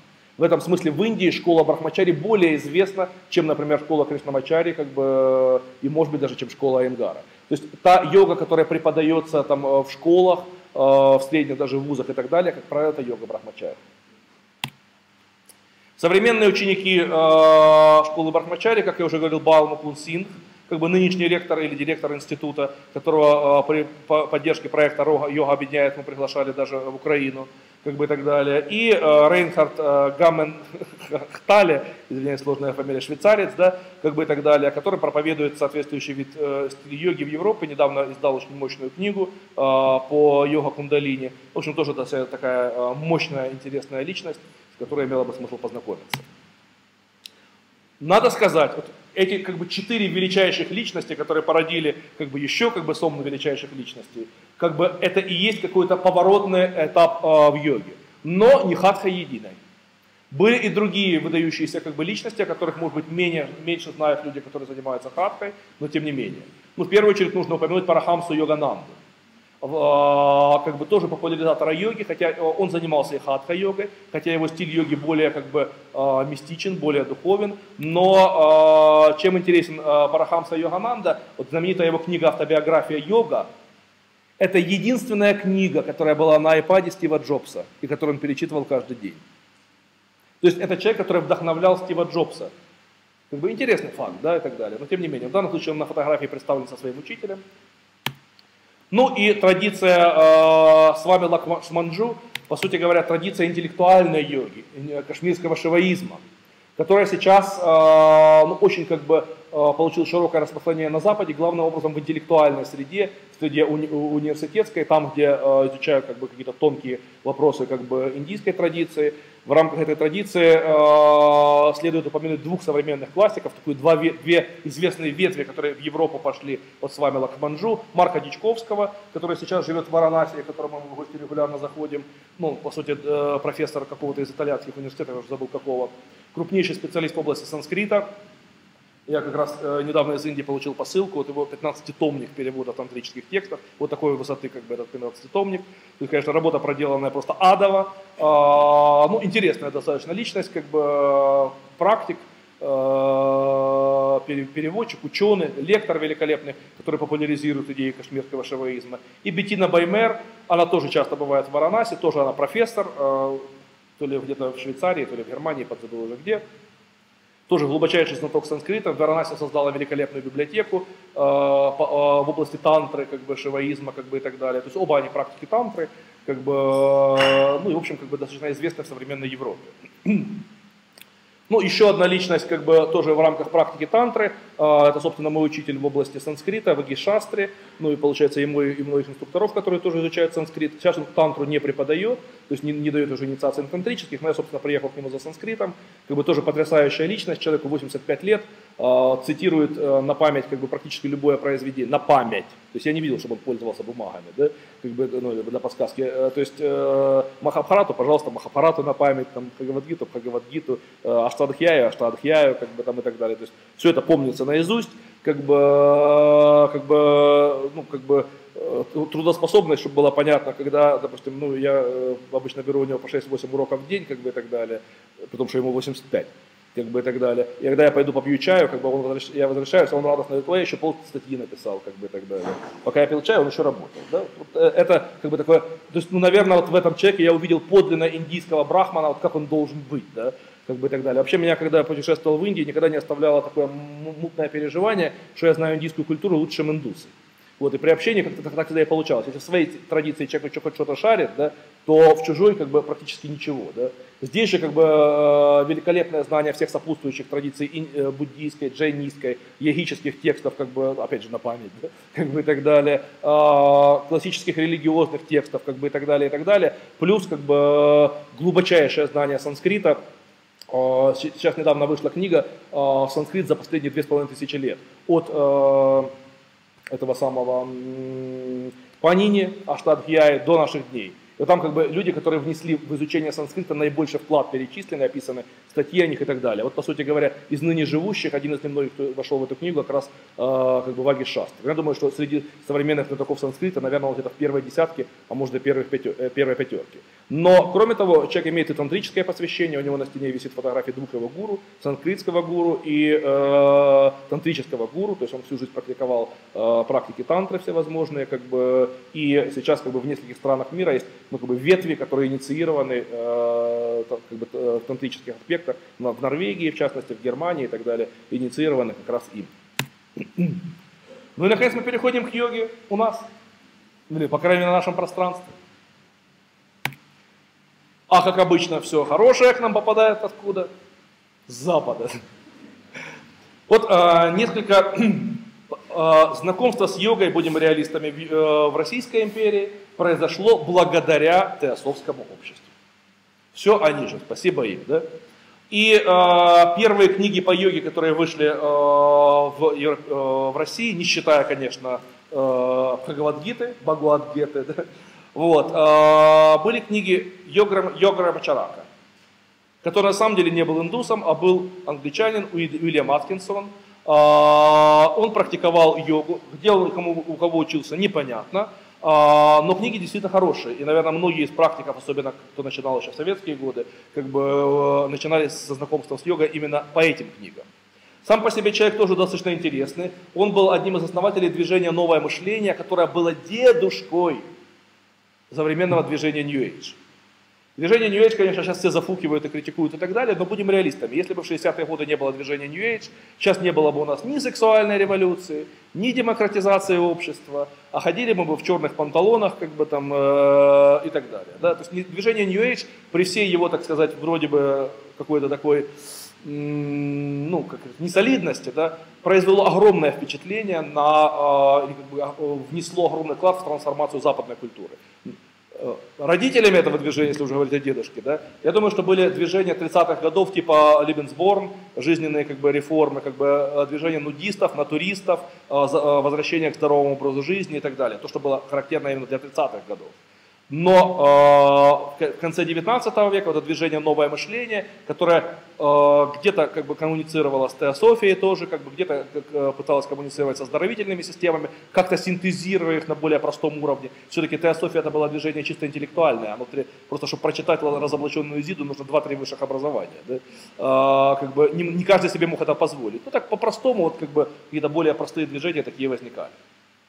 А вот э, Йохара Мачарака, этот самый Уильям Аткинсон, написал прекрасные книжки. Ну, например, я, э, первая, наверное, одна из книг, которую было, прочитал, была «Наука», э, здесь ее нет, кстати, «Наука о дыхании», нет, есть. Э, а, нет, «Секретная сила егического дыхания». Да? Где, по сути говоря, даны какие-то простые техники работы с энергией, э, подробно описано полное дыхание йогов, как бы и так далее. Ну, для того уровня это было до, достаточно круто. Следующая книга. Поль Сидир. Масон, мартинист, Э, теосов э, и так далее, и так далее, практикующий мистик. Э, он написал массу интересных книг в самых разных областях. И одна из первых книг, которую мне довелось, я, она попала в руки еще в 80-е годы, когда я занимался йогой, а, занимаюсь йогой давно, и фактически эта лекция, я праздную 30-летие своей практики йоги.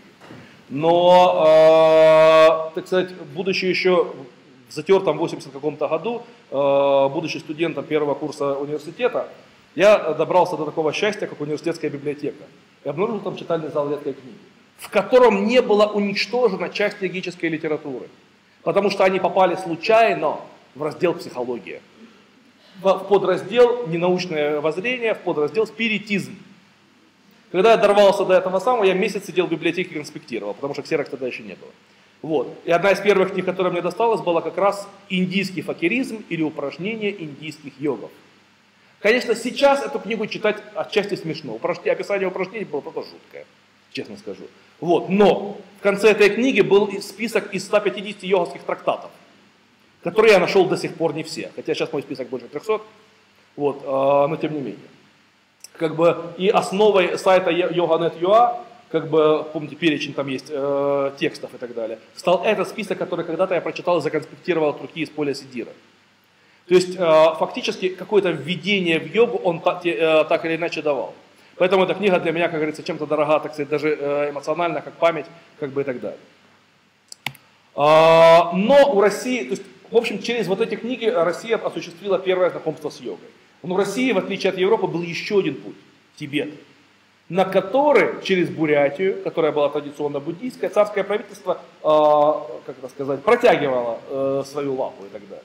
И в данном случае следующая персоналия, которую необходимо знать, это э, Петр Бадмаев. Со, э, фамилия Бадмаев э, происходит, как вы понимаете, от слова падма, лотос. То есть, по сути говоря, лотос. Он бурят, может быть даже и тибетец, который приехал как бы в Петербург по, то ли по посылке бурятских лам, то ли по приглашению, история мутная. Но, по сути говоря, это человек, который возродил, точнее, зародил тибетскую медицину в России. У него был дом, а, который нынче снесен на Сокольниках в Москве, где были огромные а, участки тибетских трав. А, за жизнь он принял, где-то у него в дневнике порядка 100 тысяч пациентов. Причем половину пациентов он принимал платно, за очень большие деньги, половину он принимал бесплатно, как бы для бедных. А, Причем у него был интересный график, он 40 э, минут принимал пациента, потом 15 минут спал. Потом опять принимал пациента, спал, принимал пациента, спал и так далее. По, по дороге он работал, он был первым переводчиком э, канона врачебной науки джучи на русский язык. Он был переведен на русский намного раньше, чем на все остальные европейские языки. Видите, первое издание как раз здесь э, привел. Жучи, у меня есть репринт на это издание. Как бы, ну, оно, конечно, хуже, чем современное академическое, но по тем временам это было гениально. Этот человек оказал огромное влияние на историю России, как и все мистики, каждый в чем-то оказал влияние. А, это человек, который создал Распутина. И, а, собственно говоря, а, он был э, врачом личной царской, э, царской семьи и врачом Распутина. И во многом, ну, есть такая версия, по крайней мере, что управлял Распутиным именно он. У него была своя политическая идея у Бадмаева. Он хотел, чтобы Россия присоединила Тибет, вот, избавив от влияния Англии. Но, в общем, как бы не успело, не сложилось, естественно, наступила революция, и, естественно, его репрессировали. Вот. Кстати, никто не знает, сколько ему на самом деле было лет. Как бы, э, дата написана очень условно, потому что э, как бы, по некоторым версиям ему было больше 100 лет. Ну, опять же, это версия. Но Россия увлекалась, ой, 1873, э, естественно, но Россия увлекалась э, и другими способами Тибета. Э, в 1899 году бурят, тоже по происхождению, с непроизносимым для меня именем на фамилии Цыпиков, э, был послан в экспедицию в Тибет. А, до этого э, эти экспедиции никто не мог из европейцев пройти. Правда, я э, сейчас знаю уже историю, что а, какой-то английский разведчик сумел пройти. Его специально два года тренировали с тем, чтобы он ходил исключительно одинаковыми шагами, несмотря на э, усталость как бы, и э, возвышение или понижение. Два года, зачем, вы думаете? Чтобы сделать карту. У него было две вещи. Это тибетская мельница – которая, в которой была замаскирована астролябия, в которой он делал как бы астрологическое, астрономическое положение. И четкие, в которых было не 108 бусин, а 100. Таким образом он смог сделать первую карту, как дойти до Лхасы. Потому что Тибет, как вы помните, с 18 века был закрытой территорией. Они вообще не пускали иностранцев. Под страхом какого-то легкого наказания, типа сдирания кожи или что-то в таком духе. Вот. А, а с другой стороны, Тибетом интересовалась Россия. Цыпиков был бурят, и кроме того он был буддист. В этом смысле как бы он мог пойти в Лхасу как тибетский паломник. И э, ему удалось совершить это путешествие. И вот здесь на фотографии приведена первая в истории э, Европы фотография, а, наверное, и в истории Тибета, потому что где они это фотографировать могли, да, и так далее. Фотография дворца Далай-Ламы в Лхасе. Вот. Свои путешествия написал в прекрасном двухтомнике «Буддист-паломник святын Тибета». Очень интересное произведение, которое даже сейчас читается увлекательно, как бы дает массу информации о Тибете, даже тогда, когда мы в нем уже побывали. Но э, понимание русской э, йоги было бы неполным без понимания знакомства с йогой русской интеллигенции, прежде всего русских поэтов. Поразительная ситуация состоит в том, что э, как бы, те люди, которые относятся к серебряному веку русской поэзии, практически все так или иначе интересовались или йогой, или восточным мистицизмом. И это э, переживание подробно изложили в стихах. Например, Бальмонт, Константин Бальмонт, да, который писал «Потом молчальник, молчальником я приобщился к браме и утонул в бессмертной красоте». Или его потрясающее произведение, скорее всего, вам не видно, а, по поводу болотных лилий. Побледневшие, нежно-стыдливые, распустились в болотной глуши. Белых лилий цветы молчаливые, и вокруг них шелестят камыши. Белых лилий цветы серебристые вырастают с глубокого дна, где не светят лучи золотистые, где вода холодная и темна. Не манят их страсти преступные, и волнения к себе не зовут, для нескромных очей недоступны, для себя они только живут. Проникаясь мечтой, э, решимостью твердою, жить мечтой и достичь высоты, распускаются с пышностью гордую белых лилий немые цветы расцветут и поблекнут бесстрастные, далеко от владений людских, и распустятся снова прекрасные, и никто не узнает о них. О чем, по сути говоря, речь? Речь о символике лотоса. Белая лилия – это лотос. Почему лотос считается э, в индийской традиции священным цветком, и почему главная поза йоги называется поза лотоса? Лотос произрастает из грязи, проходит все элементы – земля, вода, воздух, солнце, и остается чистым. Вот, по сути, эту метафору как бы Бальмонт и обыгрывает в своем стихотворении. Александр Блок. Все бытие и сущее согласно великой непрестанной тишине. Смотри туда участно, безучастно, мне все равно, вселенная во мне. Ну, прекрасное описание мистических состояний. И здесь в конце, исполненный прозрения, я перешел граничную черту и только жду условного видения, чтобы отлететь в иную пустоту.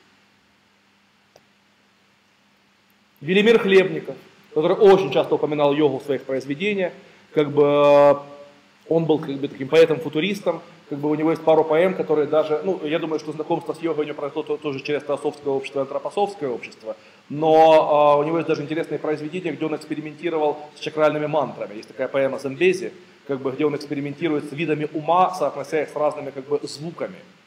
Вот. Но э, есть у него совершенно интересное произведение, которое явно навеяно э, теософской концепцией, например, э, «Гибель Атлантиды», которое начинается словами «Мы боги, мрачно жрец сказал, и на далекие чертоги рукой сонно указал». Ну, по сути говоря, он обыгрывает какую-то теософскую идею как бы, о предыдущих цивилизациях и так далее.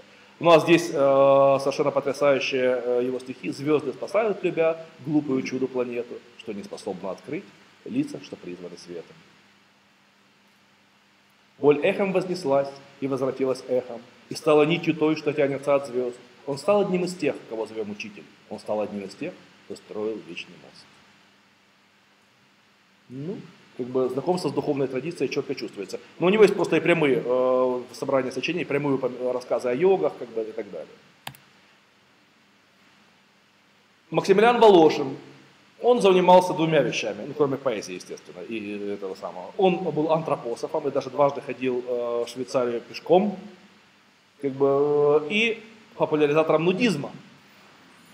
Его э, два известных произведения «Лики Нагота» и «Блики Нагота» и э, «Блики лица Нагота» являлись просто идеологией нудизма. Хотя нудизм был советский, э, запрещен и в России, и потом при советской власти и так далее, но в Коктебеле он всегда был благодаря Волошину. И, и всегда есть, и, надеюсь, будет. Да? По сути говоря, э, э, кстати, на, э, самое, на антропософию и на восточную философию Волошина подсадил Андрей Белый, тоже известный классик русской поэзии. Иван Франко, который э, э, стихотворение, посвященное Будде. Иван Франко был э, большим знатоком санскрита и перевел целые главы Махабхараты санскрита. Кстати, э, более того, он э, практически считал себя буддистом, практикующим. А подсадил его на увлечение Востоком Михаил Драгоманов, который был, как вы помните, дядей Леси Украинки, которая тоже великолепно знала санскрит и переводила Ригведу санскрита. Поклін, поклін тобі Будда, поклін тобі Будда, в темряві життя, ти ясність, ти чудо, ти мір здобуття, спокійний, величний, ти все поборов, і блиск царування, і гнів, і любов. Поклін е, від мене, що скочу, як стій, і стиску сансари, нерваний покій. Это Иван Франко. Ну, переводы Махабхарата не стал здесь переводить. А вот переводы Леси Украинки Ригведы, моего любимого, кстати, гимна, который э, заканчивается словами «Кто знает, что было в тот, в тот период? Только Бог знает или не знает». Как бы основа идеи философии Гегеля относительно того, что как бы абсолют через человека познает самого себя. Никто во Вселенной не знает всего. Это было в 10 мандале, 129 стихе. Этот, э, ну, этот и многие другие стихи э, Леся Украинка перевела с санскрита на украинский. Ну, про Михаила Драгоманова я уже рассказал. Ну, кстати, сюда куда-то пропал Александр Глин. У него есть потрясающее э, произведение «Опавший лист», которое просто посвящено практике йоги. Дословно. Анна Ахматова. О, сложной э, сорв... этой, э, Худжан Хасане. Но мы переходим к революционному периоду. Котовский. А, наверное, в детстве вы смотрели, ну, может, уже и не смотрели, а, произведение с Тимура и его команда. Фильм. Тот старый, 30-х годов. И когда дети собрались и читали про Котовского, они говорили, Котовский, что за час перед казнью мучил свое тело японской гимнастикой. Не японская, индийская, они ошиблись. Котовский практиковал йогу, и э, у меня нет этой фотографии, я ее не добыл в свое время, как бы теперь жалею, уже не добудешь, как бы э, в тогда не было айфонов с собой под рукой, да, как бы в э, музее истории э, в Москве лежал блокнот Котовского, э, в музее Ленина на, на Красной площади, лежал блокнот Котовского, открытый э, с названиями упражнений йоговских. Вот. Ну, э, с другой стороны, если человек практиковал перед казнью, ну, надо думать, что его практика не была только хатха-йогой, да? В этом был какой-то и мистический элемент, какой-то духовный элемент. Ну, его не успели казнить, как вы помните, там, то, то ли освободили, то ли а, еще что-то и так далее. А, как бы, но, так сказать, момент любопытный. Два э, основателя из одного из самых э, загадочных тайных обществ в истории СССР, Глеб Боки и Александр Барченко. Это уже тюремные фотографии. Вот, Глеб Боки э, был назначен Лениным на должность э, руководителя особого отдела ЧК. По сути, задача этого особого дела было две. Изучение оккультных феноменов и сбор э, компрометирующей информации о всей верхушке партии. Это человек, которого боялся даже Сталин. До тех пор, пока мог, э, так сказать, э, бояться. Да? А, в 1937 году, конечно, Боки так и расстреляли, как бы, но за это время как бы, Боки вместе с Александром Барченко, которого считал учителем, создали так называемый Народно-трудовой союз как бы общество, которое ставило целью как бы изучение оккультных феноменов, а, установление связи э, с Востоком, разведку на Востоке, эксперименты э, с психикой и эксперименты с массовым сознанием. Э, в 1937 году Глеба Боки арестовали. Э, его расстреляли чуть ли не в первый же день, как бы, потому что э, у него действительно был компромат абсолютно на всех лидеров э, партии на тот момент времени, вот, включая самого Сталина. Как бы это был уникальный человек, как бы э, такой подлинный аскет, э, несмотря на как бы высочайшую должность, что по сути говоря э, и высочайшее влияние, он всю жизнь жил в маленькой квартирке, э, как бы занимался только тем, что ему интересно, как бы очень много практиковал, как бы и так далее. Ну про Барченко, человек, который как бы пытался послать экспедиции на поиски Шамбалы, как бы от имени официально советского правительства, как бы и так далее. Ну сейчас уже не буду в эту тему удаваться, пойдем дальше. Татьяна Акуневская, ее в сталинский период известная актриса, любовница э, наркома э, этого, Ежова, по-моему, как бы, если не знаю, или Берия, не помню, кого из них и так далее. Но это не помешало ей на 6 лет отправиться в лагеря. Вот, она считала секс-символом как бы, России, но, в общем, как-то так, у секс-символов тоже не всегда судьба хорошая. Вот.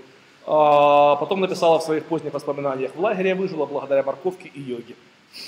Морковке в смысле, как бы она была сыроедом, как бы, а йоге в смысле она ее практиковала.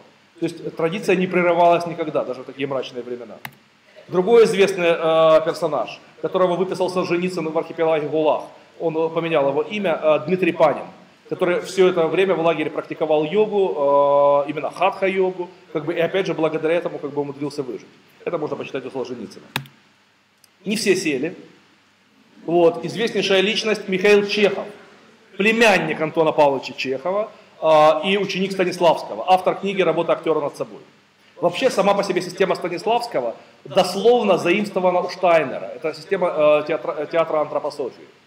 Как бы, но э, Станиславскому, и первая его книга так и, была, так и называлась, театральная система Штайнера. Но, э, потому что там очень много техник работы с энергией дано, техника работы с энергией зала, техники, которые он называл лучи испускания, лучи поглощения, то есть излучение, поглощение энергии в чакру и так далее но э, как бы ему намекнули уже советская власть, что как-то антропософия, ну не наш путь, да, и так далее. А нам нужна передовая революционная система. Станиславский был умным человеком, судя по тому, что прожил долгую и счастливую жизнь как бы, и так далее, даже при таких, э, так сказать, владыках. И э, не муствуя лукаво, он переименовал систему Штайнера в систему Станиславского, передовую пролетарскую, вот, которую мы знаем и до сих пор.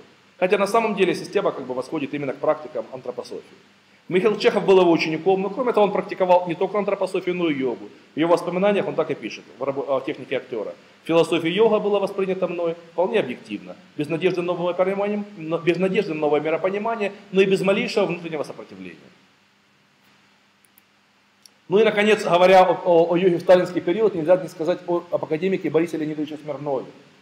Академикам надо было сказать не востоковедение, а медицина. Он был хирург. А, но еще в детские годы на какой-то ярмарке, ну явно кармическая предрасположенность, смотрев на Махатма Ганди, Махатма Ганди, вот, а, он наш, а, купил на какой-то ярмарке учебник по санскриту, видимо, Бюллера, дореволюционный. Ему, по-моему, 10 лет было. Ребенка это увлекло. И не торопясь, он выучил санскрит. А после этого, уже став как бы известным врачом, хирургом и так далее. Естественно, его сослали в какой-то период, как положено э, всякому приличному человеку в те годы. А, и в ссылке он занялся переводом Махабхараты. По сути говоря, э, его перевод Махабхараты на сегодняшний день самый полный и, на мой взгляд, самый подключечный, самый поэтический. А, ему удалось даже издать Махабхарату практически еще при жизни. А, где-то в Ашхабаде в издательстве Илым с большой буквы И я считаю, что вот, э, на этом переводе выросло ну, следующее поколение советских йогов, советских мистиков. В этом переводе он умудрился вставить в одном, э, по-моему, в Нараяне в разделе э, отдельную главу, которая была сама по себе вот такой толщины, которая называлась Сангхья-йога, э, которая являлась, по сути говоря, учебником по йоге. С одной стороны, он описывал довольно подробно историю йоги, свой взгляд и так далее. С другой стороны, описывал вплоть до конкретных упражнений. Причем а упражнения были описаны очень тщательно и конкретно. А будучи врачом, он еще описывал как бы физиологически, с его точки зрения, механизм влияния э, асаны пранаям на человека. Э, этот учебник, в общем, до сих пор актуален. И я думаю, что, ну, скажем так, прочитать его, наверное, для любого практика было бы э, полезно, интересно, а, как бы и так далее. Плюс он был довольно интересным самобытным востоковедом, ну пусть и самоучкой, и достаточно интересно описал свою теорию, я его сегодня цитировал, по поводу теории кшатрийско-брахманского противостояния в Индии, по поводу существования, почему существуют брахманические и кшатрийские стили йоги и так далее. В общем, это был достаточно яркий и интересующийся, и, судя по описанию, явно практикующий человек. Ну, откуда он взял свое описание упражнений, не вполне понятно, но лично мне кажется, что э, то, что он описывал, более похоже на стиль Шивананды, чем э, какой-то из другой тогдашних стилей. Следующие два человека, которые внесли неоценимый вклад э, в развитие йоги. Да, Никита Хрущев и Георгий Жуков. Как им это удалось сделать? В 1955 году э, Никита Хрущев совершил уникальное путешествие. Он посетил три восточные страны – Индию, Афганистан и Бирму. Но нас интересует больше э, Индия. А, как и положено в советск, э, при советском строе, как только человек попадал, э, ну, как бы возникли первые связи с Индией, сразу же стало правильным и политкорректным, как мы бы сейчас сказали, интересоваться индийской культурой. И все, что связано с Индией, начали хвалить. Кроме того, к нам попали индийские специалисты. А от нас часть специалистов поехала в Индию. И начали там заниматься йогой. Но это еще не все. Хрущев, точнее, э, Хрущев-то Хрущев, но Жуков посмотрел на индийские войска. Его очень впечатлило, э, насколько подтянутый и яркий состав. И он обратил внимание, что э, индусы практикуют йогу. Как бы, и он предложил внедрить в советских войсках что-то типа йоги. Для чего были опять же приглашены индийские специалисты, специалисты в области йоги. Кстати, в этот же визит, точнее не в этот же визит, а Хрущев, э, Жуков внедрил тогда еще одну штуку – карате. До этого в, в советской традиции было только боевое самбо, бросковая техника. Но Жуков Э, э, но Жукову понравилась э, японская техника. Он пригласил первых специалистов по карате, которые стали демонстрировать как бы, в войсках эти э, умения и так далее. Ну а тут уже дальше как рукописи не горят, только что-то просочить. Да? Вот. А самое интересное, что после визита Жукова э, в Индию в войсках был введен обязательно ежедневный индийский час, он так и назывался, который э, э, запретили сразу после его снятия с должности. Но, как всегда положено при Советском э, Союзе, как только как бы, что-то хвалят, сразу это и ругают. После того, как Жукова сняли с должности, и после того, как Хрущева тоже сняли с должности, возникли первые гонения на йогу. Они были обусловлены не тем, что йога кому-то не нравилась, а тем, что э, это то, что связывалось с Хрущевым и Жуковым. Поэтому всякое их наследие необходимо было потоптать. У нас есть целая коллекция первых высказываний, некий доцент Донской, который описывает, что йога это как бы не наш путь, как бы так далее и так далее. Самое интересное, что все те слова, которые здесь говорят, говорят и современные ру, э, ругалию. Да? То есть э, про сектанство, про чуждую западному сознанию индийскую философию, про э, как бы углубление в себя, как бы, ну, естественно, как бы все это не имеет к йоге никакого отношения, но как бы смешно понять, откуда это взялось впервые. 60-е годы. Я это назвал романтическая йога 60-х. Тогда, было все романтическое. А, Иван Ефремов. А, его произведение «Лезвие бритвы» говорит о глубочайшем знакомстве с йогой. Впервые метафора лезвия бритвы была использована где? В Катха Упанишаде. В Катха сказано, что путь йоги подобен лезвию бритвы. Пройти между противоположностями. Потом этот же, эту же метафору был, использовали в Шурика Упанишаде. Шурика это есть острие. Уже более позднем средневековом трактате по йоге. Ефремов довольно хорошо и, э, был знаком с текстами йоги, видимо, благодаря э, наличию Ленинской библиотеки и все-таки очень сильной востоковедческой школы в Советском Союзе.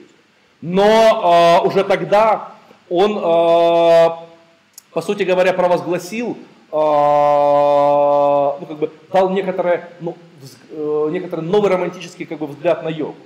А, я, э, ну, скажем так, на его книгах тоже воспитывалось целое поколение как бы, советских йогов. Я когда-то озадачился темой попробовать найти, из каких текстов а, были взяты те или иные цитаты, которые приводил в своих книгах. По сути, его книги, когда он устами героев цитировал целые тексты, что-то подобное, как потом делал в 70-е годы Еремей Парнов, который писал атеистические книги, но на самом деле у него там есть книга «Трон Люцифера», которая начинается словами, там, тупые древние астрологи считали что. И дальше 40 страниц описания разных классических астрологических, алхимических и прочих трактатов. Да? А еще они, козлы, думали вот так-то, да? и еще 40 страниц. Все это издавалось в политиздате и э, раскупалось теми, кто пытался что-то практиковать и так далее. Отдельно у еврея Парнова была книга «Третий глаз Шивы», которая описывала индийские практики, всем э, путешествия по Гималаям там, и так далее. Далее. Что-то подобное как бы, мы наблюдали в книгах э, Ивана Ефремова. Но кроме того, Иван Ефремов дал какой-то новый специфический взгляд на йогу. Вот э, его э, книгах «Час быка», э, «Таиса Финская» и так далее. Йога понималась как некоторый высочайший уровень э, самоконтроля человека. Даже как бы такая романтика, помните, в «Час быка» они могли покинуть свое тело, как бы, э, потому что человек имеет право распоряжаться своей жизнью. Да? Ну, волевым усилием. Красиво, красиво. Да? Вот определение э, йоги, которое он дал э, в лезвии бритвы, устами одного из героев, а, который как бы полемизирует с индусами, ваша йога или психофизиологическое совершенствование, как скажут ученые Запада. То есть, по сути, йога воспринимается как психофизиологическое совершенствование. Представляется мне крепким свинчиванием сознательного с подсознательным психики человека, железным стержнем, поддерживающим крепость души и тела, могучим зарядом энергии, делающим человека способным к высоким взлетам, тяжелой борьбе и необоримой стойкости. Для чего все это как не да для отдачи людям, помощи им в борьбе за увеличение красоты и счастья на земле. Вот взгляд на йогу Ивана Ефремова. И после э, периода 60-х мы должны поговорить о таком уникальном явлении советского периода, как эзотерическая духовка. Я написал 60-х, 70-х и 80-х, на самом деле, годов. По сути говоря, э, это, почему духовка? Люди, которые занимаются той или иной духовной практикой. Я сразу перейду следующий слайд, потом мы к ним вернемся. По сути говоря, чем, чем интересна была эта духовка? Был, э, группа людей, которые э, практикуют, что попало. В каком смысле, что попало? В отрыве от э, традиционных систем, э, в условиях постоянного гнета КГБ, в условиях как бы запрета официальной системы как бы все это э, привело к тому, что произошло очень сложное сплетение внутри этой духовки всех имевшихся тогда эзотерических традиций. То есть сказать, что люди практиковали, невозможно. Они практиковали и йогу, и магию, и, и кастанеду, и э, суфизм, как бы, и экстрасенсорику, и духовное целительство, и попытки как бы, э, экспериментировать с технопрактиками. Все, все вместе. Да? То, до чего могли дотянуться, то и пробовали. На ком пробовали? На себе. Самым жестоким образом. Потому что советская система, она давала какие-то минусы, это внешнюю информационную ограниченность. Я, э, начиная заниматься еще 80-е годы, пытался получить в университетской библиотеке труды Фрейда. Меня чуть из универа не выгнали.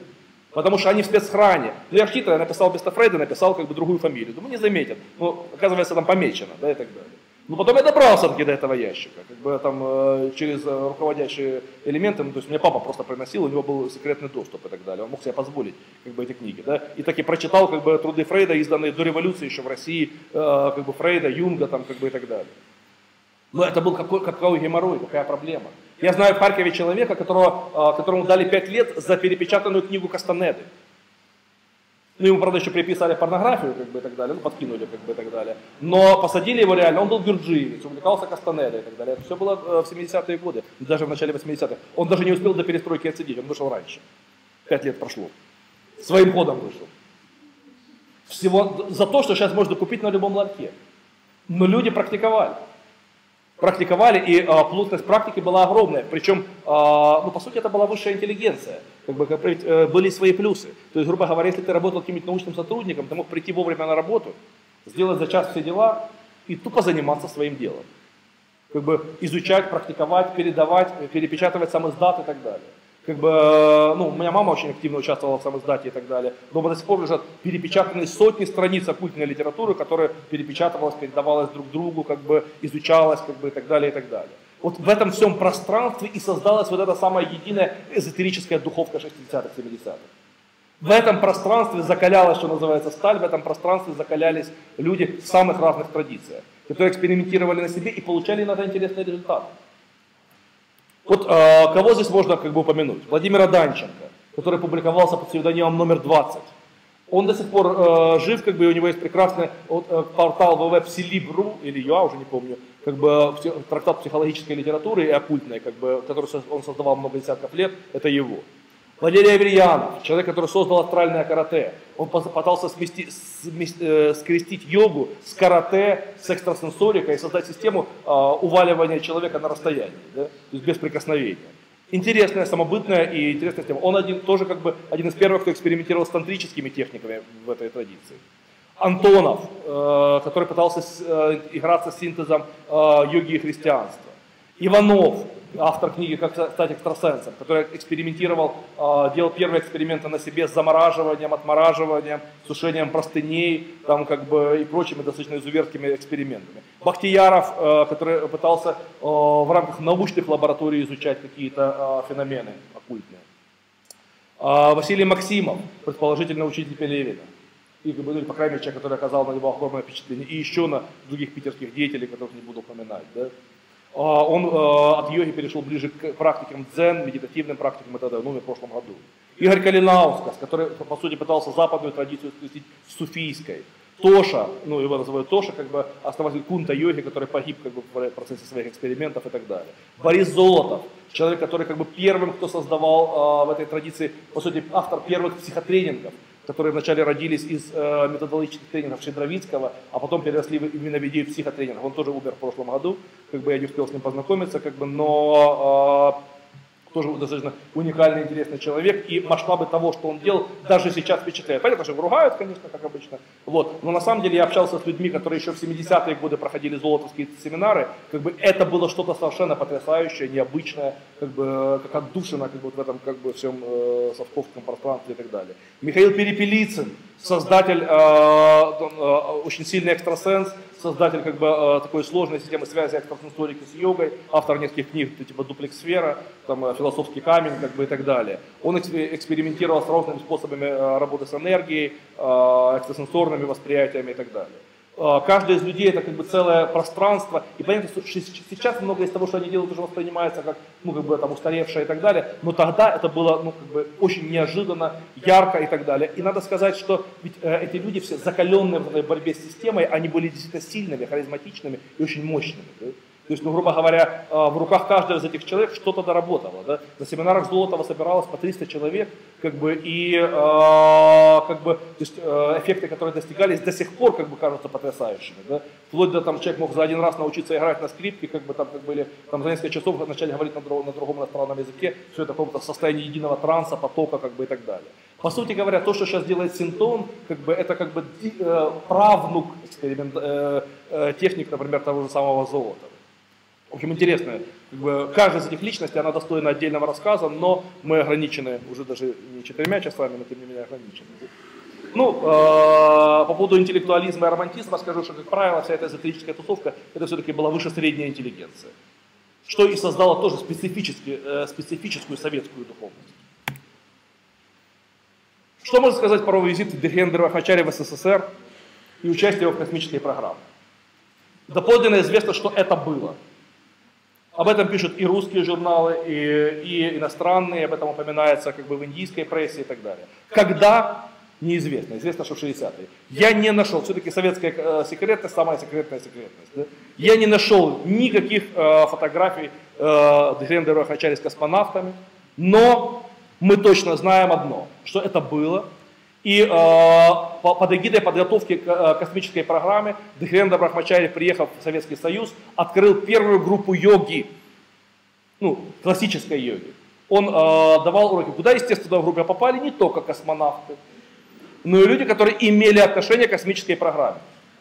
Будь то профессор Бродов, один из классиков йоги, я вам потом покажу, или мой учитель Геннадий Григорьевич Стаценко, который тоже работал в космической программе, занимаясь разработкой какого-то инженерного оборудования. В этом смысле, когда э, мы смотрим, как бы, ну, сейчас в нашей школе хатка очень сильно изменилась, пополнившись арсеналами других школ и так далее. Но классические упражнения э, из школы Геннадия Григорьевича напоминали э, до боли Сукшмавьяму, но книги Сукшмавьяма тогда еще не вышло, когда эти упражнения давали в школе. И мы их записывали э, под запись. Малые пранаямы, стоячие бхастрики, специфические мудры. Все это абсолютным образом было заимствовано из школы Тиренда Брахмачари. То есть в этом смысле, как бы, ну, если родителями нашей школы является школа э, Геннадия Григорьевича Стаценко, то внуками нашей школы является школа Дмитрия Брахмачари. Вот такая забавная преемственность. Вот. Но от э, вот этой группы, которая в Звездном городке э, создал э, Дхирендра Брахмачари, как бы пошло очень много школ. И я говорил, что если на Западе основными школами являются все-таки Айенгар и Потапки Джойс, то в, российском пространстве намного более влиятельными всегда школами и более значимыми известными были школы Шавананды и Дхиренды Брахмачари. Хотя они всегда упоминали, собственно говоря, их происхождение. Итак, поколение классиков советской йоги. Вот эти четыре человека заложили фактически фундамент всей йоги, которая есть сейчас. Как бы сосредоточив на себе э, основ, основные, что называется, йогские потоки. Василий Бродов, человек, который профессор, востоковед, который э, пересекался, по всей видимости, тоже с Хендер Рахмачари. По крайней мере, такая информация проскакивала. Ну, опять же, я с ним не знаком лично, он умер достаточно давно. Как бы, и, э, кроме того, ему довелось таки съездить в Индию и поучиться там. Как бы, Анатолий Зубков, человек, которому удалось попасть в Индию и поучиться там в традиции Шивананды. И стать первым популяризатором, ну, может, вторым после Бродова, популяризатором йоги в СССР. Геннадий Стаценко, собственно, мой учитель который, как бы, э, познакомившись с э, традицией Триада Брахмачари, э, с 60-х годов начал вести свою группу, как бы потихонечку, как бы синтезируя другие элементы этой самой эзотерической духовки, создал свою собственную самобытную школу. Лев Тетерников, первый советский тантрик, его традиция идет от какого-то йога еще сталинских времен, а, но э, я, я ничего не знаю про этого человека, поэтому не стал приводить его фотографию. Но вот как бы, как бы благодаря этим людям есть вся йога, которая сейчас есть на территории всего СНГ. В 70-м году при поддержке как раз Василия Бродова был, вышел, вышел известный фильм «Индийские йоги кто они». Можете посмотреть на YouTube. Э, сейчас в чем-то смотрится смешно, а в чем-то и неплохо. Конечно, э, мнение пузатых советских ученых, которые с глубокими выводами размышляют о йоге, немножко смешит. Да? Но э, путешествие в Индию, где показано тщательно всякие йогские процедуры и так далее, очень многих вдохновило на йогу. Как бы, и э, фактически ну, как бы легитимизировало вообще идею практики йоги в советском пространстве. Вот э, популяризатор йоги Василий Бродов, который как бы описывает свое переживание, что ну, он с фронта вернулся очень раненым, больным и так далее, но после нескольких десятков лет йоги, в 78 э, лет, чувствует себя прекрасно, за что низко кланяюсь индийскому народу, за то, что он дал человечеству. Ну, параллельно надо было бы, наверное, сказать о популяризаторах здорового образа жизни Юрия Николаев, популяризатором идеи голодания, который был последователем Порфирия Иванова, но, будучи врачом, доктором наук, создал первую клинику голодания. И фактически то, что мы сейчас в йоге знаем о голодании, во многом мы знаем благодаря его экспериментам. Правда, он называлось не голодание, а там лечебно-разгрузочная терапия, но очень интересный человек. Еще один человек, чьей фотографии здесь нет, э, Владимир Андреев, но тем не менее. Итак, э, Зубков. Сверху нарисован его учитель из традиции Шавананды. И одна из его статей. Он пытался публиковаться где только можно. В науке и жизни, в юности, э, в литературной газете. В общем, в куче как бы, мест – как бы он везде как бы плавно гнул свою линию. Причем э, сказать, что он был специ- большим специалистом по йоге, честно говоря, вряд ли. Да? Ну, как бы сейчас, как говорится, получить такой уровень йоги не очень сложно. Да? Но э, медленно, шаг за шагом, он как бы привычал советский народ к тому, что йога это неплохо. 73 год. Первый советский тантрик. Тетерников, Лев Тетерников. Видите, как бы он же один из основателей парной йоги. То, что сейчас называется акро-йогой, во многом разработка Тетерникова как бы, по сути говоря, этот человек, который создал идею о том и стал проповедовать ее тогда, в 70-е годы и 80-е, да, что э, секс, эмоциональность, любовь не противоречит духовному развитию. Наоборот, как бы, только через как бы, постижение своей сексуальности возможна подлинная духовность. Тогда это казалось не просто революционным, а просто эффектом разорвавшейся бомбы. Его семинары, как бы по нынешним временам, как бы, ну, абсолютно целомудренные, да, как бы и так далее, тогда казались чудовищными, да? как бы, когда люди делали не только похлопывание себе, но и похлопывали друг друга. А уж э, идея о том, что ты можешь смотреть в глаза партнеру, ну, тоже казалось почти э, оргией. Да? Вот. За что его, конечно, многое ругали. Да? Но, тем не менее, он внес огромный вклад в советскую йогу. Э, Геннадий а, человек, который а, в 89 году создал вообще беспрецедентный эксперимент. Он попробовал создать учебное заведение, в котором как бы тренировать йогу по пятидневной неделе. А, Московский, а потом Харьковскую, Московскую, а потом Харьковскую академию йоги. В участии этой академии Харьковской принимал участие и я. А, идея у него была а, совершенно поразительная. Да? Это был 89 год, как бы, вообще непонятно, шок, к чему как бы, а, и так далее. Он сказал, давайте все соберемся и, и как бы, поменяемся как бы, знаниями. Первый набор академии пришло 500 человек. Как бы это, практически никто из пришедших не был, чтобы чем-то не занимался. Там были экстрасенсы, практикующие целители, самые странные йоги всех мастей как бы, и так далее. И мы между собой начали тереться, обсуждать, как бы играться, экспериментировать, обмениваться знаниями, пробовать сами на себе, друг на друге и так далее. Ну, э, по сути, Академия находилась на пике года 3-4, потом, когда начался развал Советского Союза, как бы все это стало драматично, как бы непонятно, как бы по-новому и так далее.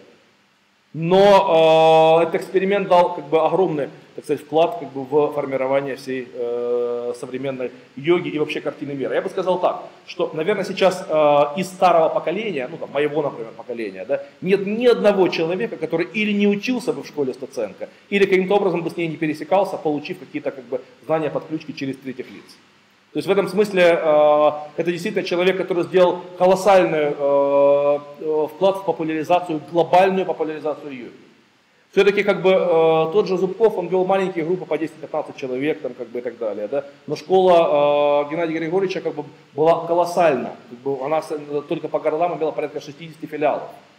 Как бы, и это была именно школа. То есть люди обменивались знаниями между собой, а не просто был инструктор как бы, или учитель, который как бы, чего-то давал. Да? И в этом была как бы э, методическая база, которая постоянно совершенствовалась и так далее. Да, потом уже в 90-е годы как бы произошел постепенный спад, как бы, как бы и так далее. Хотя, в принципе, ему сейчас 87 лет, как бы каждую субботу воскресенье он проводит семинары часов по 6, как бы и так далее. А остальное время как бы преподает как бы в институте, как бы и так далее. И прекрасно себя чувствует. Да? Как бы это тоже о чем-то говорит. Вот он на, на этой фотографии сделанной 25 лет назад. По-моему, я еще э, участвовал в этой фотографии, как бы и так далее. Вот сейчас он выглядит точно так же. Ну, это тоже о чем-то говорит. Так, легенды советской йоги. Станислав Курилов, спортсмен, йог-интеллектуал, как про него сказали. В 1974 году этот человек э, решил эмигрировать из Советского Союза.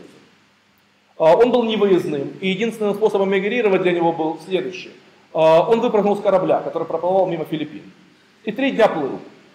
Для этого он поголодал, истинный йог. Правда, потом истинный советский человек бухнул. А, проплыл между э, работающих винтов, потому что он, э, он был океанограф, но он совершал круиз, который не заходил ни в один порт. Это чисто советские вещи, вы вам, наверное, не понять. И, и дай бог нам никогда этого больше не увидеть. Да?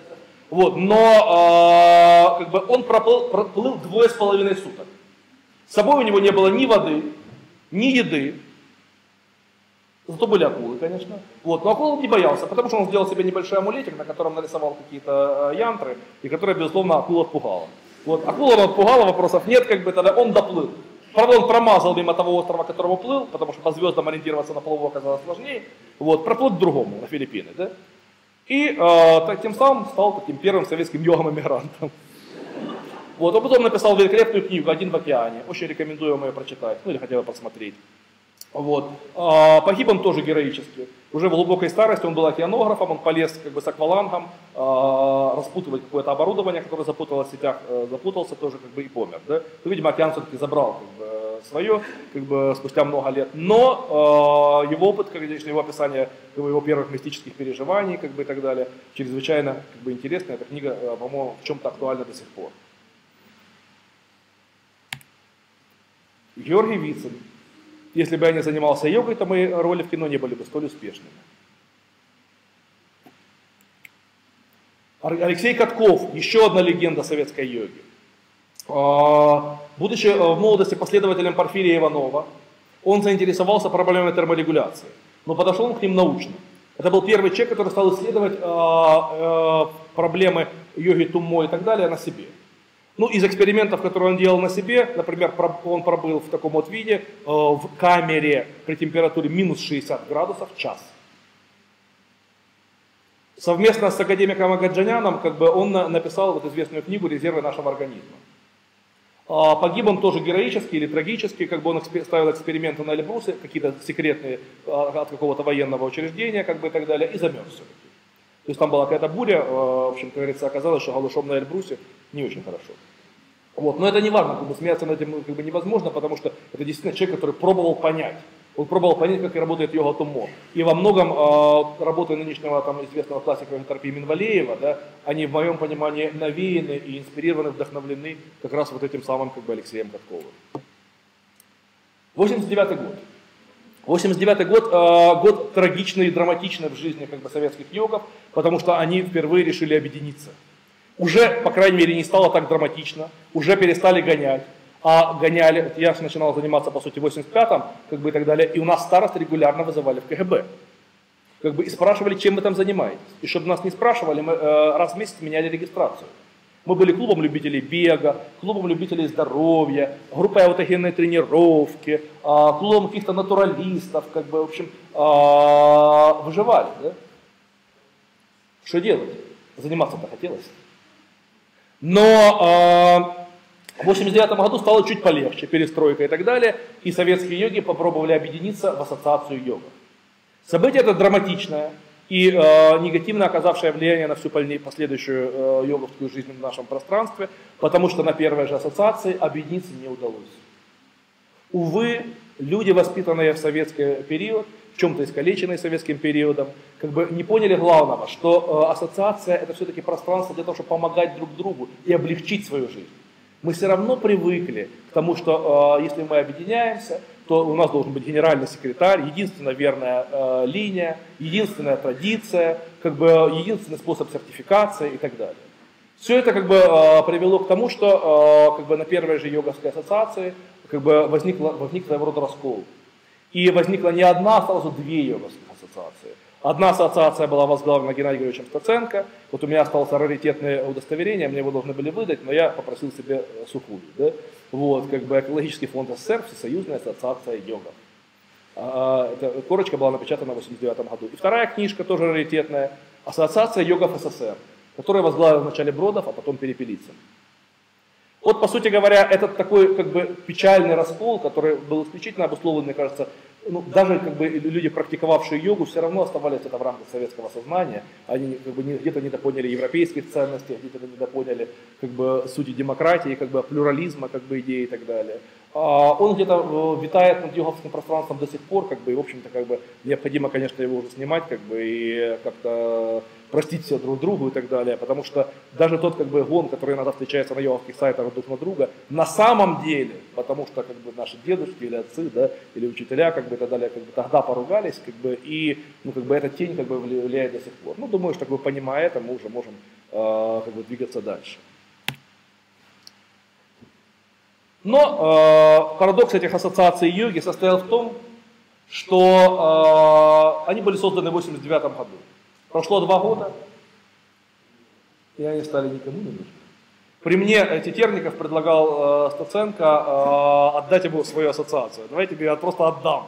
Да, тогда там камни летели, как бы, и, и так далее, и так далее. А Геннадий Иванович говорит, а зачем она мне уже? Уже не нужна была, да, как бы уже все это как бы себя исчерпало, как бы стало неактуальным, как бы и так далее. Что, в общем, очень хорошо, да. Помните, я говорил, в науке есть, был такой э, известный ученый Гейзендер, который говорил, как приходит новая научная школа. Две э, э, научные школы спорят до хрипоты, а потом приходит новое поколение, которому все понятно с самого начала. Ну, что-то подобное произошло. Но, тем не менее. И на стыке веков, 90-е, начало 2000-х, приходят новые как бы, звезды йоги, йога-тичеры, как они себя называли. Я терпеть не могу это слово, но э, им самим оно нравится, поэтому я думаю, что мы имеем право так называть. Сидерский, Лапа, Бойко и Лапин.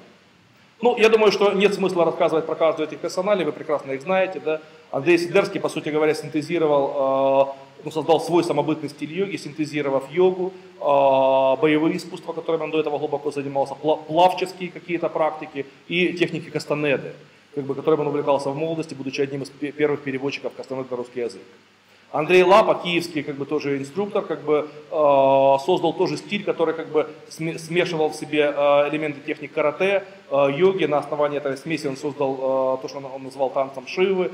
Как бы позднее он как бы увлекся буддизмом кармакагью, как бы стал синтезировать практики буддийские как бы сюда. Ну, как бы он, может быть, чуть менее известен, чем Андрей Сидерский, как бы, но тем не менее тоже как бы в тот период э, внесший большой вклад как бы в развитие йоги. Виктор Бойко, московский практик йоги, а, который создал тоже специфический стиль, который произошел в его понимании от Айнгара. Но он а, как бы положившись на русский перевод э, Островской руды йога Сутры Патанджали, воспринял по своему пониманию Читаврита Ниродхи и построил фор, технику йоги, основанную на глубоком-глубоком расслаблении. И упражнения, которые он делал, они все были построены на очень-очень глубоком как бы, расслаблении. Ну, это интересно достаточно, как бы, в свое время стиль, как бы.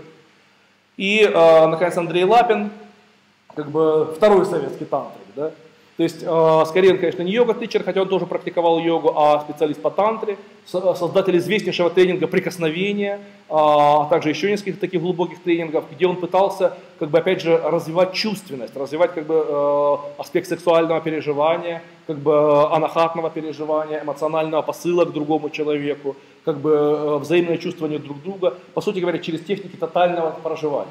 Ну, по сути говоря, он пытался как бы реконструировать где-то какую-то новую советскую тантру. Потом на какое-то время он исчез, как бы из... Э, он много путешествовал, сделал несколько интересных фильмов по поводу путешествий, еще в те 90-е годы, или в начале даже 2000-х, может быть, уже. Потом он какое-то, на какое-то время исчез, сейчас он э, проводит изредка семинары, читает лекции э, и так далее. Если попробовать понять, что произошло в этот период, на рубеже столетий, какие тенденции были в йоге, вот что а, а, дали нам как бы эти люди, то я бы сказал следующее – ну, а, первое, появление возможности свободного обучения как в Индии, так и в западных школах. Конечно, а, если вспомнить советские годы, когда каждый кусочек информации вырывался из-под тяжка, каждый, все нужно было подсмотреть, узнать, у кого-то спросить, как бы, а, и там э, любой кусочек информации это было просто счастье, да, то возможность просто поехать в Индию, в Майсор, в школу в Ришикеш, как бы там в Пуну Кайнгару, и посмотреть, позаниматься с ними, как бы и так далее, ну, это просто стало счастье. Да? И все, кто мог, сразу поехали, да? а кто не мог, как бы все равно поехали. Вот, как бы, и фактически, как бы мы наконец вышли из, этого ситуации, из этой ситуации информационного вакуума. Как в области йоги, так и в других областях. Те же книги там, как бы, по психологии, те же книги, так сказать, э, древние первоисточники, которые раньше э, лежали в спецхранах, стало возможным читать. Да, появилось и много макулатуры, как бы и так далее. Но хорошие книги тоже появились. Вначале, надо сказать, появились хорошие. А, дальше. В этот период, э, этот период характеризуется существенным повышением уровня хатха-йоги. То есть все-таки йога, которая была в застойные годы, сам факт, что ты занимаешься йогой, уже безумно радовал. Даже если ты делаешь все неправильно. Но когда появился, как бы, э, вот в этот период в йогу э, пришли все-таки не интеллигенция, а спортсмены которые принесли спортивный подход, спортивные подключки, идею глубокого занятия телом. А, ну, если сравнить йогу 70-х или 80-х с йогой 90-х, ну, реально, это небо и земля. Вы себе не представляете, насколько э, изначально как бы, простые упражнения делали, так сказать, в йоге, как бы, и как коряво все это делалось, и как э, не понимались многие ключи, как бы, там, и так далее. Демаргинализация. То есть, если раньше йога всегда была подпольная, а, вот, э, известный э, телеведущий э, Дроздов, ведущий передачу «В мире животных», который был глубоким практиком йоги, подпольно, он у него есть воспоминания, как он подпольно, тайно ходил в зал вечером, он открывал сторож, они практиковались, какой-то студент мединститута, который с родителями в детстве жил в Индии и чему-то там научился, давал им йогу, это давало какую-то отдушину, как бы и так далее, и так далее. Йога, наконец, вышла из подвала она вышла, пришла в нормальные залы, стала возможным заниматься этим легально, официально, рекламировать этого и так далее. Но негативным эффектом этого стало омасловление. То есть появились йога там, на уровне фитнес-клуба, как бы на уровне каких-то э, простых как бы, элементов, когда человек там э, посмотрел, ну, бывший спортсмен там, или еще кто-то, ну, что, в принципе, упражнение сложное, ну, в принципе, вроде выглядит несложно. Попробовал, поделал, нормально. Фигурка нормальная, гибкость нормальная. Ну, э, как бы, и такой эффект тоже произошел. Ну и наконец возник эффект профессионализации ее. То есть как бы до какого-то периода предположить, что йога может быть профессией, даже предположить нельзя было. Это могло быть только статьей. Вот, как бы. Но как бы, и естественно повышать свой профессиональный уровень, как бы общаться с себе подобными было довольно сложно. Да? В 90-е наконец это стало возможным. Вот такой как бы, переворот в мире йоги. Ну, в 90-е, начале 2000-х. В это же время произошли первые исследования по йога-терапии. И в нашем пространстве нужно отдать должное как бы Ренаду Минвалееву. Вот видите, экспериментирует тоже с холодом, как бы, по-моему, до сих пор развлекается этой темой и так далее, который перевел а, первую вообще в историю книги по серьезной йога-терапии, а именно Дидриха Эйберта «Физиологические аспекты йоги».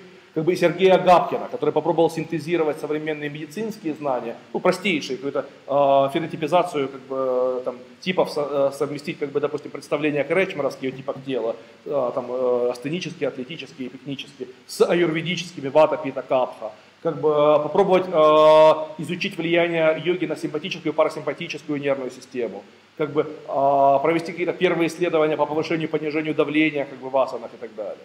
Вот как бы два этих человека как бы заложили начало э, научной йога-терапии. Миновалеев сейчас как бы продолжает какие-то исследования, Гапкин больше ушел в телевидение, как бы э, в шоу-бизнес и так далее, но он тем не менее проводит интересные еще э, семинары, правда значительно реже. В общем, э, тоже два таких интересных, э, две интересных персонажа.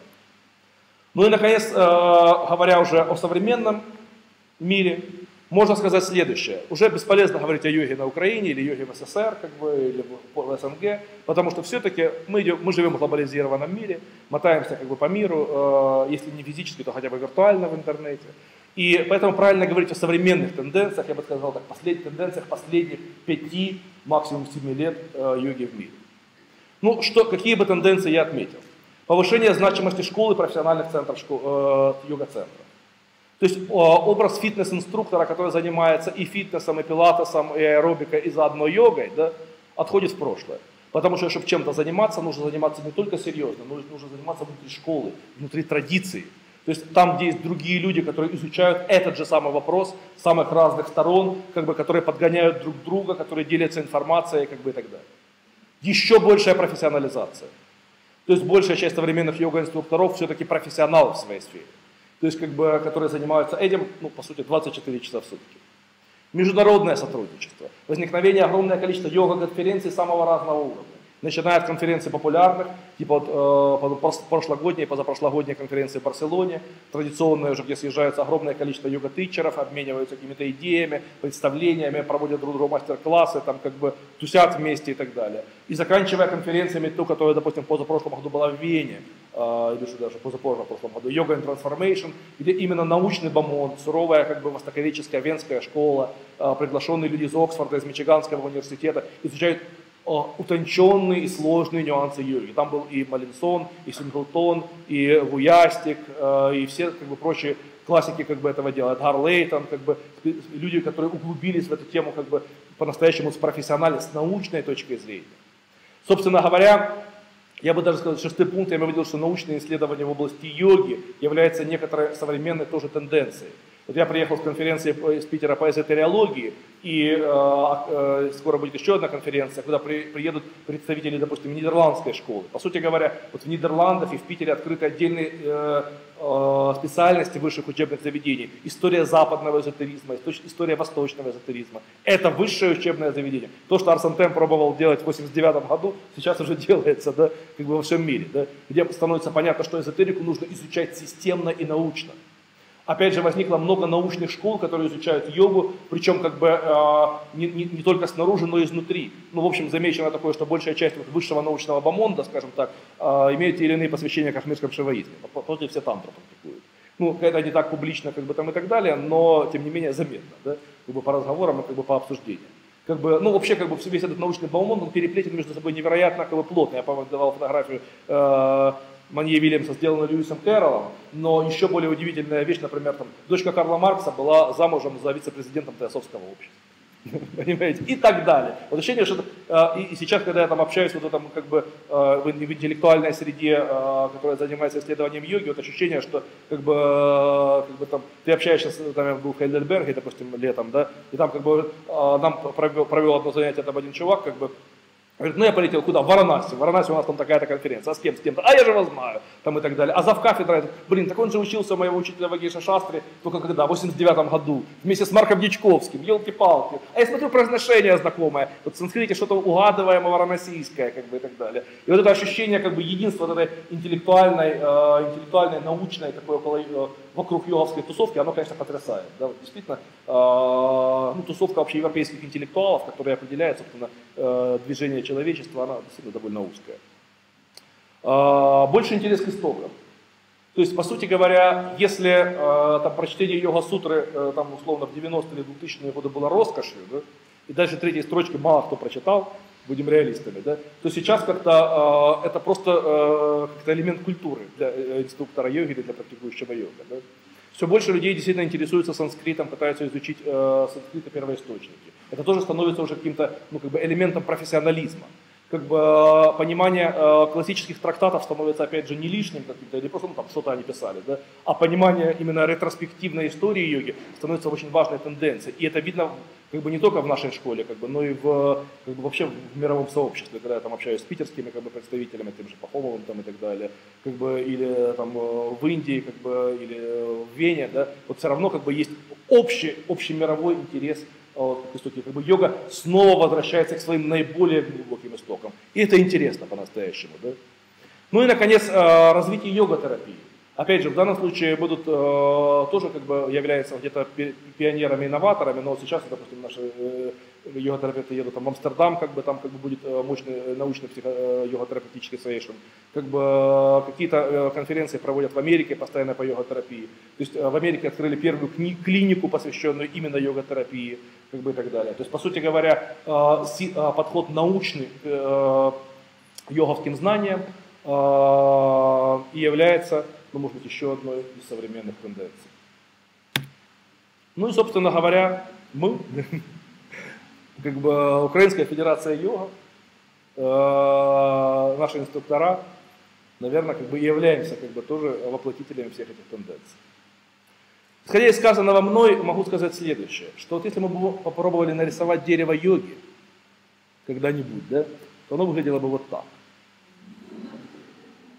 Собственно говоря, это есть любимое дерево йогов, баньян или фикус бенджамина. Да? Видите, как бы у этого дерева есть ветки, есть крона, есть корни. Но где ствол, где ветка, где крона, где корень, уже не поймешь.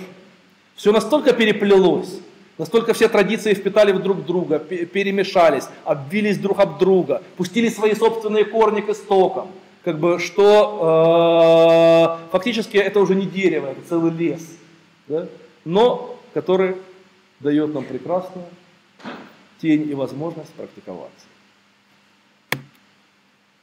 Спасибо, друзья, за внимание.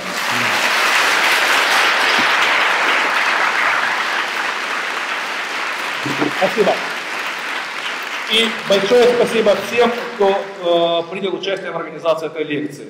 Э, и э, тем, кто участвовал в рекламе. Э, Ульяне, э, Лили, и технической группе Жене, как бы, и всем инструкторам, которые как бы, тоже приняли участие в тех или иных аспектах как бы, э, создания этой лекции, потому что для нас это тоже был первый опыт и создание такой крупной масштабной открытой лекции, и, э, по сути, онлайн-трансляции, которую, как вы видите, э, принимала участие э, в среднем порядка, э, в каждый момент порядка полутора тысяч человек, как бы, так что мы присутствовали здесь в довольно большом и приятном коллективе. Ну, я даже не знаю, задавать ли сакраментальную фразу «есть ли вопросы?». Думаю, что, наверное, сложновато будет сейчас отвечать на вопросы, но, э, так сказать, если таковые все-таки пришли и созрели, э, я думаю, мы увидимся не последний раз, поэтому на вопросы отвечу когда-нибудь в другой раз. Еще раз спасибо всем за внимание. Спасибо, слушатели.